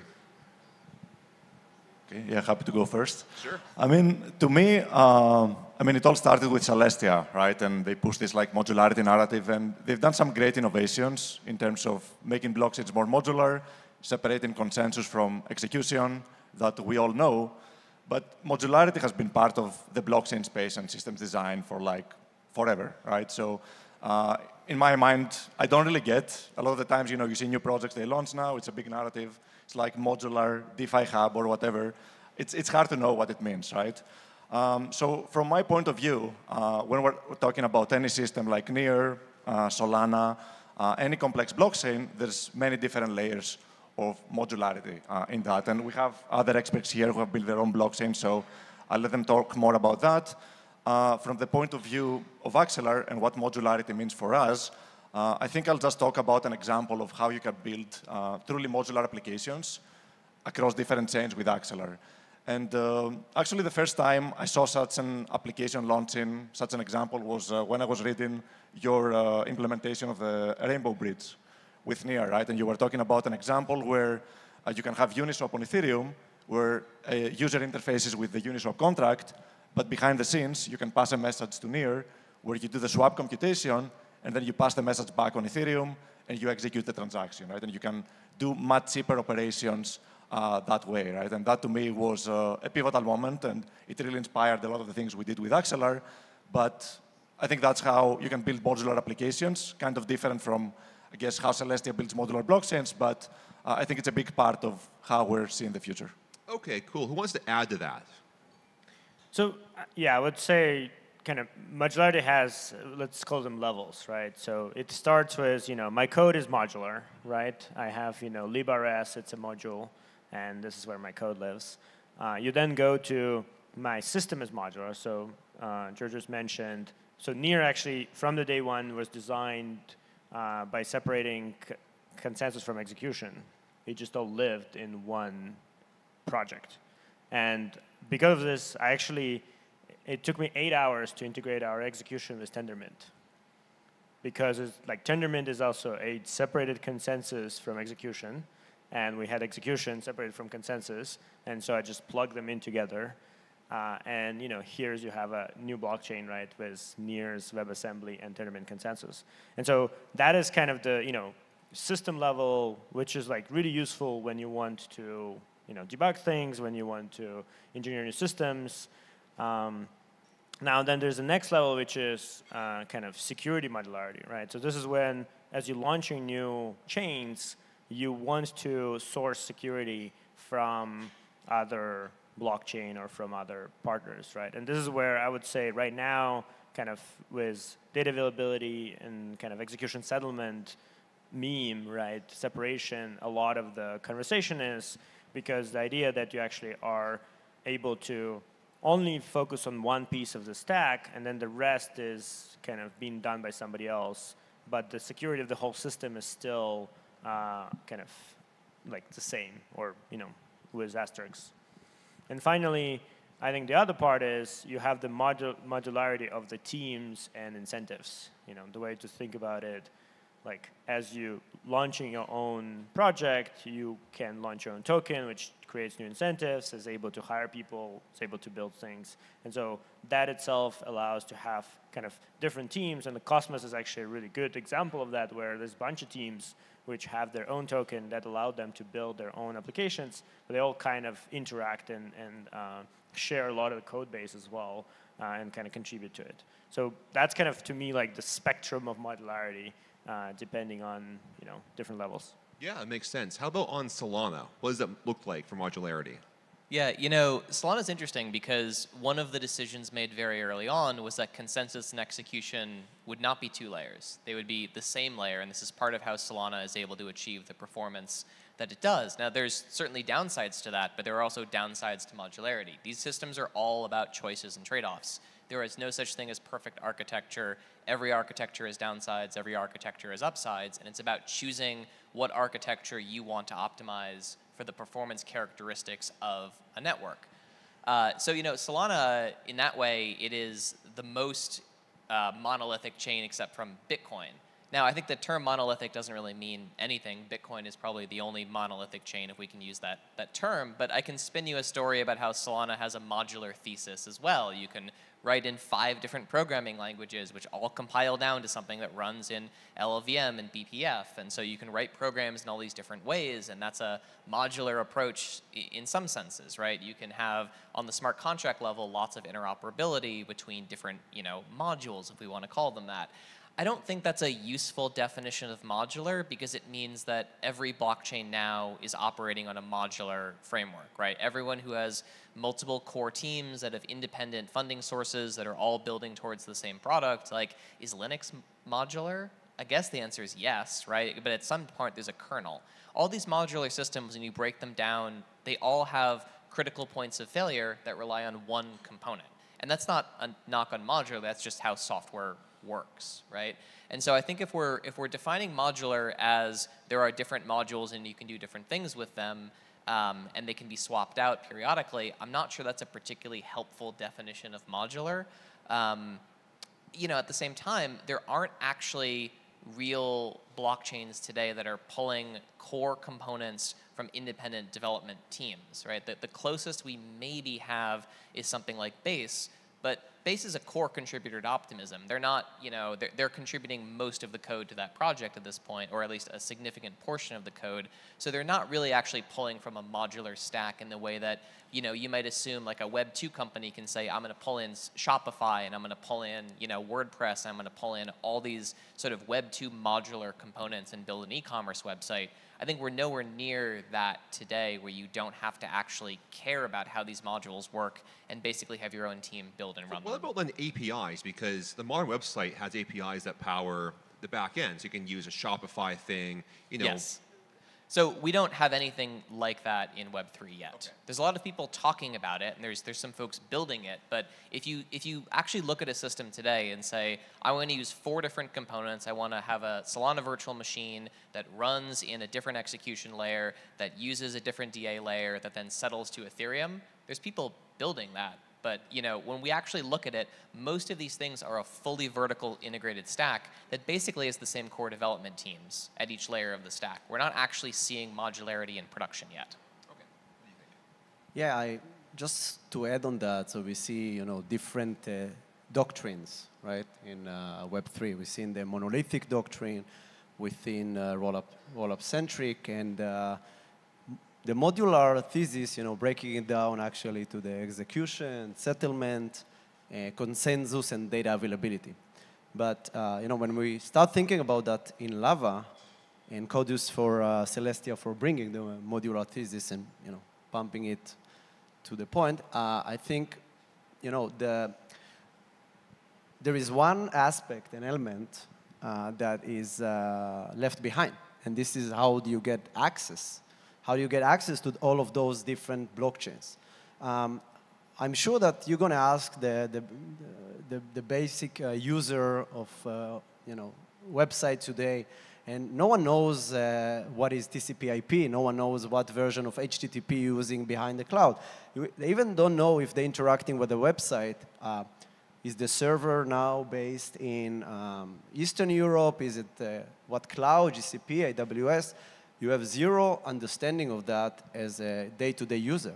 And if we really want to bring the killer app for the next bull, bull run and, the, and this, the cycle of adoption that everyone here is anticipating, we need to build a much better tooling for accessing those blockchains. And uh, I think, yeah, well, that's, that's what we're trying to do in Lava. That makes sense because like most people on the web don't know what AWS or Azure is or know about Apache servers, yeah, but it just works for them. And that billion, you know, person uh, web community, it just works for them. So I guess with Web3 and crypto, we have to get to the point where the tech side's not that important, where it's all about the UI UX. Is that correct? I, I, I think uh, you know you define it exactly right. Like why most of the people here in this room knows about RPC I guess API is a more common way, but why they need to know even about that? Yeah. And this is because uh, the access today is super fragmented, and you need to choose a node provider, you need to run a, no, a new, uh, uh, to run your node, or you need to go to a public uh, RPC that is uh, something every ecosystem provides. And in order to break this routine, you need to lower the barrier to ent for entry for dApps to build on top of. Okay, that makes sense. There must be some challenges to modularity, right? Like it must not be all roses. There must be some issues that come up uh, with bugs, security, that kind of stuff, with um, you know speed. Let's talk about that. Talk about the challenges in modular coding. Don't get us started. Uh, yeah, so I think the fundamental challenge of the current modularity wave, right, and as well as I would, I would include in a way Cosmos kind of ecosystems approach as well, is that it creates this highly fragmented experience, right? Like, although you have, you know, individual app chains or you have like a bunch of roll-ups, um, now as a user, you kind of need to navigate all that, understand exactly security assumptions and, and kind of, you know, guarantees that every individual chain provides. And there's no real easy way to do that, right? Like right now for L2s, there's L2BEAT, and you kind of need to like almost like every day check in to make sure they didn't roll back something. And uh, you know, like for example, for Blast today, right? There's like a whole note on L2BEAT right now sitting there that says nobody can verify, like no, nobody can reconstruct the state of Blast right now from the data availability. So like that's a level of, of like understanding you need to have when you're using this kind of um, like fragmented environment. And so that obviously creates tremendous you know, strain on UX of the whole thing. It creates obviously problems with developer experience as well because as a developer, you now kind of deciding on like a very weird matrix of like where you hope users will converge to, where you think the improvements to the underlying infrastructure will continue happening and you're kind of making a bet and like we're already in, like it's startup on startup on startup right? You're taking a risk of a risk of a risk that like you know hopefully users will come here. Hopefully the chain will you know continue functioning and all the underlying infrastructure all the layers underneath also will function in the right way. So that is challenging but you know you also have the opportunity because if you're launching your app chain you're launching your uh, rollup you have kind of the flexibility that you wouldn't have, for example, with you know uh, a more like layer one approach like Near and Solana, where you cannot customize a lot of the underlying things. So that's you know big trade-off, and we can talk about how to fix that. Yeah, I think that's uh, that's a couple of great points, and uh, there's definitely positives, right, to modularity, especially that now as a developer you're incentivized to focus on a certain part of the stack. You know, you can also create a token and create a community around it. But at the same time, you add a ton of complexity, right? And I want to talk about uh, a particular example in the Cosmos ecosystem that directly affects the end users, right? So uh, in Cosmos today, uh, we have a few, um, there's probably like five components involved in this.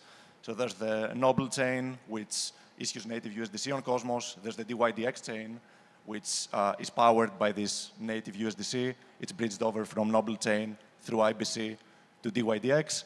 Uh, and then for onboarding uh, USDC and other assets from other chains, they use Axelar and uh, in particular an application built on top called Squid. Uh, and then behind the scenes, you also have relayers that pass messages, you know, between EVM chains and Axelar, and then between all the Cosmos chains, right? So all in all, you have five different teams. So let's say once in a while, uh, you know, with blockchains, uh, they're complex, complex systems, some transactions fall through, right? So then the DYDX team, which is an amazing team, the most customer-centric team I've seen in the space, they're like, okay, we have to understand what's happening. And then they go to the Squid team, and the Squid team has to understand what's happening. Sometimes they come to our team. We have to go to the relayers. That sounds like heavy friction points. it is like uh, maybe those components like would not be built without having all these like diverse teams and incentives. But yeah, I don't know what's the solution, but it's it's pretty complex, right? And it's something we have we have to fix. Yeah, I mean, I don't want to just say the solution is one global state machine, but in some ways the solution is one global state machine, right? This is sort of, and you can you can believe the Solana thesis or not, um, but one of the visions here of how you address this is you build a base layer that is uh, extremely fast, but is very unopinionated. And this is sort of a difference in the philosophy of how you can build these things. If you're if you're treating the base layer as a very opinionated framework, then you sort of have to have modularity on top of it in order to get to different places and different executions. You know, Solana has a full EVM compatibility layer on it through Neon. And that's just implemented in smart contracts. But all of the state for those EVM programs is actually stored on Solana. There's a very funny thing where, you know, to get historical data for an EVM program, they're actually using the Geyser plugin to index data directly from the Solana base layer because it's all stored in that same state.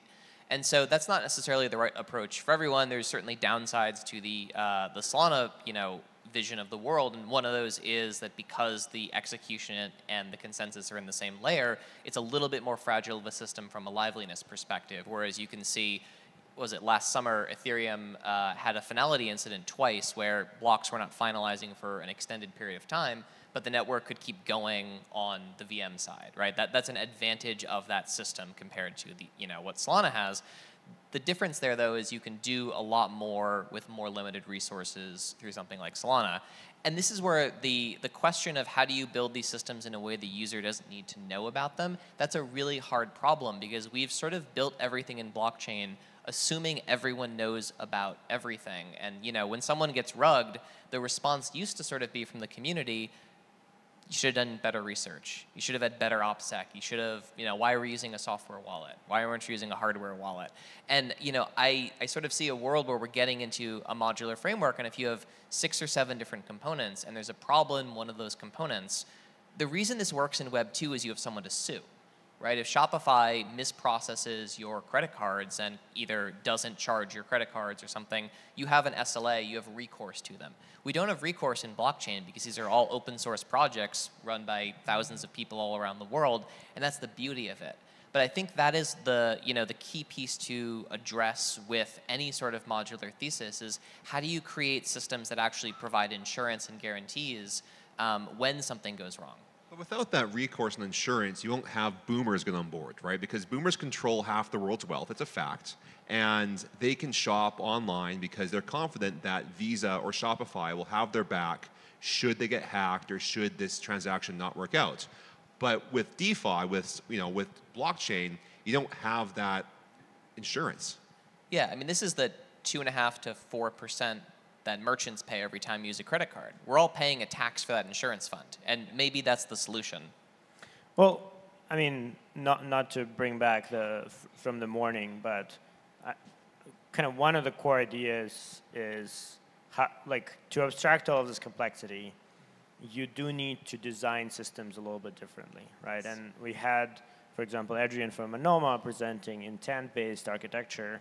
Like that is an approach where as a user, you don't need to prescribe, hey, I want to you know, move through Squid into DYDX, you know, for USDC that's like issued in Noble, right? Like I should not need to know that. Um, and so ideally, I just provide an intent that I want to trade on DYDX, uh, and here's my stablecoin that is in my wallet, and there's somebody who is a professional who can handle all the edge cases, who has insurance funds, who is able to you know replay, who probably runs relayers, who can execute kind of all of that behind the scene. And that's I think part of the kind of moving forward as we abstracting out some of this complexity for integrated or modular. Actually, I don't think it matters.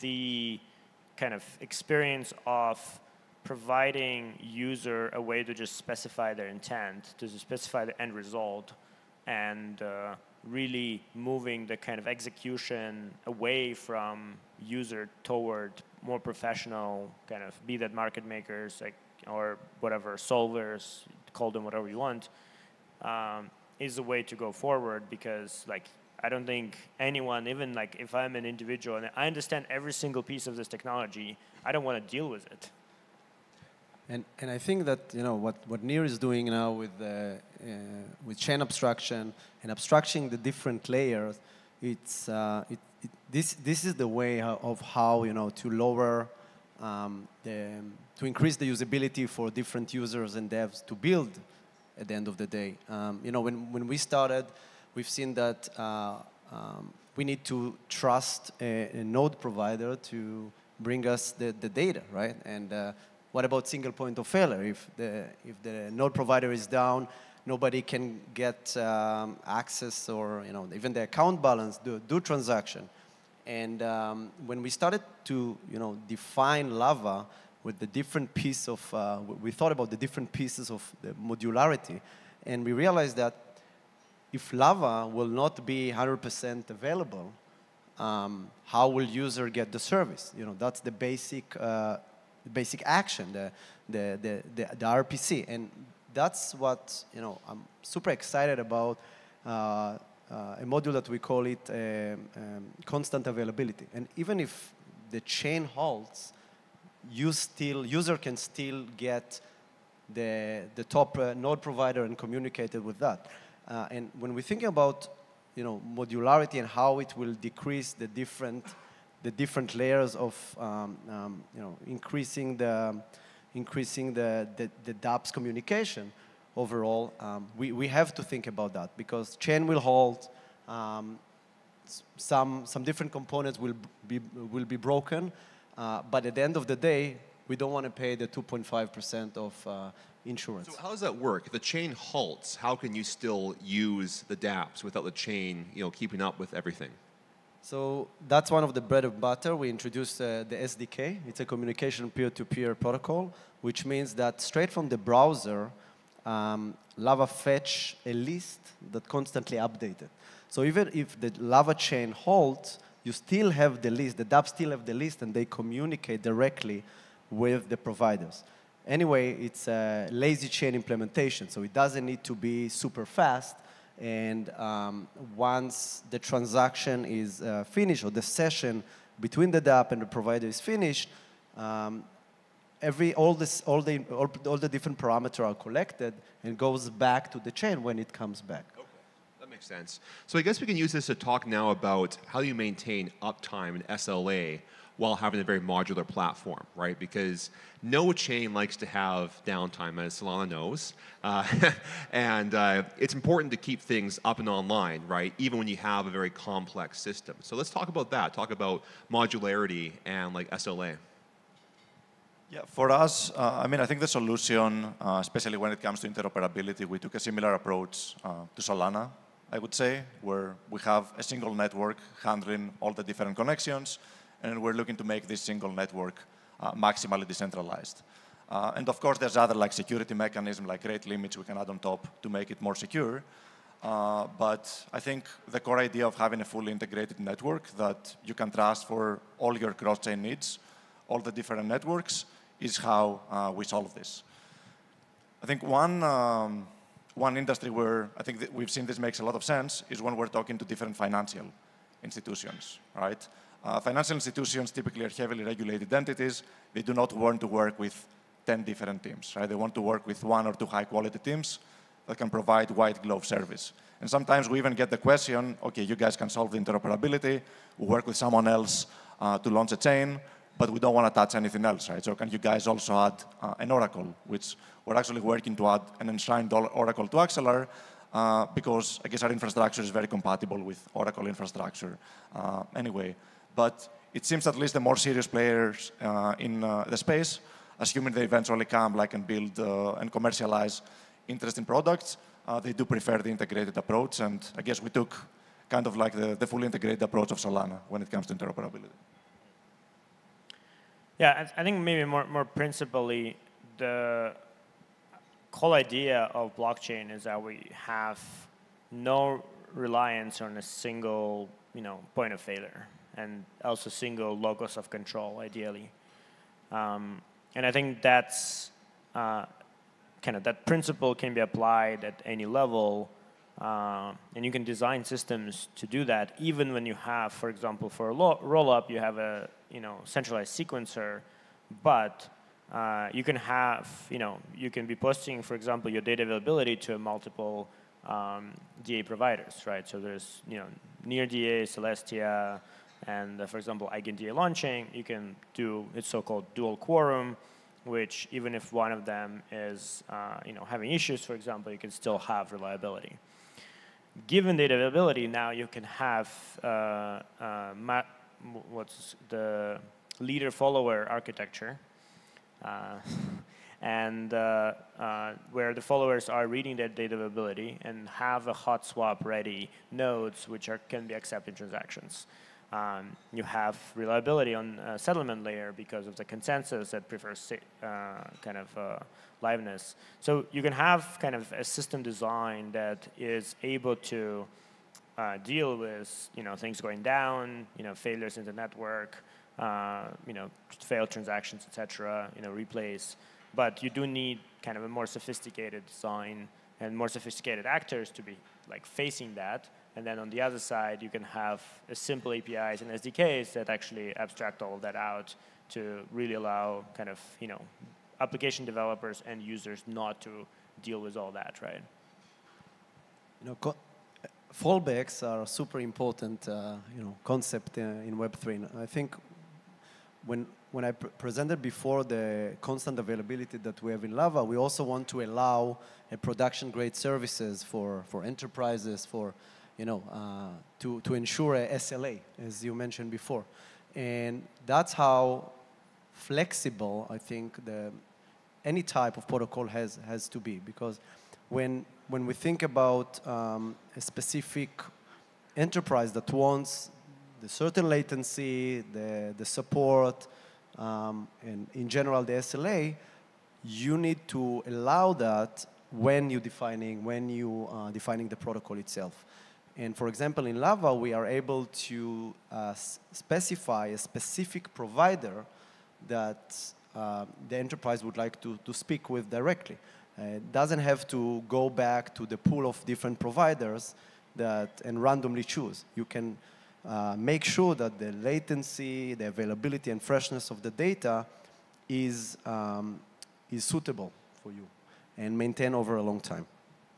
Yeah, I mean, I do think there's a component where we've kind of lost the cypherpunk in a lot of these conversations. How so?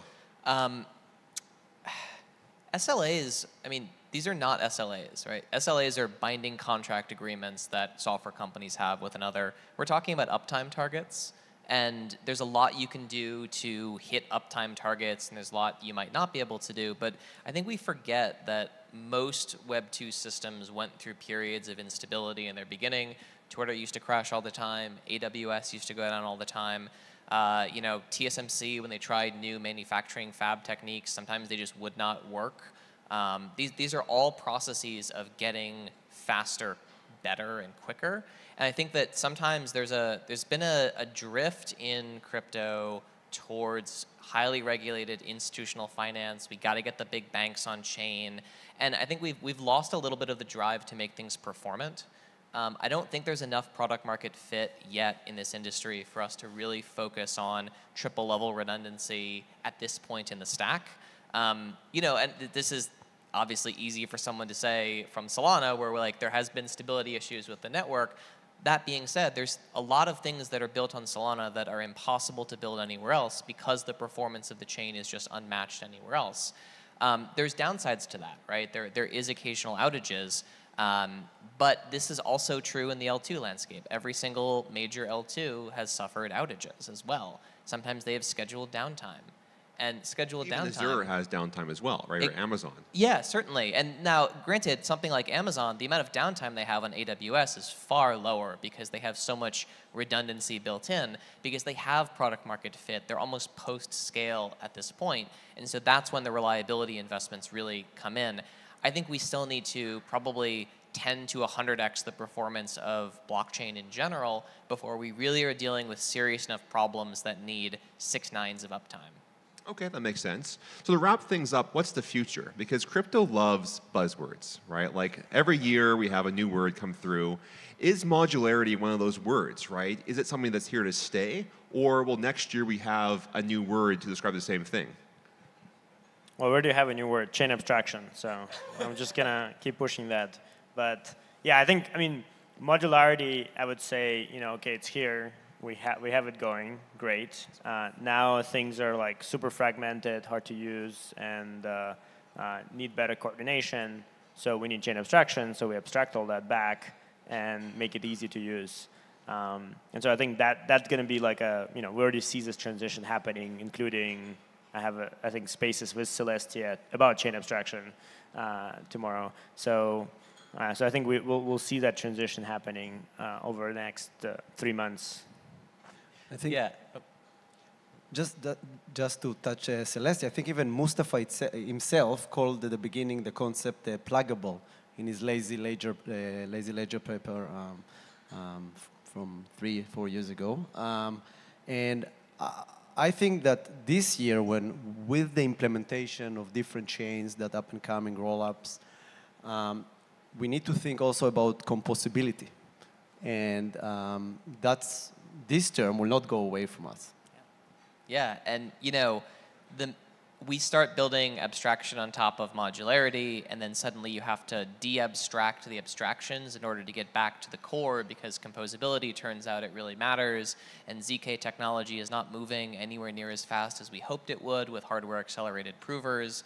And you know, you just get into a, a, a cycle very quickly where like modularity is certainly going to be a component of blockchain because it always has been a component of blockchain. We've just finally put a name to it so people can sell tokens. And that's valuable and useful, right? That, that, that sounds sort of disparaging, but I really don't Put mean the it pump that way. on the coin, right?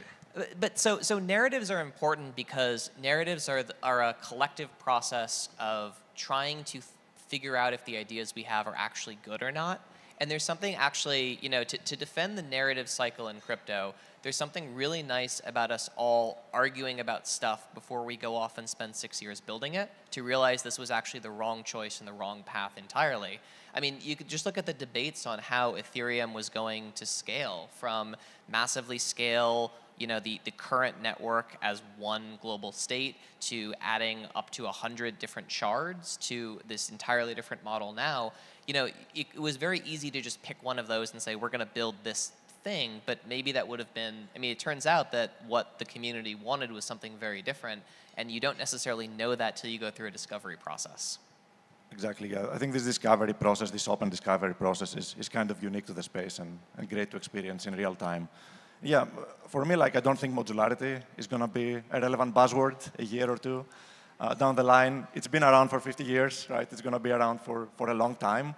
But, you know, I don't think if I tell anyone, uh, you know, we're going to be building modular applications in 50 years, I don't think anyone will care, right? What people care about is to build interesting products. And I think chain abstraction is what describes this user experience that we're all aspiring to, right? Where I can go on my phone, I can open up a, a, wallet, maybe I have some assets, I go and type like I access an application, I use the funds on the application, behind the scenes, maybe there's some intent-driven infrastructure that submits my transaction, it doesn't really matter, right? As a user, I should not have to think about Solana, Avalanche, Polygon, uh, and yeah, I will say we do actually have one area where this is true today, which are DePIN networks, right? Decentralized physical infrastructure networks. There are large institutions using DePIN networks and they don't even know it. There are users using Helium Mobile who don't know they're running on a crypto backhaul carrier. Um, so this may actually start off with very intense technical products before it actually gets to user products. And, well, and I mean, we also have it for user products too, right? Yeah. So I, I, think like the thing is like it's already here. It just uh, this is also where sometimes narratives are ahead, sometimes they're behind, right? Uh, but I think like the benefit here is that um, like at the end it will we will figure out how to unite all those things and instead of having kind of a more more I would say like you know Twitter Twitter feuds uh, we actually will get to yeah like hey here's a product at work right and they're benefiting from this technology and you know we actually see reduction in cost or like e even building things that are really impossible to coordinate without this uh, in in using Web3. And I think that's that's when we we don't need buzzwords anymore. We just right. one. More building, less trolling. So you get the last word. What do you think? Well, a lot of pressure. Uh, I think you know what we we listened before to uh, early today to Vitalik about account abstraction. Uh, I think one of the key words that this amazing panel said before, it's uh, community. The community will vouch, the community will decide like what are the interesting projects, and we're gonna make sure that building that um, is uh, super scalable to bring the next killer app that everyone here wants to see, right? Absolutely. Well, guys, that was great. Thanks so much.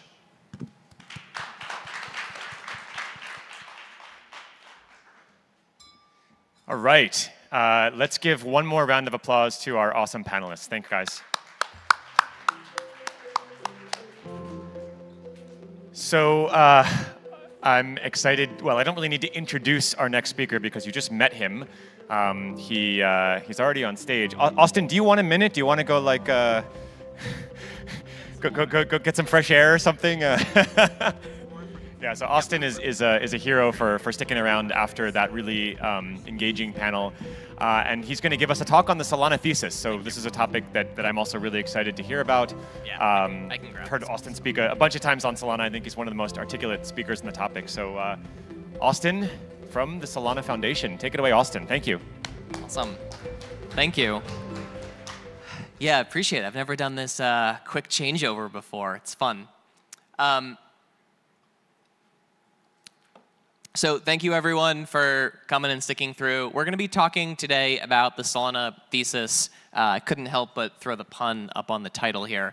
Uh, so Solana is a decentralized layer one blockchain in one global state with low fees, high capacity, and fast finality. Um, we'll get into all this today. Uh, I don't actually have that many slides because primarily we're just going to be talking through how things work and what this vision for the network is. Uh, there's a ton of information on Solana.com. Uh, I think a lot of that's actually been translated into Korean as well. Um, so there's a lot of good resources out there to talk about this stuff. But you know, to start out, Solana is trying to do something a little bit different. Um, you know, the one global state machine really is the vision for what this network is designed to be.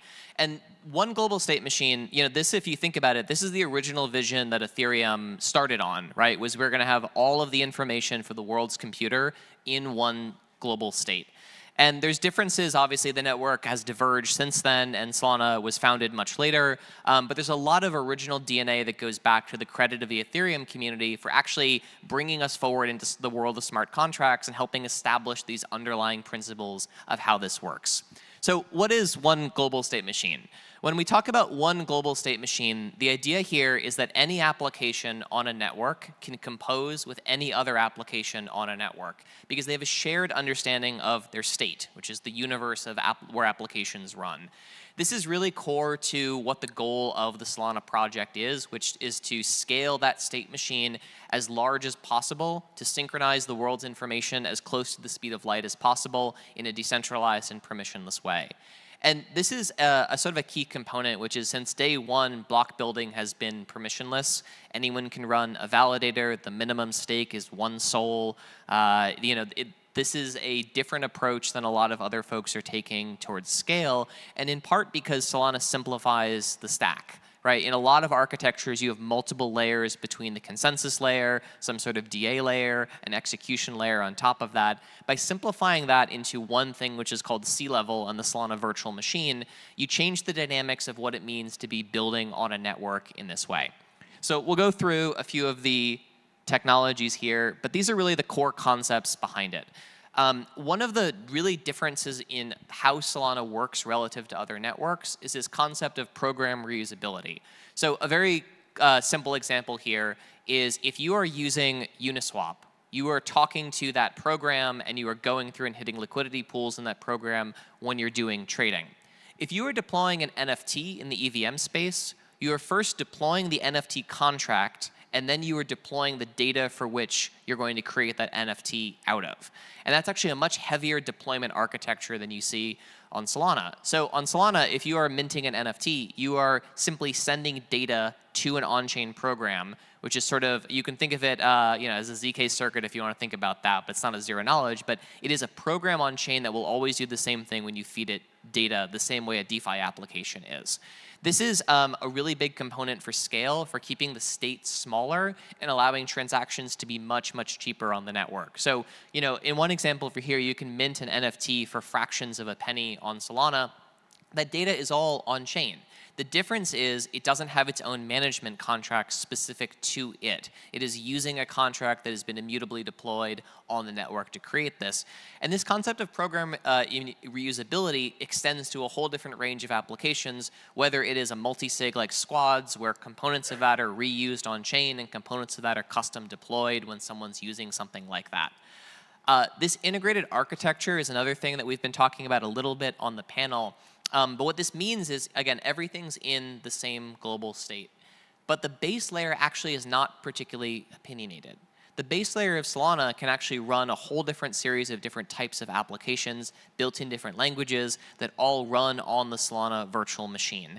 And one of the components that really goes into making this possible is that the whole thing runs on BPF or eBPF, uh, which is Ber a Berkeley packet filter sort of LLVM model um, where the code that's distributed is in a native format on the network. Now you can write applications for Solana and smart, and we call them programs as opposed to smart contracts because every network needs its own terminology for some reason.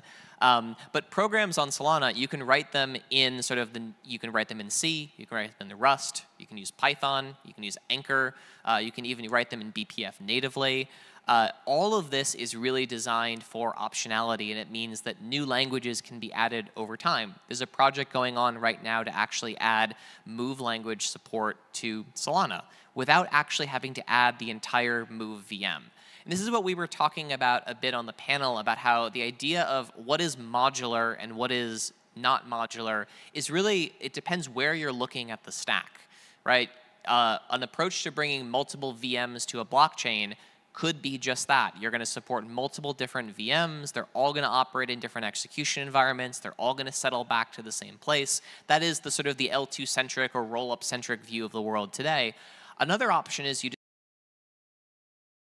just make the base layer very unopinionated so you can write programs however you'd like to actually write those programs. Uh, even have projects like Neon EVM, which is an EVM implemented via smart contract on Solana.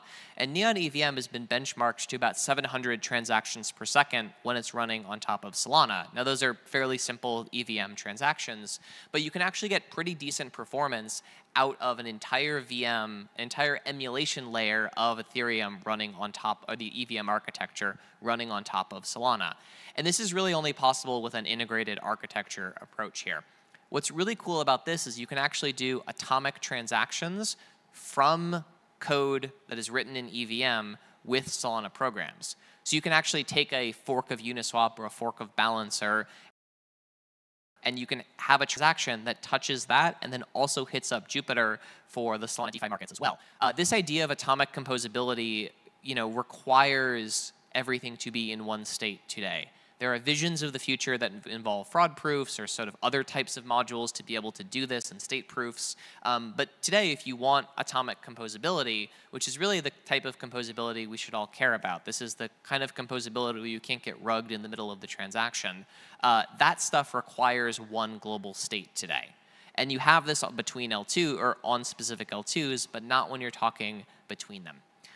The other piece here is the performance flywheel. So the uh, the founding team for Solana, many of them actually came from the mobile phone world. They came from Qualcomm before and deeply integrated circuitry work on basically very slow systems, right? The early smartphones and especially flip phones were very slow systems. So there's architectural changes uh, in how we approach this stuff that is baked into that sort of core DNA.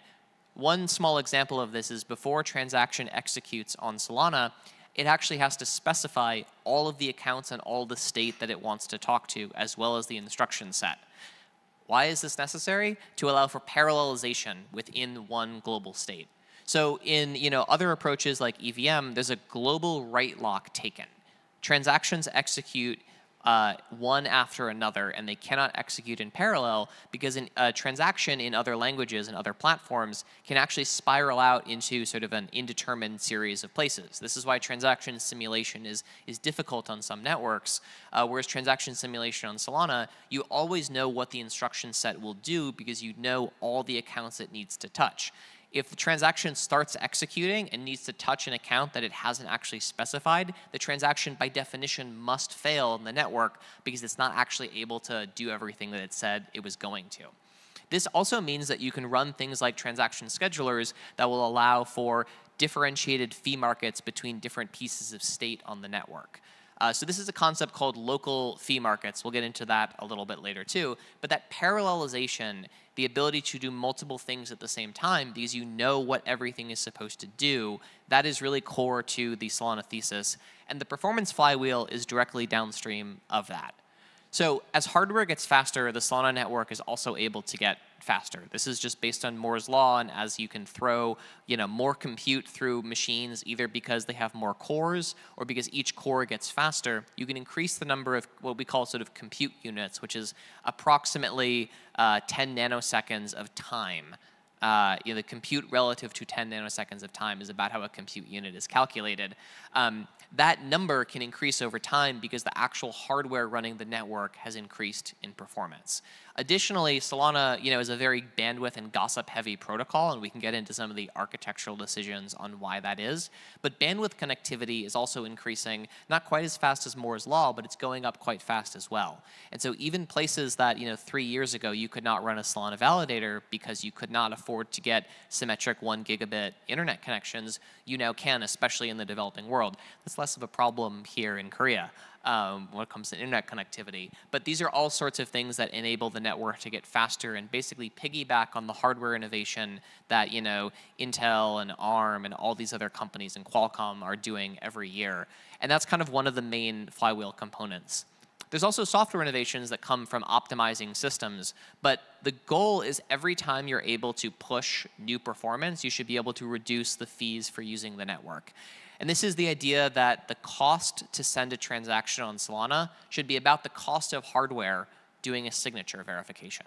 Signature verification is a pretty simple activity, so we want to keep pushing that base compute fee, that base fee for a Solana transaction, as low as possible. Now, you might have seen this sort of uh, Solana fees are actually going up, right? Solana is actually the second highest revenue generating uh, protocol, which was sort of not expected. Ethereum is still by far the highest, but Solana actually generated about $17.5 million of fees one day last week, uh, compared to Bitcoin, which is about $2.5 million in fees per day. Uh, Ethereum is you know well above that, but this is sort of based on these concepts of priority fees which is that when you have a parallel blockchain, you're able to access multiple pieces of state at the same time and have those operations run concurrently. If I'm trying to mint an NFT and everyone else in this room is trying to mint the NFT, that by definition has to be a serial operation. Right? There's no solution in computer science to this. This is just classic database problems of you can't have two people write to the same spot at the same time. One of their values has to go first. So how do we solve that? Right? One of the ways to solve that is to build fee market competition for that specific piece of state. So if there's a really hot NFT mint, the cost there may skyrocket for those fees. Additionally, if there's something like an arbitrage event where there's a potential large profit availability from something like a liquidation, um, that is something where you may also see fees spike. But unlike you see in other networks, that fee spike is limited to that piece of state where there's competition. If someone else is trying to, you know, pay for something at a convenience store using USDC, or I'm trying to send, you know, tokens to someone else, or I'm trying to do a DeFi trade, that won't actually be impacted in terms of the fee because it's in a separate part of the network. These are kind of core concepts to how this stuff is built. Another one of these core concepts is optionality. And optionality, I will say, is different than the modular vision of what optionality is. Optionality means that developers have a lot of different tools and characteristics to achieve the same thing through th several different means. So one of these is we talked about priority fees, but there's also this idea of stake-weighted quality of service, which is another way that you can increase the likelihood that transactions will land when there's, you know, high competition to write for a certain piece of state. But this also means things like the token extensions framework. The token extensions framework was just launched earlier this year. This is a new token program for the network, which is designed to actually bring permissions to the token level. So this is designed for token issuers to be able to say, uh, you know, I only want my token to be traded by users that I have KYC'd, right? Now, we can talk about how undegen that is as a philosophy, but this is really core to the vision of the network where the base layer, the base core of Solana, needs to be as unopinionated and neutral as possible. But the stuff built on top of it can be as opinionated and private as someone wants it to be. This is just how the internet works, right? You can go to every website, but you can't log into every website. This is, uh, you know, that, that core concept there of you don't have to register to be on the internet, you just have to register for certain types of applications and websites. So token extensions um, are a component designed to make it so you really never have to launch a private blockchain or a private layer 2 again, and you can do all of that on the mainnet architecture. So yeah, going into some of the technologies here. Parallel execution, we've talked about a little bit. I want to kind of go back to this because this is one of the key components of Solana that makes it different from other networks is the ability to act to execute multiple transactions at the same time if they are not overlapping. Um, this core comes from uh, the Qualcomm history of most of the founding team because this is how you had to build multi uh, processors back in the old days when you need to be able to do multiple things at the same time. Specifying the state beforehand is key to that process. So priority fees and stake-weighted QoS, these are tools for sort of improving optionality again on the network. But this is different than a global fee market. Um, I know we've talked about, I just talked about this piece, but I want to kind of go back to this because a global fee market is really good if you have a limited supply of transactions, right? If transactions are scarce and incredibly valuable, a global fee market is a great way to control that option. Solana is sort of building for a different future, where transactions are incredibly abundant and incredibly cheap but there may be very high competition for transactions in certain places, like certain DeFi events, like NFT mints. You know, you can you can see these areas where there's really high demand for competition. So next generation standards and tooling is sort of another uh, you know concept that we sort of try and bring as the foundation.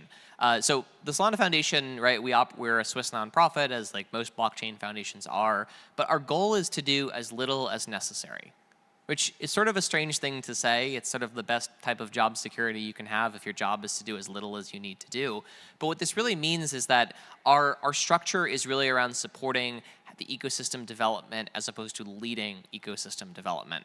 But there are times when you know something like the token extension standard gets built up from Solana. But a great example of this is Metaplex. So Metaplex is the NFT minting protocol on Solana. And this was built in 2021 at a time when a lot of people were taking the ERC 721, which was an incredible standard and still remains that today, um, and just sort of copy pasting that onto their vision for what NFTs would look like on their network. NFTs on Solana are built very different. They're built in user space. They're not defined by a protocol level specification. Uh, it's, it's three accounts, and those accounts have a certain amount of metadata interpreted in a certain way to produce that type of outcome. But what you can do with Solana NFTs ends up being very different. There's royalty enforcement mechanisms for it. There's compression systems so you can bring the cost of minting an NFT down to fractions of a penny. And this is done because the, the model of what an NFT is was totally uh, rethought based on the performance characteristics and the differences in the Solana network compared to other networks as well. This also leads right into something called state compression. Um, state compression is a way of taking a lot of data that is stored sort of on chain, not entirely on chain, but the hashes are stored on chain, and building it into a Merkle tree. And so we can do concurrent updating of leafs in a Merkle tree. And this is really how you're able to get state compression that enables, again, 100 million NFTs for about $1,000 of transaction fees in order to make that happen. Uh, and that is actually uh, getting better soon with some of the upgrades that are coming to generalize that state compression as well.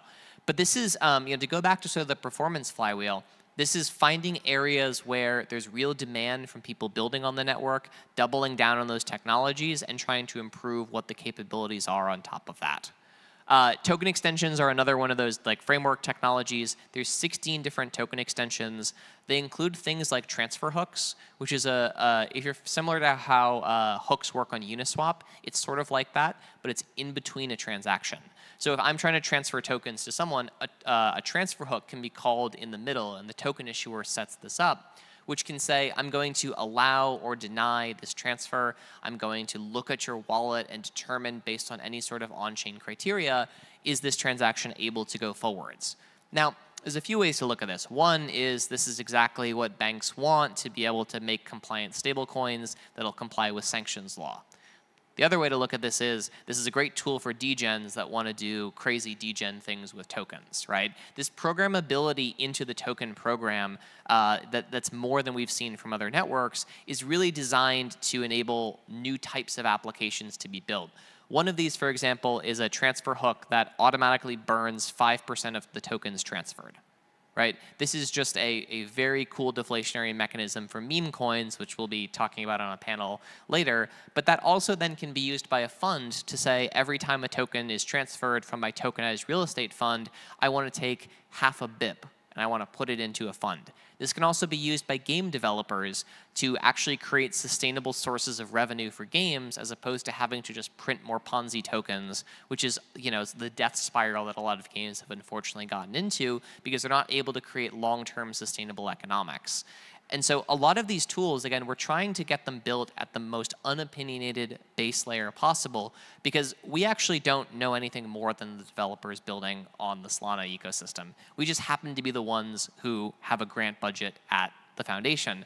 Um, but having too much opinion on how something should be done as opposed to actually listening to what folks in the community and developers are building is, I think, one of the challenges that a lot of ecosystems have faced. We were talking in the last panel about narratives, right? The narratives for Solana are not coming from the foundation, they're not coming from Raj and Anatoly, the co-founders. They're really coming from what people are building and what the opportunities for that technology are, and then the work that can be done to support that. The exception for that is FireDancer. Um, so FireDancer is a really big project to build a net new validator client for the Solana blockchain. This is something Ethereum has done an incredible job of. There's six different validator clients. You can mix and match from consensus to execution. I think there's more than six, but there's six sort of independent code bases there. That's really great for uh, a bunch of things. One is just safety and diversity of validator clients. Another is resiliency of the network. Um, so Solana is the first uh, network after Ethereum to have a second independent validator client built out for it. So the primary client, which is called Agave, uh, which is built by a group called Anza, um, that is built in Rust, and that is the primary client that many people use today. There's a MEV-boosted version of that called Jito, which is similar to Flashbots. Um, but the Firedancer project is built in C. It's an entirely different dependency tree, and it's built by a bunch of high-frequency, uh, you know, trading engineers to build the most performant client that they can for the Solana network. And the goal of that project is a 100x increase in performance and capacity of the Solana network. Now, it'll take a few years for that to actually hit those sort of targets, but you know, Q4 is the target for releasing of the Firedancer client for mainnet. It's currently built out on testnet. And so we see this as another major step forwards in changing what's possible to build using the Solana technology and even on blockchain, right? This is sort of the, the key flywheel thesis here that I keep going back to is when you transition and make things a step function cheaper, or a step function more performant, it unlocks entirely new cases uh, that wouldn't be possible otherwise. Think back to you know the days of DSL and dial-up internet, and the idea of a video pre-roll ad would have just blown the minds of people back then. The idea that you were going to waste so much bandwidth on a video ad would have been crazy, right? And now we just like annoyingly click through those things. But that was only made possible because the base layers of these of the you know the Web one or Web zero infrastructure at that point got so much faster that the additional capacity was there. This is also the flywheel that Amazon.com has done, that TSMC has done, uh, with reinvesting, you know, everything that they're able to in pushing technology forwards. And so this is kind of one of the core concepts for Solana is fees, economics, they're all in some ways coming later, right? This is sort of what we were talking about before in the panel, which is that product market fit is one of the hardest things to find in blockchain. And so if you just keep pushing on ideas that might work, it's very hard to figure out what actually is going to you know, create value, uh, not in a monetary sense, but actually for the world. If you focus on making blockchains cheaper and more affordable to use with more performance and higher throughput and higher capacity, that is a thesis where then the smartest people in the world can come and build whatever they want to build on top of it. This is the same vision that Ethereum has sort of held to over the you know the 10 years or plus of the project that has really made it so powerful. And so uh, you know we we owe as a whole industry a huge debt of gratitude to the Ethereum community and the Ethereum developers. Um, but this is really a, a different take on what the future of this technology could look like. So token extensions, we talked about these a little bit. We're sort of running a little bit low on time. Um, oh, I thought I had another slide there. There we go. Uh, so, you know, one of the things with token extensions is they're really designed so you can build permissioned systems on a permissionless network. This is something that hasn't really been done yet um, in the ability to say we're going to take all these different components, there's 16 different token extensions in one composable token program that's universally supported by wallets, applications, explorers, et cetera. Um, you know, you can now build something like an on-chain money market account that has interest-bearing tokens where the interest value accrues daily, that you have to do KYC in order to uh, be able to trade, and that if you lose your seed phrase, the token issuer can actually reach into your wallet, take those tokens, and move them into a new wallet. Now, for the degens in the room, that's scary, and I understand it, and token extensions probably are not something you're excited about. But if we really want to get to a world where regulated finance is starting to build on blockchain, uh, you know, I would love if government regulations uh, were lessened. I would love if we lived in a more, you know, libertarian economic system where we're actually able to do the things that we all believe that the reason we all own Bitcoin as well as any other tokens we own. But the world is not changing in that direction in a time scale that matches with a lot of our product ambitions. And so this is sort of a world where you can do something on mainnet, which is better than doing them on side chains. It's better than doing them on private blockchains. And over time, we can start to change the world's culture of traditional finance and move them towards this permissionless, decentralized world that we're all building for. Thanks.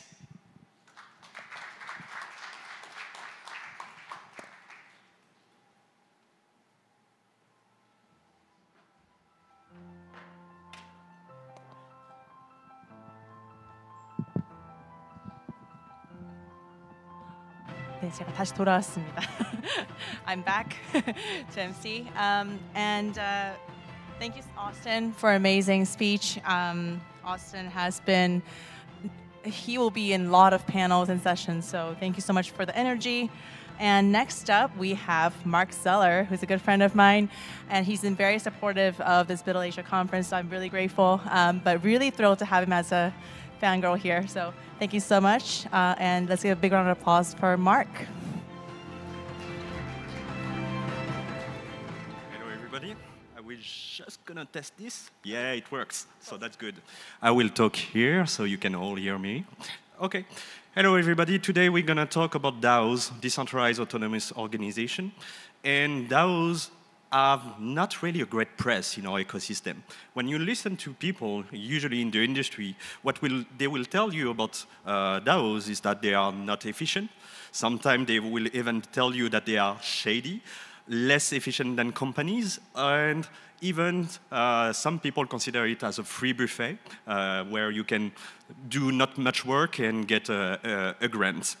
And yet, this model that is quite new and quite native to uh, the uh, ecosystem is less than a decade old.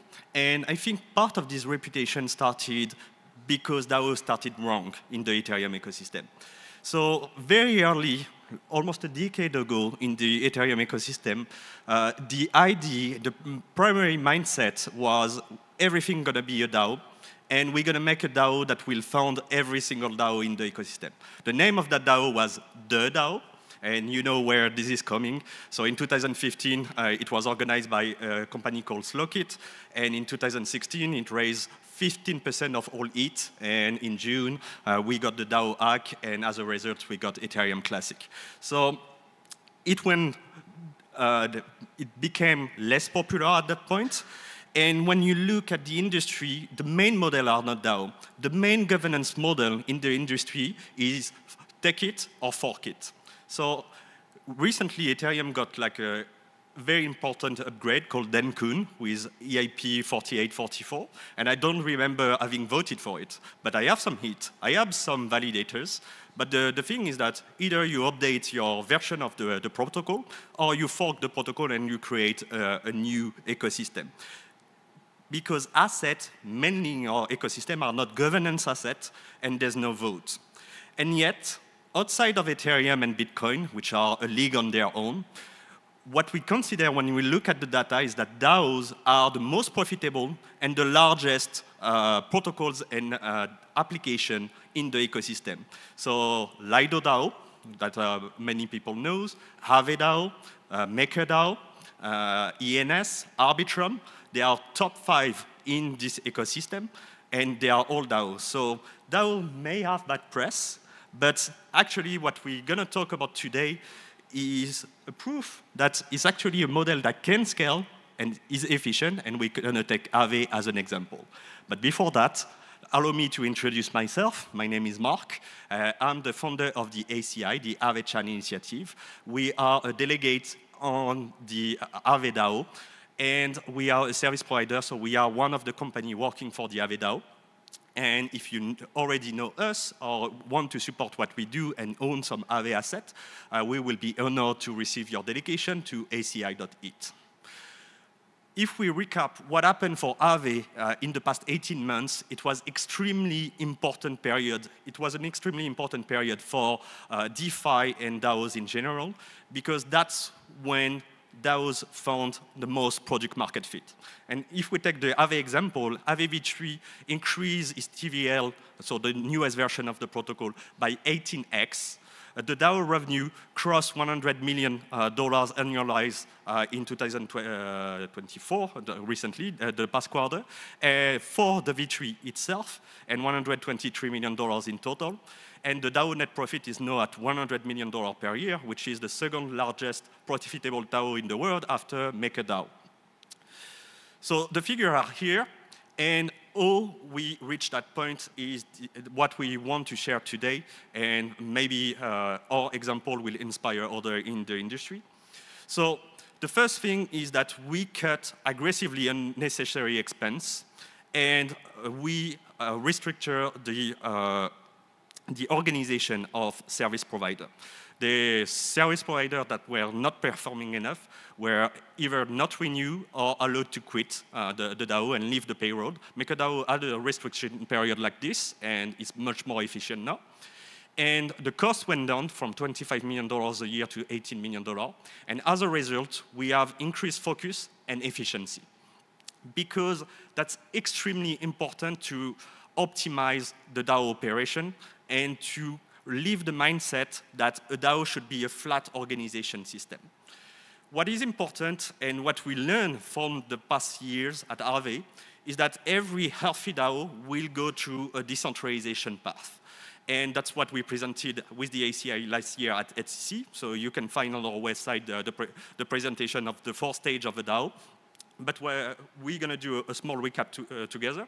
A healthy DAO will always start with very few proposals. Usually you have a funding team, a funding uh, foundation, a lab that will take most of the decision, and they will still be in control.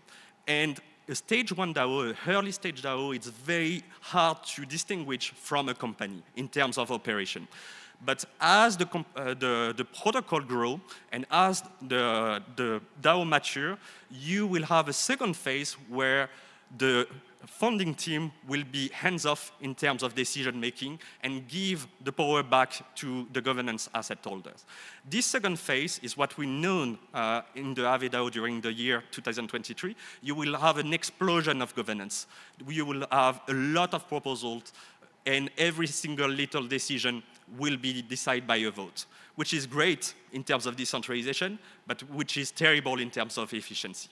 The third stage, and where we enter with MakerDAO and Aave at this point, is that you will have a specialized team, we call that service provider in Aave, that will have a scope, will be elected to do it, and will have an area of free uh, execution within that scope that are defined by the token holders. And that's something I want to insist, and that is important for this, this, uh, for this presentation, is that we believe at the ACI that if decision making is sufficiently decentralized, execution and engineering can be concentrated in a few designated specialized hands.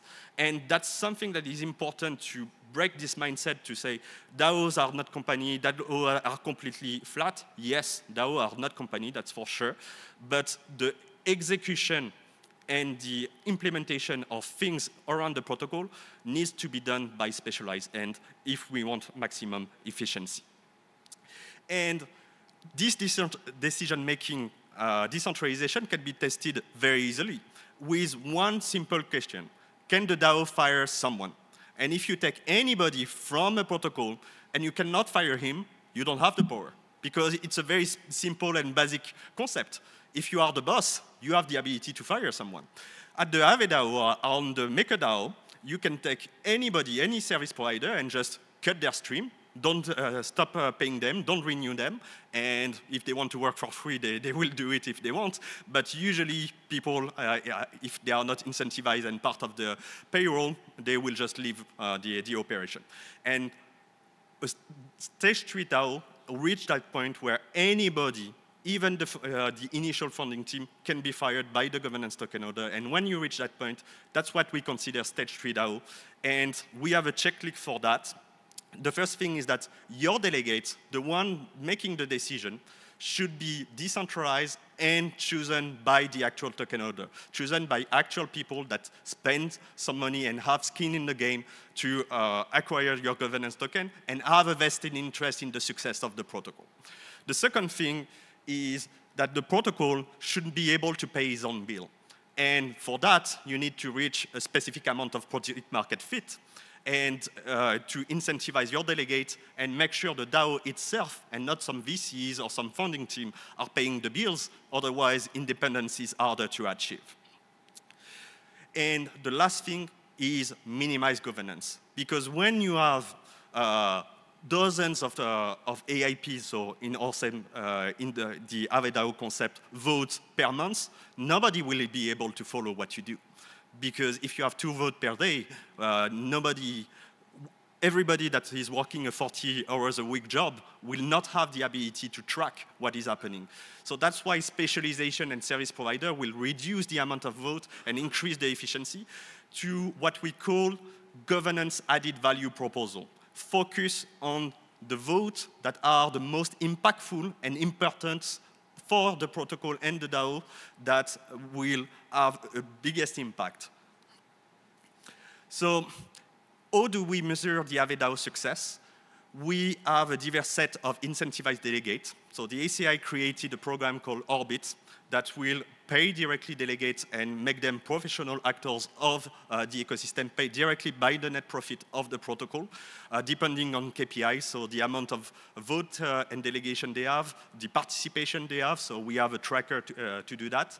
And anyone can and will be fired if they are subpar. That's why we created a system and an ecosystem where performance is expected and encouraged by uh, the system itself. And that's a big difference and something that I want to point out. An efficient DAO cannot slow rug compared to a traditional company that will raise the amount of money or some, some project that did an ICO and raised 2,000 hits, uh, 2,100 hits. They already have the money. So they don't have downside of not executing or not delivering uh, what they do. In an efficient DAO, if you are a service provider and you are underperforming, you, your stream will be cut and uh, you have an incentive to actually perform.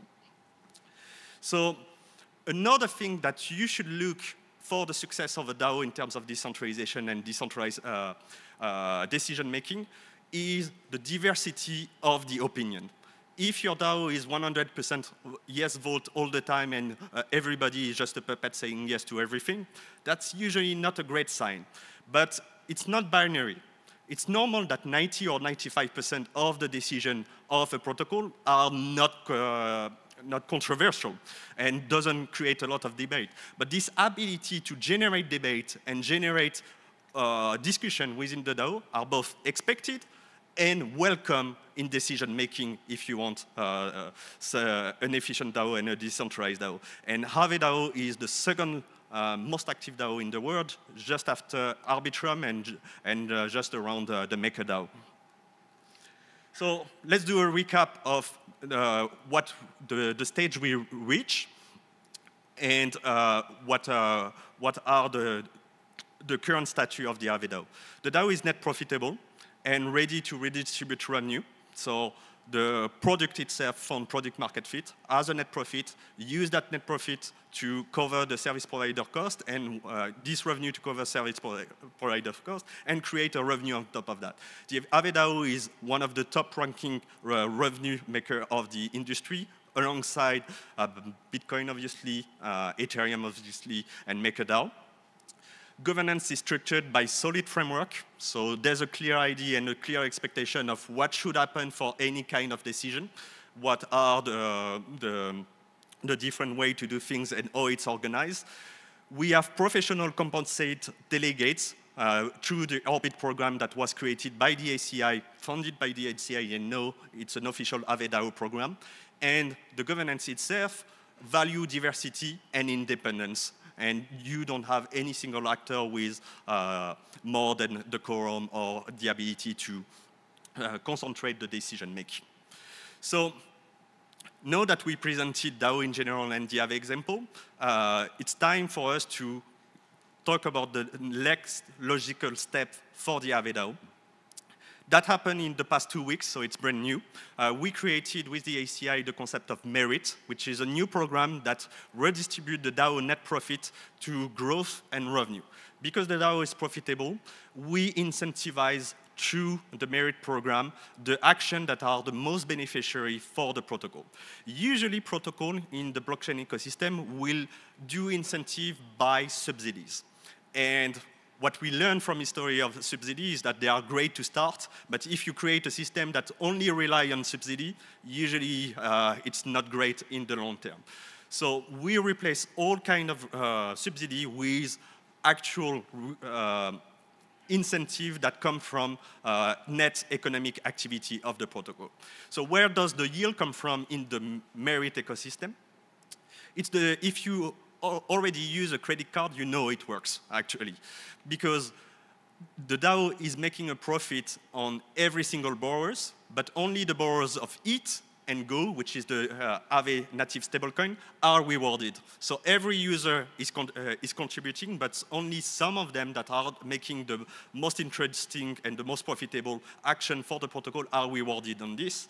And we had uh, a program that allowed a lot of users to come back into Aave uh, through the Merit program, and other protocols are net borrowers in Aave and contributing directly to the uh, Merit e ecosystem. Uh, the GHO Merit budget, uh, we're going to go quickly on this, is paid by the DAO revenue uh, with the GHO uh, stablecoin itself, around uh, $5 million for 40% of the whole budget, and the rest is financed by the other stablecoin borrowings. So it's a system that only uses net profit and is sustainable for the long term. The DAO voted for Merit for the next 90 days, but it's, the mindset was to make it a permanent program. So we shall see what uh, the, the people vote in the future. Uh, it's, it's funny, the, this slide, it's obviously three birds with one stone, otherwise it will not be very efficient. But uh, the three success factor of merit is it increase uh, Aave attractiveness, incentivize user behavior that are the most profitable for the DAO. It killed some vampire layer that were existing on top of, of Aave, and it was very successful at that. In 10 days, 30% of uh, layer 2 on top of Aave that was uh, not synergical uh, were left this protocol and went back into Aave. And it prepared the grounds for the fee switch. And that's the, the next topic we're going to talk about, about, together. Fee switch is something that is very popular in, in crypto at this point. Uh, there's been a lot of discussion around Uniswap. On Aave, there's no concept of fee switch or no need for fee switch because from day one, the Aave protocol is actually making a revenue. We have the concept of reserve factor, so everybody that is borrowing on Aave are paying part of the interest fee directly to the Aave treasury, and the Aave treasury made uh, already more than eight figures of revenue. What we consider the fee switch in the context of the Aave DAO is the profit sharing. So how do we re, uh, switch the revenue uh, distribution uh, to the actor of the DAO? So the current stage is that the Aave revenue is strong and growing. 2023, as I said earlier, was a very good year for the Aave DAO. The net profit is 5x the current DAO operational cost and there's no remaining bottleneck preventing stakers from being rewarded by net profit. So what, are the what is the situation right now? We have the concept of the safety module, which is taking on Aave, that currently represents half a billion dollars of deposit. The current net profit is $100 million, so basic math. If all the profit were dis uh, distributed to the uh, safety module right now, the net APR will be 20%. All of that paid in ETH, well, wrap ETH for smart contract reason, and GHO, uh, the uh, stablecoin of Aave. What we propose at the Aave DAO is to have a consensus solution. So in between the current situation, which is distributing zero and distributing everything, we have a proposal that uh, we are sharing here today and will reach the governance forum in the, uh, in the next few hours, that uh, proposing a consensus solution and stay long-term oriented. The first thing is that the safety module is currently subsidized by the Aave asset, which is the governance asset of Aave. We propose to stop that as soon as possible and uh, completely to zero to distribute zero Aave native asset uh, to the safety module and replace that 100% with ETH and GHO yield. And Merit was the, testing the ground for this, and Merit was a, good success. So uh, we think it's a next step to do that. And the current cost is on the screen. Uh, I, will not uh, detail everything, but uh, to, to say it's 30, it's around $36 million per year if we want to maintain exactly the same yield than now. So this is the proposed project that we will uh, share to governance uh, this week. And uh, we want to start what we call the real yield era of the Aave DAO and of DAO in general. cut all Aave distribution and subsidy and create only uh, yield on the safety module from net profit of the protocol. This proposition uh, will leave $45 million net profit buffer to make new investment, and uh, we know that bull markets are not forever, so most likely at some point the market will correct and the revenue will go down. So it's important to keep a buffer, and that's our proposition. what's next for the Aave uh, protocol is uh, the next big thing for us will be the Crush and GHO. So GHO is the native stablecoin of the protocol, and stablecoin are great and part of the future of decentralized finance. But do we really want to pay $20 transaction fee to pay a boba tea? I'm not sure that's very efficient. So the future of that is layer two stablecoin usage. And the way we design this, and that's something that is currently being voted on by the DAO, is to use the infrastructure of CCIP from Chainlink, so cross-chain interoperability protocol, and have collateral on layer one, where there's the most security and the most liquidity. We have around 20, uh, $10 billion in Ethereum layer one, and allow people to mint their GHO directly on layer two. What we propose with the ACI is to start with the Arbitrum net uh, network, the Arbitrum layer 2, which is one of the our largest uh, layer 2 network, and start it with merit. So allow people to get uh, incentive and a safety module on layer 2, so it's more accessible to everybody. And couple that with uh, the ARB reward incentive program. So that's the, the, next big step, and that's quite, uh, quite exciting uh, for us. Thank you for your time. That's all the time I have uh, for today. Uh, if you want to catch up with what we did at the ACI and want to follow uh, uh what we do, uh, we will be more than happy to have you visit our website, aavechan.com. And we will be here all week. And if you want to discuss, that, that, will be an honor to, to meet you guys. I want to say a special thank to Erica and June for organizing everything. That's our first conference in Korea, and it was an honor. Thank you. Thank you, Marc. Thank you so much for an insightful presentation. I really like the hanbok uh, image there. 아, 제, 저희 마크는 한국에 처음이라고 하는데 정말 어, 대단한 분이시고 네, 많이 이번 주에 이드 서울에 또 계신다고 하니까 꼭 같이 네트워킹 하시길 바랍니다. 네, so next up. Uh, is the MC uh, for my uh, honorary MC for the afternoon, uh, Lane Rettig, and he's been in the ecosystem governance wise and every like structure wise, he's been really behind the scenes and doing all the work. So I'm really happy to have him finally to BUIDL Asia. Uh, let's welcome him to the stage and let's talk about why decentralization is hard and how to overcome it. So we give a round of applause for Lane. Thank you. Thank you, Erica. Yeah, Erica had to come back and MC because she didn't want me to, or I didn't want to introduce myself as MC. I thought we might get in some recursive loops or something if I did that. Um, yeah, so seconding everything Marc just said, Erica, June, the whole team, thank you. This has been an amazing event. Um, I've been all over the world the past seven years, believe it or not, uh, time flies. That's a lot of crypto years. Uh, this is my first time engaging with the community here in Korea. We have a very active uh, Spacemesh community here in Korea, so huge shout out to our local Smeshers. Really excited to be here. Thanks for having me. Um, so I'm here to talk about, about Spacemesh, the project I'm working on, but there's a bigger context, and that context is decentralization, okay? It's kind of the reason we're all here. Uh, it's what brought me into this industry seven years ago, um, and it's, it's a word we tend to throw around and use quite a bit without always being really thoughtful what we mean when we talk about decentralization. So I'm going to begin um, by talking about this concept, what decentralization is, how we should think about it, why it matters so much, and then I'll transition and talk a little bit about decentralization in the context of, of my project, Spacemesh. Um, I uh, have been around since 2017, again, seven years, hard to believe. Um, was fortunate to have the opportunity to join the Ethereum Foundation in 2017 and work as an Ethereum core developer for a couple of years. Um, what initially brought me, so I, I, have a background in traditional finance, and what attracted me to Ethereum and to this space was the promise of building decentralized systems, and I think of these as kind of you know, censorship resistant, credibly neutral value creation networks that are permissionless, that ordinary people, right, not privileged elites, not accredited investors, but ordinary people all over the world can join permissionlessly and they can begin to create value for themselves, for their families, for their communities.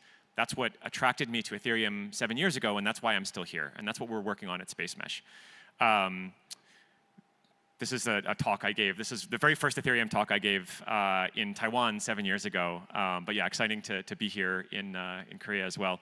Um, yeah, I mean, the, so let me talk a little bit about Spacemesh, just so people have background. Spacemesh is a layer one protocol. We began working on it in 2018. Um, after five years of very intensive R&D, we finally launched the network in July of last year, um, which is a huge milestone. So I'm very excited now to be able to talk about Spacemesh, not only in theory, but in practice. It is uh, completely dedicated to two things. Okay, the first goal of Spacemesh is to make mining from home easier than it's ever been before.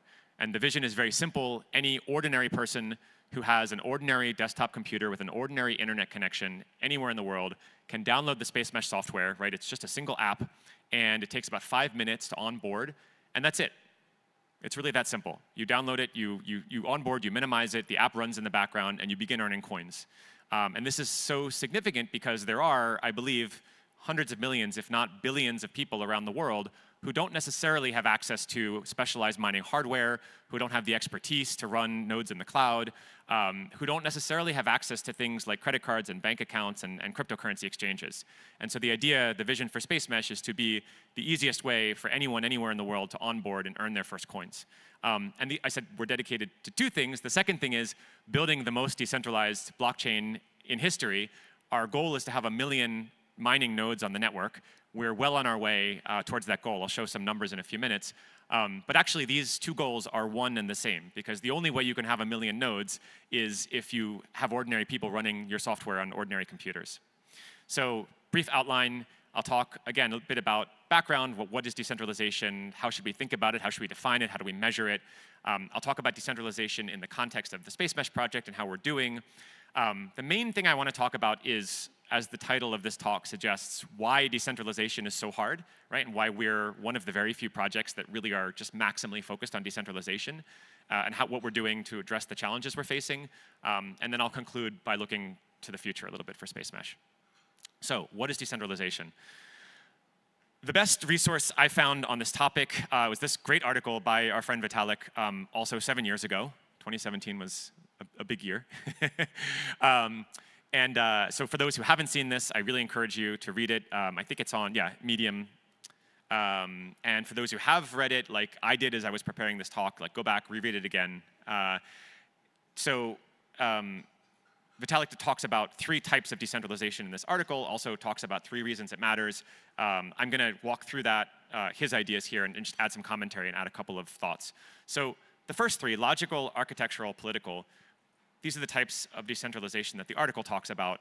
Um, very, very, very briefly, logical decentralization talks about whether uh, a system functions as a single monolith or whether you can kind of cut it into many pieces and it's more of like an amorphous swarm. So a blockchain is actually logically centralized, right? Because we want a single central source of truth, a single central state machine. Uh, something like um, BitTorrent is, is, is, logically decentralized, right? You could split the BitTorrent network in half and the, both halves would continue to function fine. But just to reemphasize, right, blockchain is centralized in this way, and this is why it's so important to understand that there's these different dimensions of, of decentralization. Um, architectural decentralization is the thing that most of us mean when we talk about decentralization in the blockchain space. A very simplistic, reductionist way to think about it is like how many nodes are in your network. Uh, I'll talk more in a moment about why there's, we need to think about this in other terms as well. Um, I won't go so much into political and economic decentralization in this talk. I'll touch upon it very briefly. Um, but it's important, again, to point out you may have many, many, many hundreds of thousands, millions of nodes on your network, but if they're all run by the same actors, or in the case of proof of stake, uh, and again, I, I, added economic to this list because I think in an era of proof of stake, it, it really is important to, to understand um, how many actors collectively can do things like halt your proof of stake chain, which is what the Nakamoto coefficient measures. Um, right? If, if you have many nodes, but, but a tiny number of stakers or a tiny number of uh, actors behind them, then it's not a terribly meaningfully decentralized network. Uh, so then the article goes on to talk about why decentralization matters. I think this is really important too. Fault tolerance is pretty straightforward. It's not uh, terribly controversial. It's a topic that's been around since way before blockchain, and you see this very often in things like uh, in, in, in, mission critical systems like airplanes, right? The way that the, the hardware and the, and the computing infrastructure on an airplane works is, is decentralized for this reason. Um, electrical grids, things like this, are also decentralized for this reason. And in particular, the goal here is to avoid something called common mode failure. The idea of common mode failure is that, again, you may have many, many nodes in your network, But if they're all running the same software, right, the same version of the software, if they were all downloaded using the same supply chain, if they're all running on the same operating system, or you know, if they're in the same geography, or maybe they're in many geographies, but they're all hosted on, let's say, AWS data centers, you, you see what I'm getting at here, right? There's many, many kind of vectors here, and a failure uh, in any one of those things, right? You may have um, a bug in a single release of your software, and if everyone's running that software, it doesn't matter how many nodes you have, right? The whole network is going to crash. So in order to avoid common mode failure, we really need to think uh, in a quite sophisticated way about, uh, about decentralization and about maximizing decentralization along all those vectors. Um, attack resistance is like fault tolerance where the types of faults you're defending against are kind of intentional faults. Uh, and I'll just again use the example of uh, the software supply chain it's possible not that it, there's a bug, but that there's some sort of malicious exploit that gets injected into your software. This happens fairly often. Um, and again, the more architectural decentralization we have, the, the safer we are against that type of attack. Um, collusion resistance, it's a very nuanced, very important topic. Um, I'm not going to go into it in this talk, but I encourage you to, to read about it in the article. So with that background in place, let's briefly look at some numbers in the context of the live space mesh network uh, we have this thing called the network dashboard. So if you go to dash.spacemesh.io in your web browser, or you just search for Spacemesh dashboard, you'll see this. There's a lot of nice shaped graphs here up and to the right. Uh, the latest number from Epoch 17, which I think th these slides are a couple of days old, uh, I think it's still the latest, is about 1.5 million smeshers on the network. Uh, is what we call a miner. I'll explain what that means in a moment. Um, and the network security, it says 1.2 exabytes. I'll talk about that more in a second as well. This is, again, that number of smeshers or miners, uh, rapidly approaching 2 million. Um, as a builder, as an entrepreneur, there's no feeling more exciting or more rewarding than being able to stand on a stage like this in front of an audience and point to a hockey stick graph like this that's just up and to the right. Uh, so it's, it's really exciting the Spacemesh Network has seen extraordinary growth since we launched uh, eight or nine months ago. Um, just a couple points to make here. The first is uh, these miners, th these are miner identities in the network, and they don't map one-to-one -to, to individuals or to companies or something like that. It's, it's very often the case that one person, one miner, is running 10 or in extreme cases even 100 or 1,000 um, miner identities. Uh, like, for example, I, I ran a few. So we don't know the exact number of miners in the network, but uh, it's, it's a very large number and it's growing very rapidly, and that's very, very exciting. Um, the other point to make here is that this is around two orders of magnitude more than we designed Spacemesh to handle. Uh, and I'll come back in a moment to like why that's a problem, but it's one of the main reasons decentralization is so hard.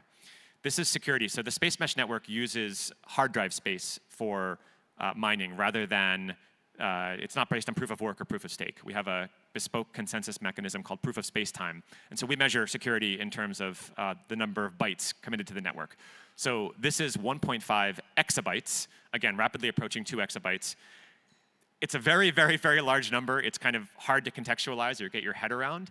But just to put things in perspective, this is uh, something like 400 million high quality MP3s, which is around three or four times the size of the entire Spotify catalog. Uh, this is 15 times the total storage in the Internet Archive Foundation, which is around 100 petabytes. Um, again, just an extraordinarily large amount of data. Uh, and it's so, so the last figure I saw for Filecoin, which is an, another awesome project that's obviously been alive for a few years, is that it's storing around two uh, exabytes worth of data. So we're rapidly catching up with that number, which again is just extraordinary, having been live for only a few months. This is actually an even more interesting statistic in the sense that, so this is the number of unique nodes or peers on the Spacemesh network that our infrastructure has seen. And the reason I like this is that it, uh, it's a real world phenomenon, right? This is not some kind of in protocol thing like miner identities. This is like actual systems on the internet with a unique IP address. Um, and yeah, you can see we're on the order of 20,000. The number's gone up and down, and this is like an aggregate data set, so don't read too much into the peaks and troughs the last time I checked, Ethereum was on the order of 8 to 10,000, and Bitcoin is on the order of 20,000, so, so similar to Spacemesh. We have a long way to go. I said our goal is to get to a million, but um, yeah, I think it's, it's really exciting to see that we have a similar number of nodes to, to Bitcoin for a network that, that hasn't been alive for very long. Uh, so going back to that dashboard for a second, we have this thing down here that you may or may not have noticed called the decentralization ratio, right? What is this? It says 82 out of 100. This is a pretty arbitrary, pretty subjective equation that we came up with. It was a first attempt. We came up with this a couple of years ago before we launched the network, and it's really a weighted average of two figures. The first is uh, the number of miners um, divided by 10,000, which we like designed Spacemesh for. We arbitrarily decided if we have 10,000 miners in the network, we'll be, uh, we'll be really excited. Uh, and then the other thing is the Gini coefficient, uh, which, which measures the, um, the weights of the miners who have contributed blocks over the past 100 epochs.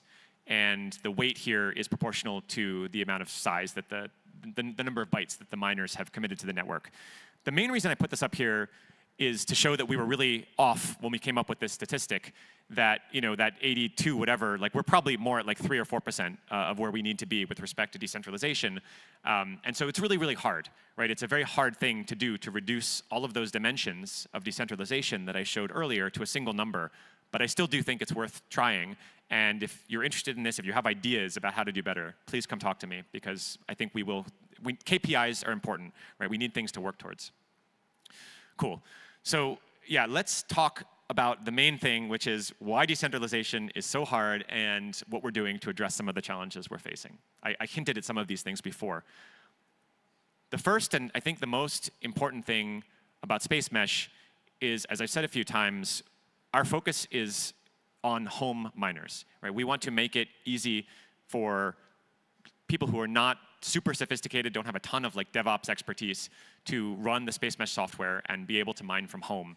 And to the best of my knowledge, we're the only layer one that, that's focusing on this. And if you look at networks like, like Ethereum and, and Solana and many others, um, the vast majority of nodes are running on things like Linux VMs in the cloud right, which is where you should be running node infrastructure. Um, but running nodes at home is hard for a bunch of reasons. We, we've tried to make it easy. We have an app you can just download.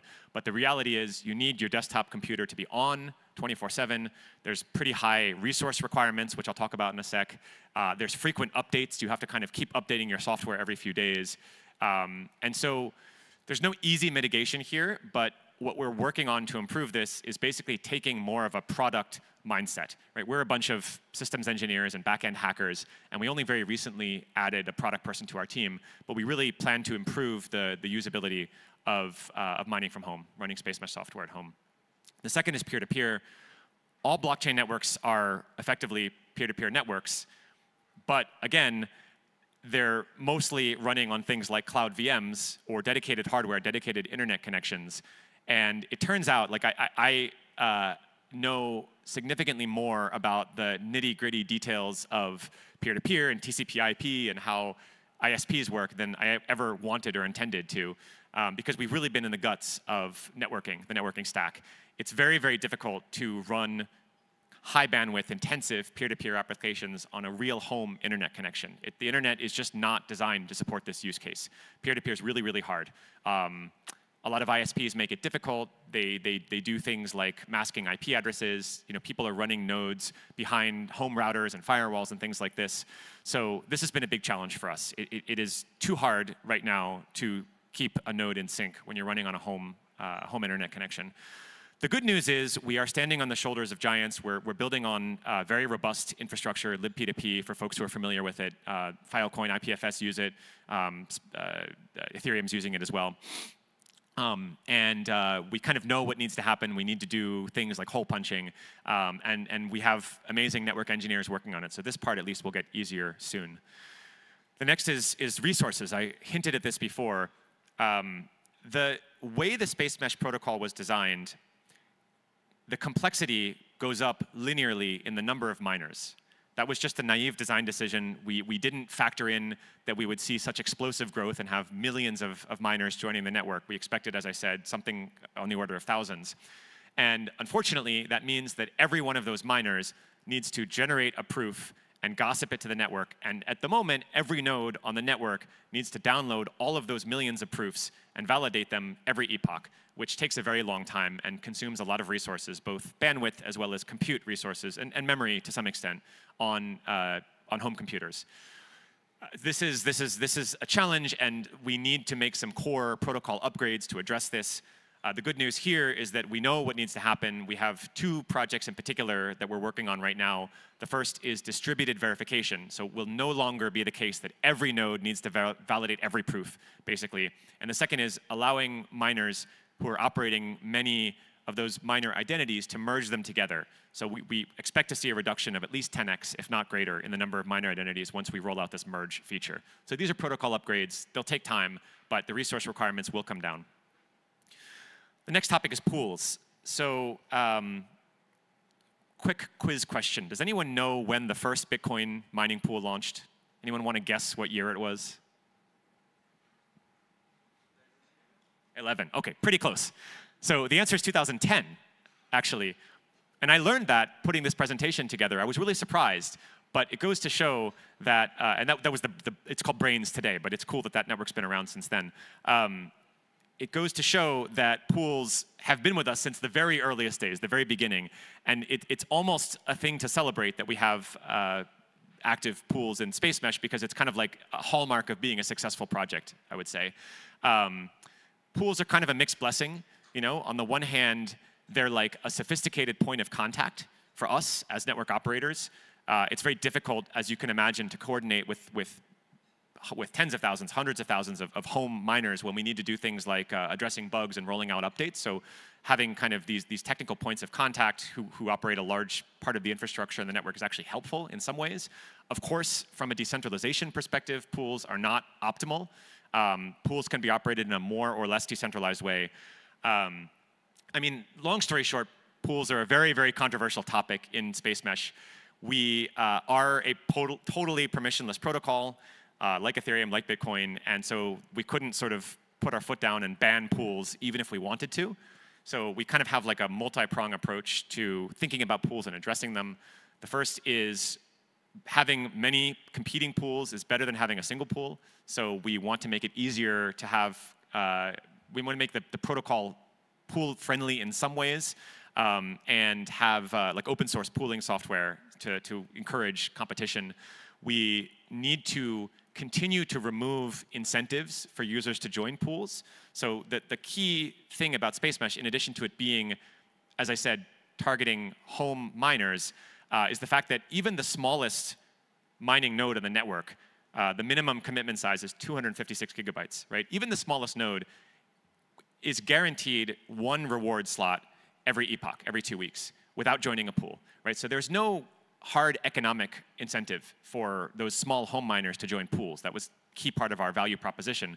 However, because it's hard to run a node from home, as I said a moment ago, users do end up joining pools anyway. So we need to remove those incentives for joining pools. And we need to continue to educate users about the risks and the trade-offs of joining pools, how it hurts decentralization, and uh, in, in many cases involves things like giving up your private keys, which are never safe to do. And finally, economics. This is a screenshot from um, a mining pool um, that does include Spacemesh. And as you can see from the circled number there, uh, per unit space, so in this case per petabyte, and this is by now, I don't know, a few days out of date, so it's probably come down a little bit, um, but it is significantly more profitable at this moment to mine Spacemesh than it is to mine, for example, Chia, which you can see two or three slots above, right? More than an order of magnitude more profitable. At the moment, a small home miner, so I said a moment ago, like 256 gigabytes is the minimum, right? A miner who has that amount of space in the network is earning a few dollars per epoch, a few dollars per month, something on the order of like four or five US dollars per month. Um, we expect that will fall probably another order of magnitude. Uh, that's just economics. But there's nothing we can do about it. But it will be very interesting to see over time how the kind of long tail of, of home miners, like whether that changes as, as the economics of the network change and as the, the network finds like an economic equilibrium. So in the final few minutes here, uh, just briefly touch upon um, things we're doing to improve and become more decentralized. So I mentioned all of these before, but just to reiterate, improving the product experience, very, UX is very, very important. Improving the peer-to-peer -peer network, making sure it's very easy to run a node from home, right? This is key to decentralization. Uh, rolling out those major protocol upgrades I talked about, right? It's clear what we need to do. It will take some time. Continuing to reduce the incentives to join pools. Um, in parallel to that, we want to educate users about the risks and trade-offs of pools and also make it easier to run competing pools. All of these things will, will get us uh, closer to our goal of a million nodes and being the most decentralized blockchain network. Um, the final thing I want to touch upon is, is the VM, the virtual machine. This topic came up a few times today, most notably in Adrian's talk about intents, intent uh, machines. I put this up here to show these are all things that we've researched and thought about in the process of designing the Spacemesh virtual machine. So we launched Spacemesh. We made the difficult decision to launch Spacemesh last year without a full VM. Okay, at this moment we have uh, a very small set of hard-coded smart contracts, you could call it. They're called precompiles, but uh, we haven't launched the full-featured VM yet. I am myself a VM engineer. This is what I was working on at Ethereum back in the day, and it's the piece of Spacemesh I've been the most excited about. Um, we built, we designed and built a WebAssembly-based VM called SVM, the Spacemesh Virtual Machine, and we tabled the entire thing a couple of years ago. Also a very difficult decision because the goalposts had moved so much. There's just an enormous number of things to consider here, right? Is it a layer one strategy? Is it a layer two strategy? Where does the data go? What type of rollup do you want? What type of sovereignty do you have? What architecture are you using? Are you using an existing blockchain specific VM like Move or EVM or the Solana VM or something that's more global standard like RISC-V or WebAssembly, et cetera, et cetera, all these different models, account models. Um, I'm really excited to announce that we released uh, just two or three days ago our protocol, or sorry, our, pre our preliminary design, our high-level design for the Spacemesh VM. It's called Athena. We have not yet released the, the kind of full document. That's going to come out, well, as soon as, as soon as I have a few minutes to kind of finish working on it with, with my team. Um, but uh, it, I'll show you in a moment um, my Substack link. There's, there's an article there introducing it. Um, we are doing a very unique, very creative, novel roll-up design that uh, is an optimistic rollup that's built using uh, RISC-V, which will allow developers to write smart contracts in Rust and their other favorite programming languages. Um, there's some really, really exciting, unique things in there where there's a zero knowledge component as well. Um, we think it represents the best practice of kind of blockchain VM design today, and you'll be hearing a lot more about it very soon. Um, yeah, so that's basically it. I'll just leave with a few resources. So I mentioned Substack a moment ago. I write very actively about Spacemesh there. I wrote about Athena there, so take a look at that if, if the VM stuff is interesting. Um, active on, on uh, Twitter and Farcaster. SpaceMesh.io is our website, and I'm sorry I don't have a QR code, but if you go to chat.spacemesh.io, you can access our Discord there. And I will just leave everyone here with a quote from Jaron Lanier. He is a brilliant thinker. Um, he's one of my personal heroes, and he's written more eloquently and spoken more eloquently about the challenges that we face in these, these value creation networks today with centralized operators, things like social media as it exists today.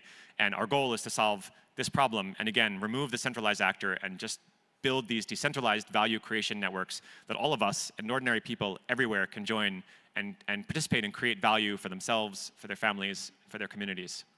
Thank you. Thank you, Lane. Thank you for breeding crypto and also sharing amazing insights. Um, next up is Giorgio from We, you've seen him before, uh, previously in a panel, and uh, he's going to talk about connecting a thousand blockchains. So, uh, very interesting topic. So, let's give it up for Georgios.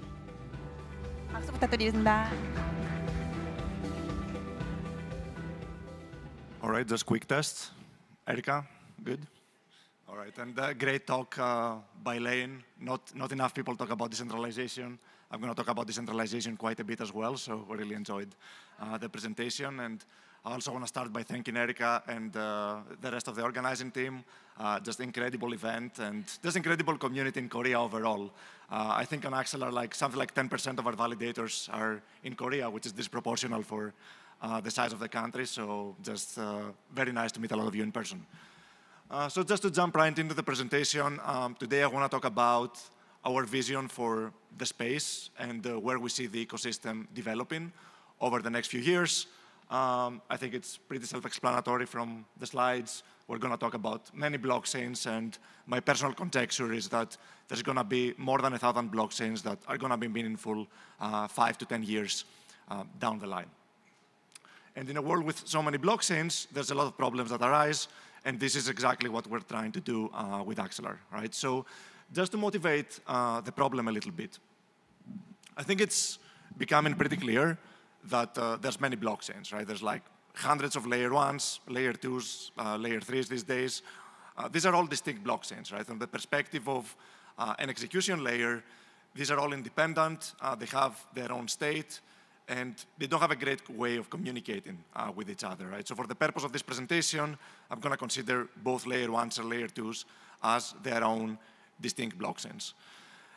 And these blockchains have some fundamental uh, limitations, right? Um, when you want to process transactions within a single execution environment, you have to do so sequentially, right? Where if I send money to Erica, uh, then I, the validators have to process this transaction because if Erica wants to spend money, um, they will have to know that she already has the money, right? So we have to be able uh, to scale these execution environments. And scaling linearly is very, very hard, right? Because there's fundamental limitations into how fast the EVM can process transactions in a sequence. And today we don't have strong enough hardware to make this process fast enough, right? So the, the only way to scale is by scaling horizontally. Uh, this is the new roadmap of uh, Ethereum, which is rollup centric. There's going to be multiple rollups. It's with their own execution. Uh, but really the core idea is that if the space grows, there's going to be valuable applications that each are going to have a lot of transactions, and they're each going to need to have their own uh, individual block space uh, and execution, right? So it is under this premise that uh, we're going to talk about the problem that Axelar is solving. And um, once we accept the premise that there's going to be thousands of blockchains, um, I'd like to start thinking about how can we quantify the importance of, uh, I guess, cross-chain technology in such a system, right? And if we look at the ecosystem today and how people use applications, typically as a, as a user in Web3, you're going to try to use, uh, you know, Uniswap, you do a couple of transactions, then you're going to move to Aave, get a loan, then maybe you go and buy an NFT. And uh, empirically, we've seen that every fourth or so transaction is going to be on a new application. And in a world where applications are fragmented across different layer ones and layer twos, every fourth or so transaction is going to be uh, cross-chain, right? So something like 25% of the transactions are going to be across different ecosystems, across different blockchains. And it's going to be really important for user experience to completely abstract away this middle step of jumping between chains and provide seamless user experience to, to people, right? And this is the problem that uh, Axelar is trying to solve, right? How can we interoperate seamlessly across many, many chains? Now, with Axelar, we started building about four years ago. And uh, at the time, um, many of you may remember that there were a lot of bridges in the space, right? The way people were trying to solve the problem, they would set up a centralized server, you would send them some money, they would min you some money on the other side. The main problem with this approach was that when you have a centralized entity holding a lot of crypto, it's very easy to attack. And this is what happened over the following years. Uh, the biggest projects from back in the day, like Ren Protocol, uh, multi-chain, the Harmony Bridge, the Ronin Bridge, all got hacked because of uh, this centralization attack vector, right? Someone managed to get access to the keys that were held by typically a founder and steal all the funds, right? So this is the first shortcoming of some of the existing solutions. The second big problem that uh, Gen 1 interoperability solutions have was that they were not scalable. Typically, they would operate in a pairwise fashion. Right? So if you want to connect one chain to 10 other chains, you had to set up 10 connections. And if you want to set, uh, set up you know, a 12th chain, you would have to set up 11 new connections. And the number of connections and effort you need to expend is quadratic in the number of chains that you are working with, right? So this pairwise approach uh, is, not, is really not scalable.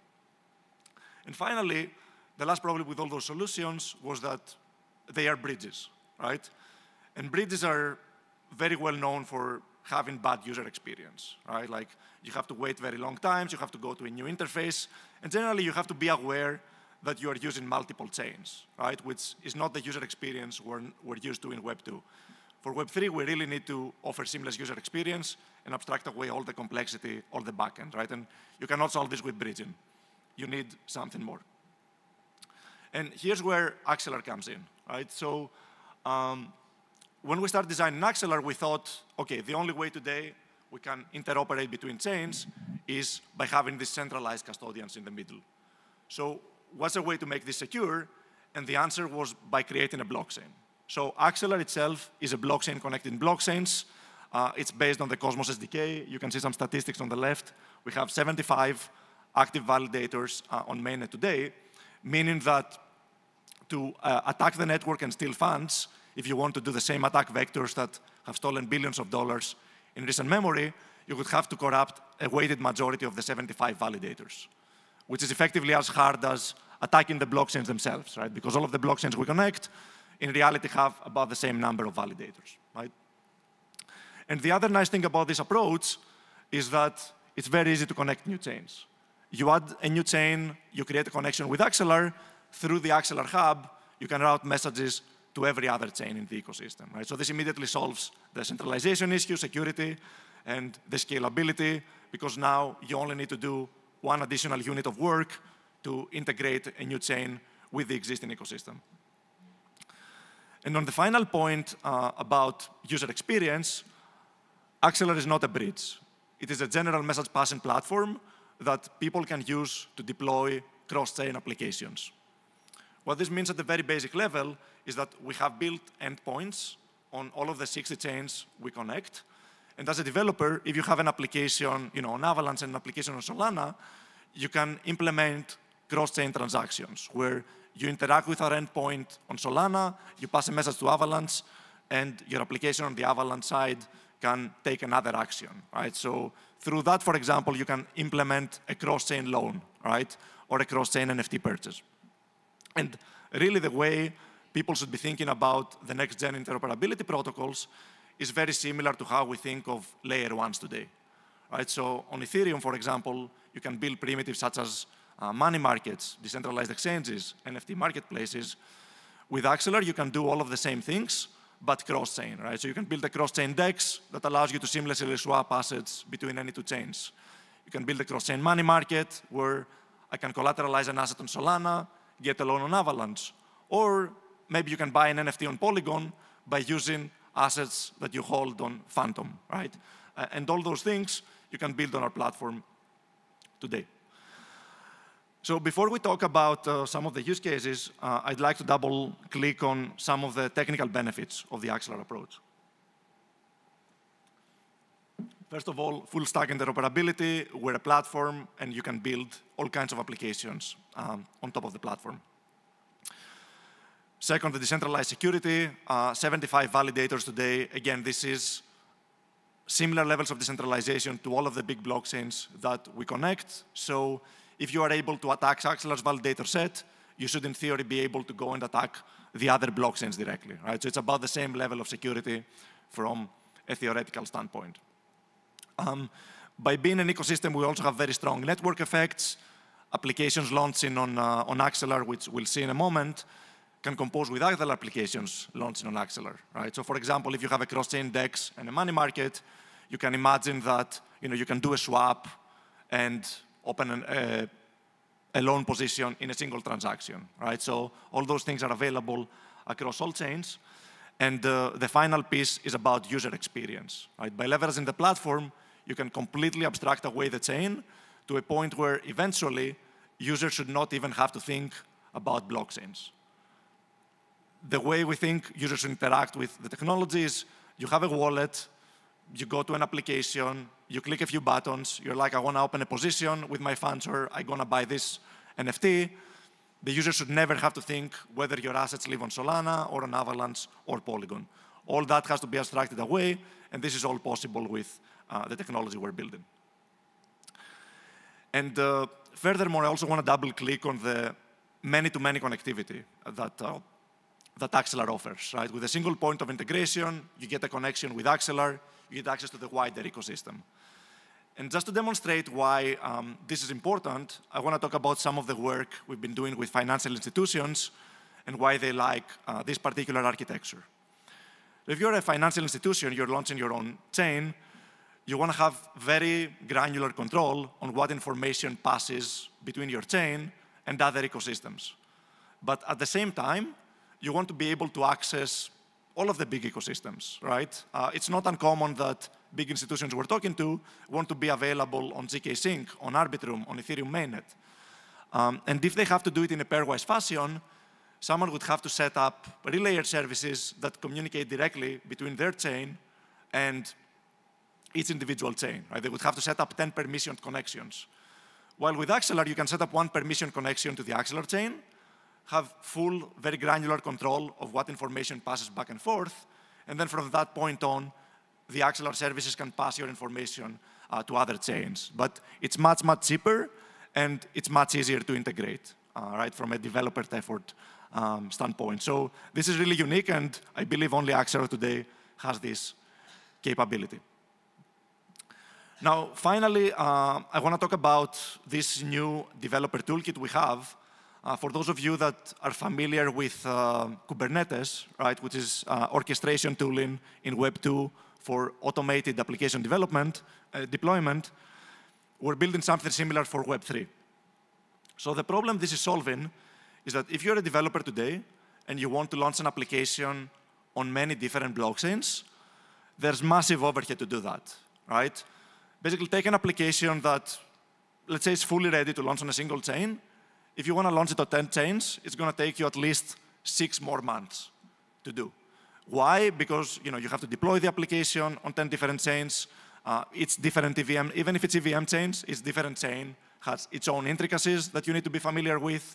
Uh, then you have to maintain, uh, upgrade when necessary the application. Uh, you have to do a lot of testing. It's a massive amount of overhead. So with this tooling that we're working on, developers will be able to build their application once, and will have a set of services that can deploy their applications on your behalf on every other chain in the ecosystem, and you'll also be able to maintain the application, upgrade it through the Axelar stack. Right, so this is really going to lower the barrier of adoption uh, and the barrier for innovation in the cross-chain space, and really enable people to build these cross-chain, simple user experiences that Web3 needs. Now, with that said, um, I want to talk a bit more about the user experience and what are some applications that people are building on top of the Axelar platform.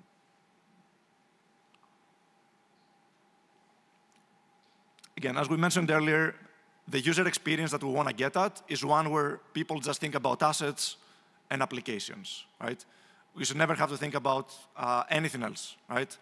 Your wallet should never show you which blockchain you are on. All that has to be abstracted away.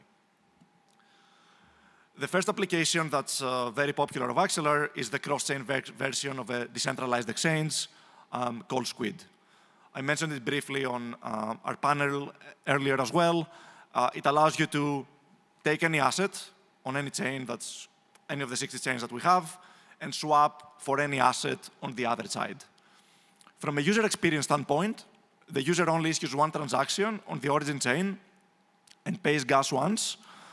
And all of the other transactions you see on the slide are completely abstracted away on the backend. Right? So let's say you want to go from Matic to uh, BNB, you would issue one transaction, and behind the scenes, what would happen is your Matic would be swapped to USDC.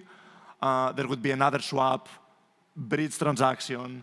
Uh, then the USDC would be swapped on USDT, because that's the biggest stablecoin on BNB chain. That would be swapped to BNB. So it would take like five different steps, but Squid abstracts all of that away, and the whole flow only takes something like 20 seconds because it uses intent-based uh, ideas to accelerate the whole flow. Right? So this is basically the cross-chain version of something like Uniswap, if you want to think of it that way. Uh, second example that's picking up subtraction, another native application built on top of Axelar uh, is a cross-chain version of uh, Aave or Compound. How can you collateralize an asset on uh, Avalanche and get a loan on Fantom, where the whole uh, logic of the application actually lives on Polkadot behind the scenes, right? So again, super simple user experience. A user only initiates one transaction on Avalanche, and everything else happens behind the scenes. It's a fully, uh, to my knowledge, like the first fully chain agnostic uh, money market to exist. And finally, third use case I like to talk about is the use case of cross-chain governance. Uh, this is a use case that's been directly integrated by, by Uniswap.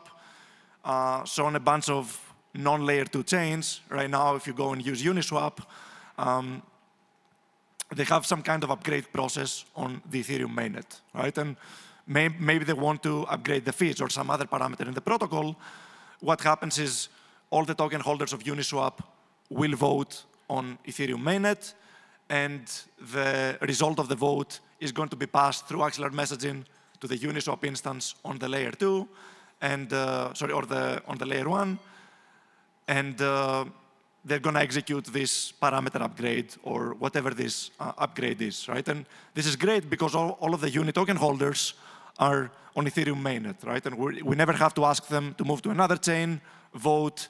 All of the voting happens on Ethereum mainnet itself.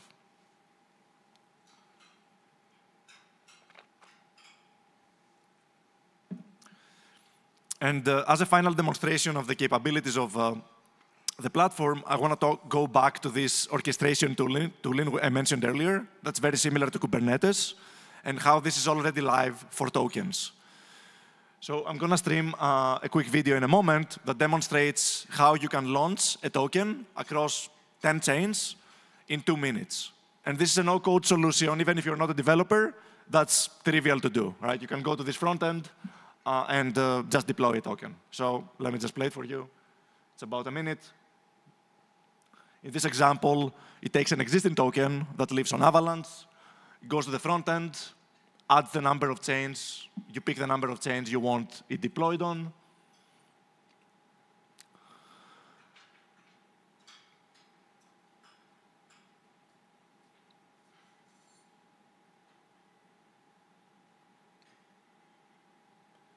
You initiate one transaction, on the origin chain, in this case, Avalanche uh, from your MetaMask wallet. Then you just wait, and the token shortly will be deployed on all of the other chains, right? And uh, in a moment, it's going to show how it's been deployed on some of the other explorers, like on Celo or Fantom.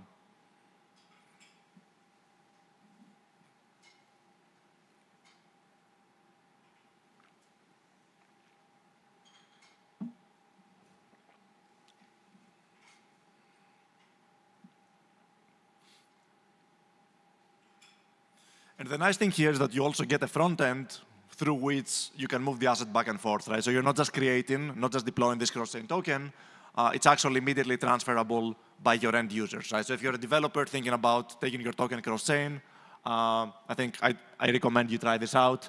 It's super easy to use. Uh, and as the final part of, uh, of the conversation, uh, I'd like to talk a little bit about some of the great applications that are built in, in the Axelar cross-chain ecosystem. Um, currently, Axelar is the leader in terms of being used by most of the big applications uh, in the space. Uh, Lido, for example, is using Axelar for distributing stETH to the Cosmos ecosystem. Uh, we also have another collaboration where jointly with uh, Wormhole, uh, we're bridging stETH to the BNB chain. Uh, dYdX is using Axelar and Squid this cross-chain DEX application for onboarding. Uh, Ondo, which is one of the two biggest real-world asset issuers, is using Axelar's messaging for its native bridge, right? So you can move Ondo, Ondo's assets from any chain to any other chain with zero slippage today, and it's using Axelar um, tech under the hood. And then we are also doing quite some, quite a bit of work with institutions like JP Morgan, uh, Microsoft, and uh, I think this is going to be very exciting because a lot of these players actually have a path to commercialization. So I think that's going to be a big, uh, a big narrative over the next uh, one, two years and will bring a lot of adoption. Um, and next, um, we're just breaking it down by verticals. Uh, interoperability, what's great about it is that it touches every sing single vertical. Right? Interoperability is all about creating these novel, seamless user experiences. And if you look here, you know, whether it's DeFi, wallets, uh, gaming, real-world assets, many of the leaders have already integrated uh, product into their stack. And in addition to that, we have many other existing uh, applications, in the wider Web3 ecosystem that are building natively uh, on Axelar and are doing interesting things. Uh, and again, this is really very widely encompassing because Axelar is not about bridging, right? And cross-chain interoperability is not about bridging. It's about enabling seamless user experience in a world fragmented across hundreds or thousands of chains, right? And that's why big players and small players and really startups, really everyone across different verticals are using the technology. So I'm going to leave it at that. Thanks again, uh, Erica, for, for the great event. Uh, thank you to the community for welcoming everyone. Um, I know my team set up a Korean community channel. I think we should have had the, actually the you know, main Axelar Telegram as well, but feel free to join here. If you're thinking about building cross-chain, you have questions, I'm always available on Twitter as well. Uh, my DMs are open Happy to chat with, uh, with any developers or anyone who wants to know more. Thank you so much. Thank you, Georgios. Thank you so much. 어, 이렇게 빌더들 행사에는 보면은 발표자 발표자분들이 엄청 오픈돼 있으세요. 그래서 항상 궁금한 거 있으시거나 뭐 기여하고 있으시, 기여하시고 싶으시면 꼭 네, 잡으셔서 질문 많이 해주세요. All right, okay, we're ready for our final session of day one. I know it's been a very, very intense day and a lot of amazing talks and sessions. So I'm, my, my head is exploding with amazing content. But um, I mean, this is my kind of my favorite uh, topic. I think it's a spicy topic, and I think we have to address this, right? Um, so it's about memes, um, and uh, right now there's a hype around memes, meme coins, as you probably all know. And the title of the panel is "Seize the Memes of Production," which Lane and I made together. So introducing our moderator, Sam Reynolds from Coindesk. and also um, uh, pulling back uh, Austin Federa, Solana, and Marc Zeller, and Kevin from Memeland. All right. Give a big round of applause for our last panel. Thank you. All right. Last panel, but the best panel, I think. Of it course. spicy, for sure. So look, I mean, meme coins right now are a $65 billion market cap coin, right? We have Pepe, we have Floki, we have Dog with Hat, we have Trump, we have Trump, right? It seems pretty silly that something that is absurd like this is worth this much money, but it's crypto, and it is. So just deal with it, guys. And we're going to talk about like what meme coins are, what meme coins aren't, and what the future of meme coins will bring us. And I've got these all-stars here to my left. And let's kick things off. So guys, like what are meme coins? What does it mean to be a meme coin? Uh, I think what can be a consensus solution is an asset that doesn't pretend to have any kind of uh, fundamentals. And when you look at the history of uh, the blockchain and the ecosystem, uh, there's been meme coin all the time, but they used to pretend. So the altcoin era of 2014, we are the new Bitcoin to do X or Y. The ICO, we're gonna re revolutionize, revolutionize uh, whatever or whatever. And what I love about Bitcoin is that they don't pretend shit. Oh, we are speculative asset, buy it, maybe make some money, maybe probably lose some money, and have fun. And I think that's a great stuff. Yeah, I think the only piece I'd slightly disagree in is I think it's recursive utility if there is any utility. Um, and what I mean by that is like Bitcoin is the original meme coin.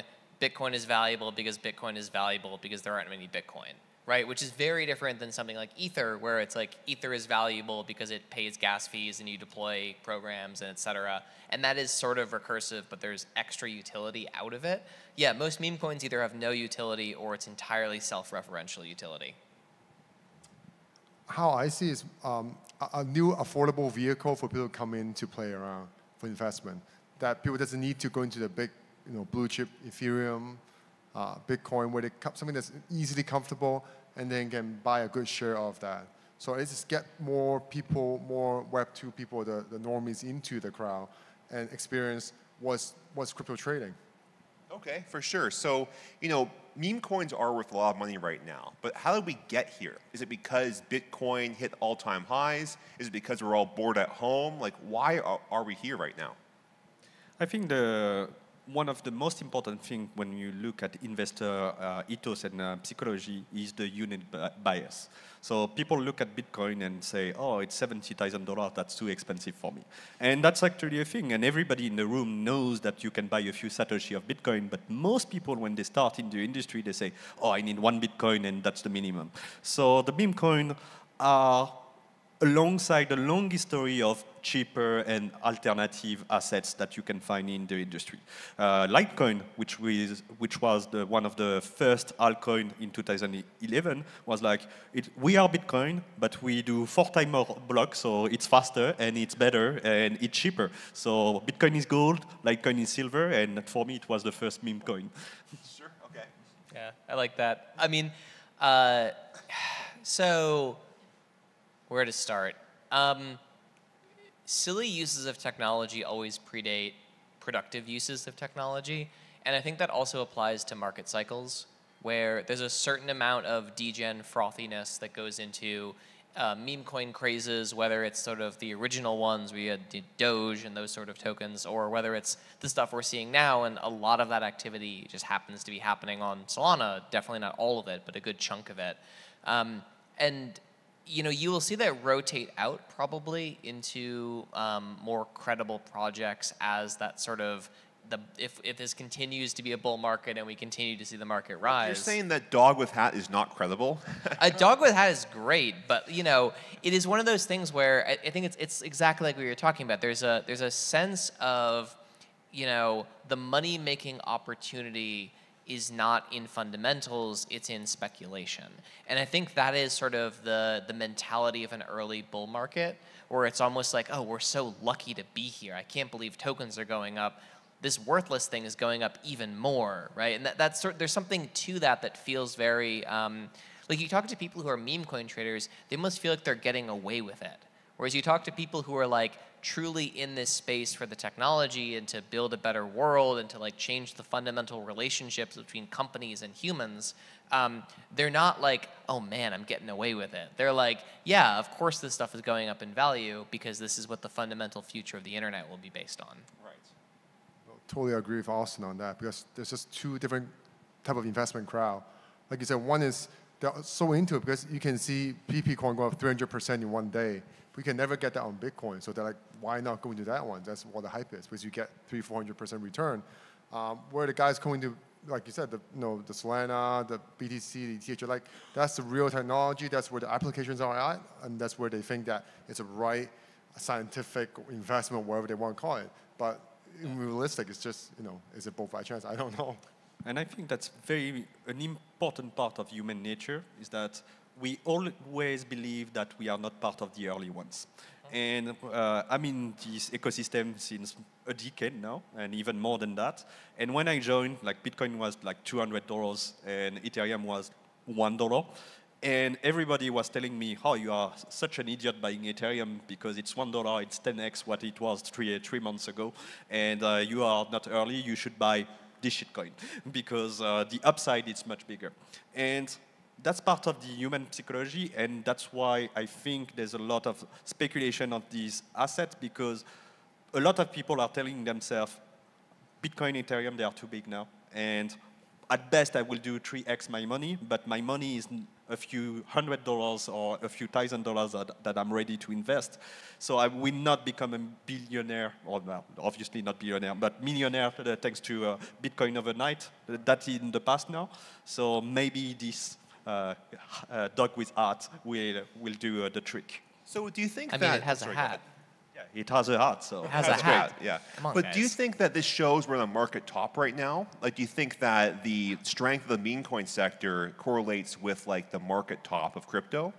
I do not agree with that. Or we are or we are living the shortest uh, bull market in history, which is a possibility, but I hope it's not. Uh, I think there's always speculation. When you look at the previous cycle, what will be comparable to meme coin will be the NFT craze. Okay. And uh, when you look at the NFT craze of the previous cycle, we are in the early days of that, that kind of craze. So obviously, we, we are not in the, the very early days of the bull market, but I think uh, there's still room for a lot of speculation, craziness, and weird stuff that's to happen, and that's part of the fun. Let's enjoy that. Yeah, and you know, a lot of stuff starts out at meme coins and then sort of graduates or devolves, right? A devolved meme coin is sort of a shit coin.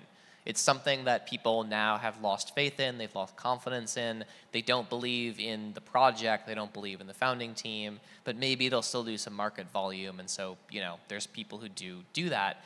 But then you have the opposite of like things like Doge or Shiba or Bonk, which have graduated out of being meme coins. Now they're almost more of community coins. They, they, there's a durable nature to them. Whereas like, you know, if uh, like Trump and Boden are great examples, one of them will win the election, the other one won't. Like, there, it's a binary outcome with those two tokens. And so that is like a very interesting thing to think about where you have tokens that are, are, are tied to potentially real world events now that are sort of becoming like non-smart contract based betting markets, mm-hmm. which is a very interesting way to look at it as opposed to like the traditional prediction markets. It's a good point because actually PolitiFi now, so the Trump, the Tremp, the Bowens, whatever, it's now worth half a billion dollars uh, as a market cap, right? Which is insane because there's nothing really to these tokens except for a funny picture and a misspelt name.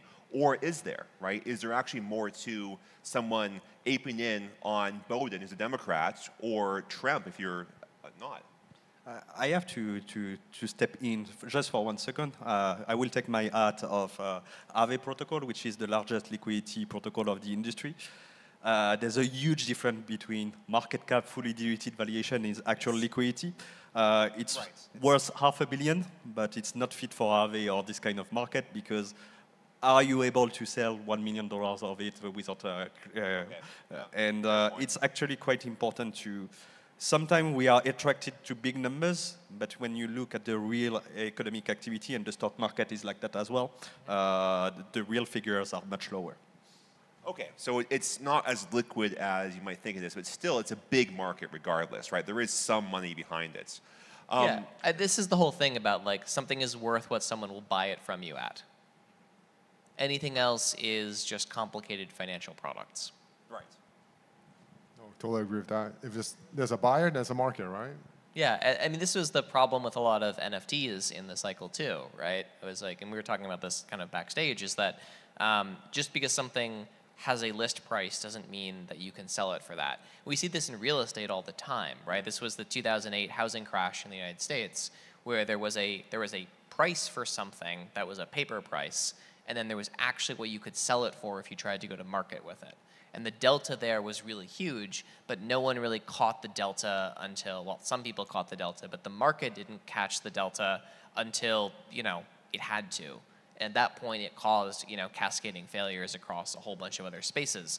I don't think meme coins are a systemic threat to, you know, blockchain because things aren't built on them. But if we started to see, you know, uh, Maker or Aave start to pull in, like, oh, we have a collateralized backed with meme coins, that would be something that would start to worry me. Uh, it's actually quite important. I'm someone that is actually optimistic uh, for this ecosystem, and what my conclusion is that every cycle the ecosystem become better overall. And when you look at the first cycle, the altcoin uh, era, where everybody was just forking the, the Bitcoin coin base and then pre-mining that and trying to sell it, you had no exit for this asset until a centralized exchange decide to list it. And Otherwise, it was just valueless. Uh, the most recent cycle with NFT, you had to find, your offer had to find a peer-to-peer -peer demand uh, to, to actually realize the value of your asset. With Memecoin, there's actually pools, so you can exchange it on decentralized exchange. You don't have to wait for uh, the Binance to list your asset to give it actual value. Everything happens on chain. So for me, it's a net improvement and positive uh, compared to what we had uh, in the past. So that's something that uh, I want to emphasize as a benefit. But do you think the meme coins have grown at NFT's expense? Because NFTs were the darling of the last cycle, and now the Bored Ape Yacht Club has a very low floor price. Like nothing's happening there. But meme coins, right? That is up and coming, right? Do you think there's correlation there? Uh, I mean, cannibalization of the market is always hard to define and actually correlate right? Are, are people not excited because of that, or is it because of ApeCoin, or is it because of all the other projects that like? There's lots of theses you can come up with with why something's price has moved or not moved. I think uh, NFTs are easier to have. Uh, artificially supported markets than it is for meme coins. You don't say. Wash trading? uh, you said it, not me. You say um, sweep the floor.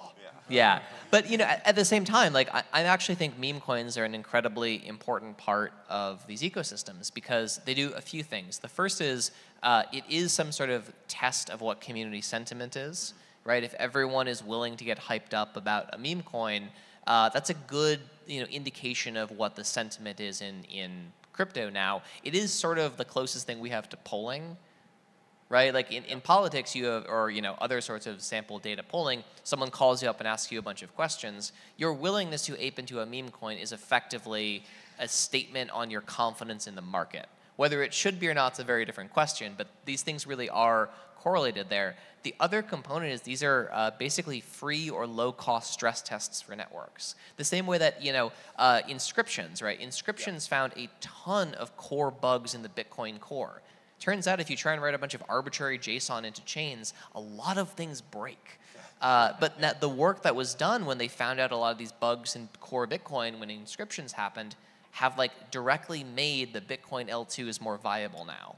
It's actually quite interesting. Would you say that the meme coin uh, events or era of uh, was the equivalent of what Ethereum experience with CryptoKitties back then in 2016? Oh yeah, CryptoKitties totally broke Ethereum. Yeah. Kevin, what do you think? I think coming back in the back room, Austin was saying that this kind of you know, new meme also drive a lot of new community out, but also actually have enough funding to actually build real substantial product. So it's more like turning things around where you don't build a product and then you try to launch a token and try to get funding.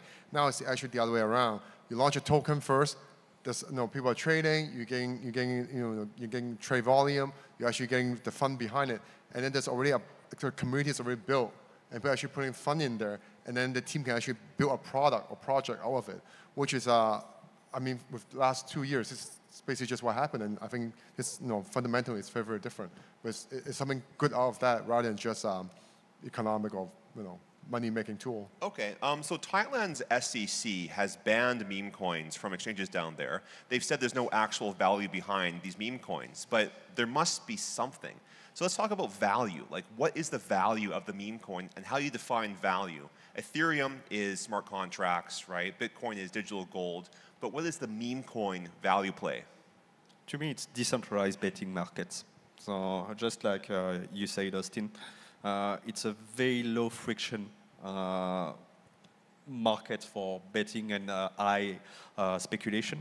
I really love the fact, uh, personally, that they don't pretend to have fundamentals. to me, it's quite important. And everybody buying a meme coin know what they are buying. They right. know they are betting. They know they might make money. They know they are risking to lose money. And when you lose some money on a meme coin, you don't have to blame a third party usually. You blame yourself. Well, you made a bet and it just did not work. So to me, the solution is not to ban Bitcoin because it's part of speculation and betting is part of human nature. The, but as long as information is well conveyed, you say, okay, this is for fun. Maybe you will make money, maybe you will, you will lose money, and this is what you're getting into. And as long as we do that, let's, uh, let's have fun. Yeah, you know, I will say, Sam, one of the things you just said is Bitcoin is digital gold. That itself is a meme.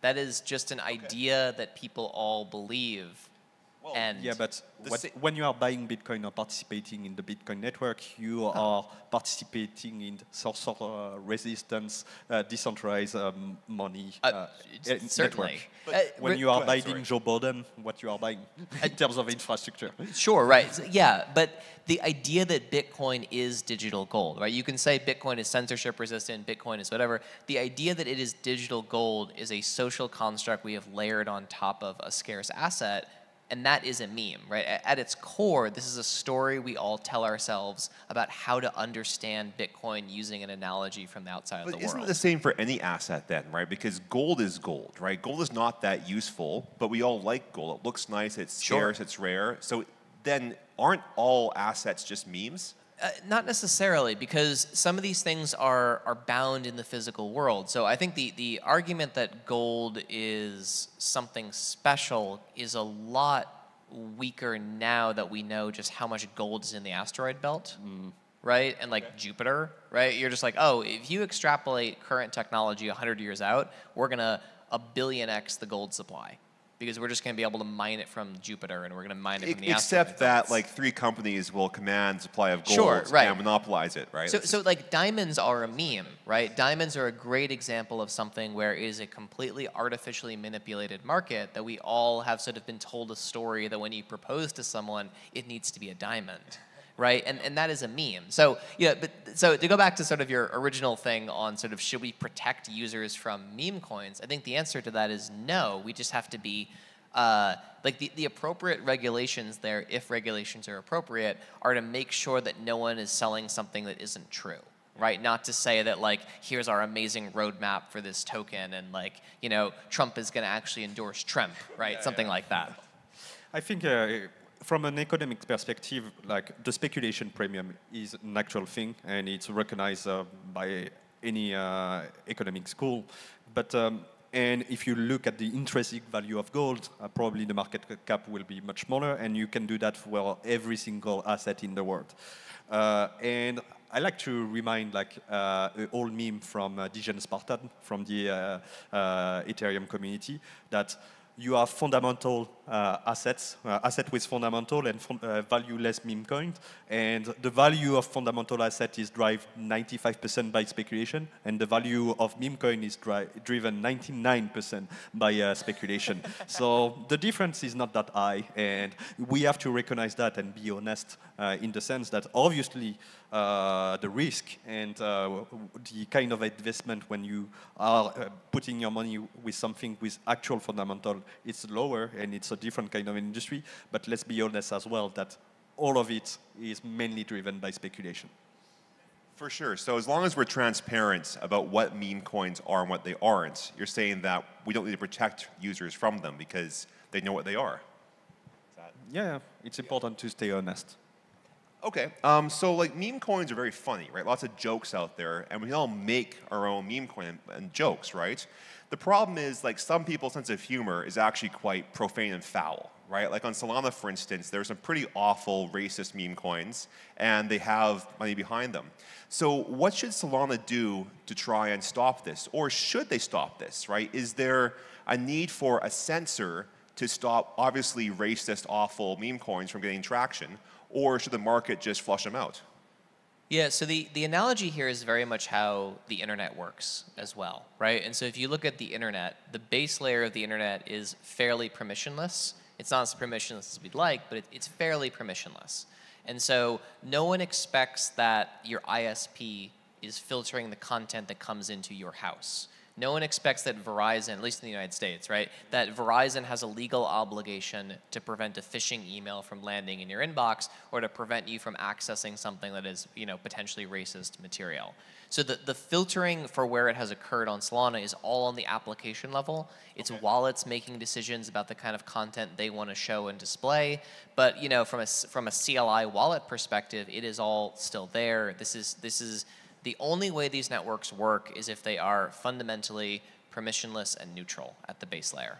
Okay, so there's a role for the wallets or for the DEX to screen tokens. Yeah, this, this okay. is this is what optionality is all about, right? There's this sort of maximally libertarian view, which is like all things in crypto need to be open to everyone, and that's actually a very flattening view of what choice means. Choice is the right for a wallet developer to say, I'm going to institute a block list.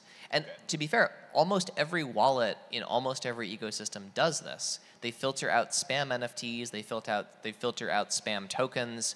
Um, they, like there's a lot of fake versions of wrapped Bitcoin that show up on networks that are not the real version, and the wallets will just hide them. Users always have the ability to go in and reveal something if they want to, um, but you know by default. Th these are choices we make about all the software products we use, but the core network needs to remain permissionless. Okay.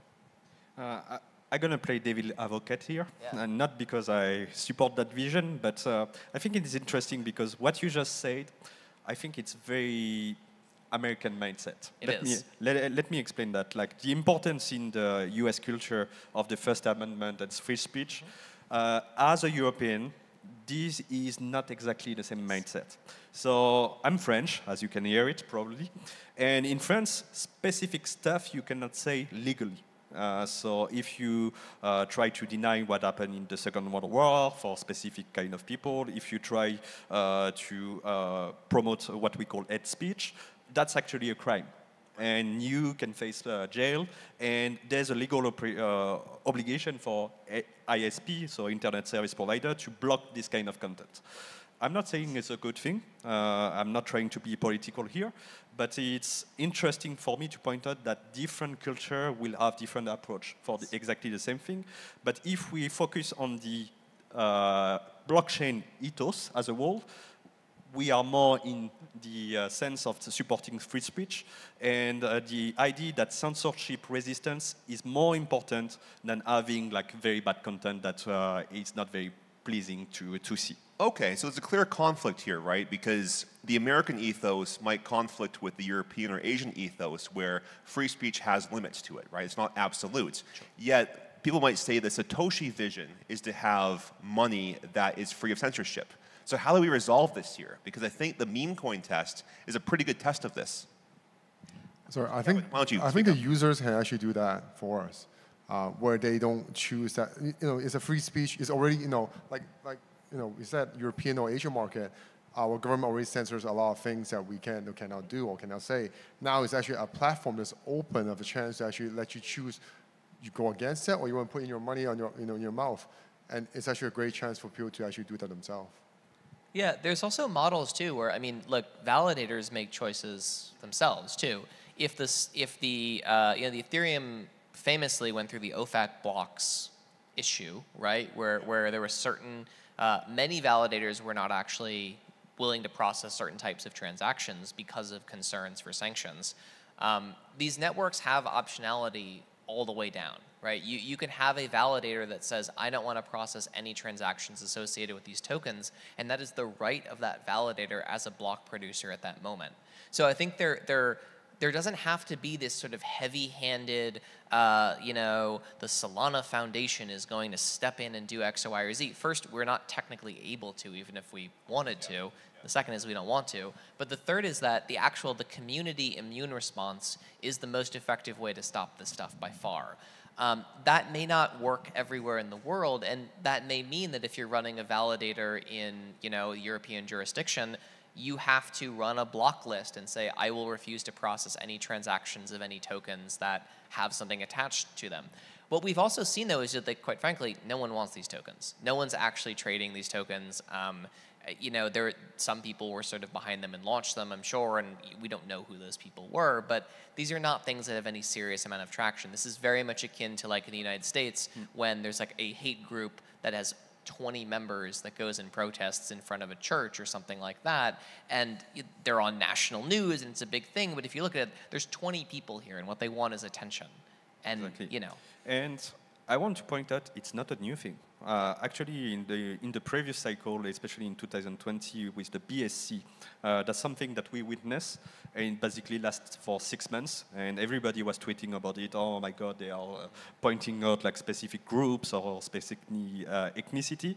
And some people tried it, and after six months, people got bored of it because obviously nobody wants to really support this kind of stuff. Yeah. And the market is always right. And when the market say we don't want to buy this shit, usually the market is right. Yeah. I'll also say, like, blockchains are the only system in the world with perfect accounting.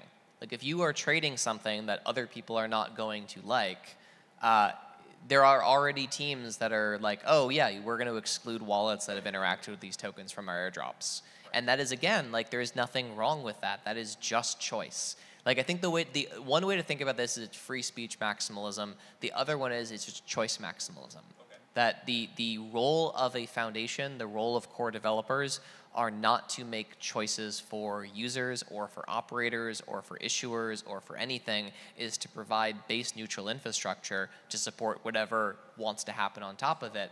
It's sort of the same way that like you can never get rid of all criminal activity. The best thing you can do is provide infrastructure, for lack of a better term, to minimize it as much as reasonable. Okay, so last five minutes. What's your favorite meme coin and why? Kevin, you start. I had to start with my own meme coin, right? So sure, yeah, pump uh, your bag. uh, God, I love it. Obviously, we have a huge community behind it. So when we launched, with you know, coming in Web 2, 9 for so many 15 years. With Web 3, we launched for three years. Um, lots of huge community support and also a big product lineup, a roadmap behind it. So that has to be my favorite, right? And I work there. I don't know if I'm legally allowed to answer this question. Okay, No, take the uh, fourth. Yeah. Yeah, let, let, us I will take the answer for you. Um, personally, I'm not into meme coin, but uh, I have a past and uh, still a present of valueless DeFi governance uh, uh, assets, uh, especially in the last cycle. So I was big in. Uh, uh, yeah, I will not uh, make any publicity on any asset, but uh, I think it's quite interesting. So it's not completely valueless uh, and fundamental-less, but the fundamentals were so weak that meh. Yeah, fair enough. Okay, so Austin, if you can't answer that one, what's the future of meme coins then? What does the next five years look like for these? Oh man, uh, you know, I think so. This is this is actually a great question because there's a lot of different ways you could look at this going. Um, the the evolution of memes over the last let's call it three years, it just as internet culture has fundamentally changed what the nature of a meme is. TikTok, however you think about TikTok, has done incredible things for internet culture where now you can just have a, a piece of a meme that references 12 other memes and we all understand the complex relational graph that goes into that. I mean, like with hat is sort of the closest thing we've seen to this in crypto where now there's like various different types of animals that are now wearing hats and some of that is just like cash grabby weirdness. But I, I, I'm really excited to see this idea that that like memes are becoming uh, giant open inside jokes. Yeah. That's like the best thing that TikTok ever did. So in 50 years, the university students of the future will look back at us and have a course, I guess, on meme coins and memes in general. Yeah, like me, so uh, memes of five years ago is like the television of the 1950s, where there were two TV stations and everyone watched them, right? And the memes of like five years ago were very sort of generic, and it's like, oh, everyone knows the Drake meme, and the Drake meme is still great, but like the the cool stuff now are just these like little things that someone can do, and a third of the people in the room are like, oh, I know exactly what you're doing, and no one else picked up on it. And it's actually quite um, uh, a good analogy because I believe memes and uh, high speculation, valueless uh, speculation is here to stay, but I want to warn people that it's not meaning that the current memes will be valuable in five years or in 10 years. And the analogy with internet celebrity is quite uh, important, but because if you look at the YouTube superstar of 2010, almost none of them are still active. And uh, they just stopped or they lost uh, their, their audience, and now they are still TikTok superstar, still YouTube superstar, but not the same guys. For sure. So Kevin, you get the last words. Uh, no, I agree to both of them. So obviously with meme culture starting from 9gag such a long time has been evolved with you know, short form videos and more. And I think meme token will evolve into bigger things and better things, but it's just it's gonna take time. They'll make the dreams, these memes. All right, guys, thanks so much. Thank you.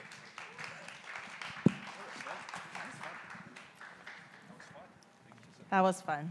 Thank you so much. It's what a big day. Uh, 너무 고생 많으셨고요. Uh, so tomorrow will be a very another very much packed day uh, with a lot of amazing talks. So please look at the website and come for the full day because you're not you're gonna miss out.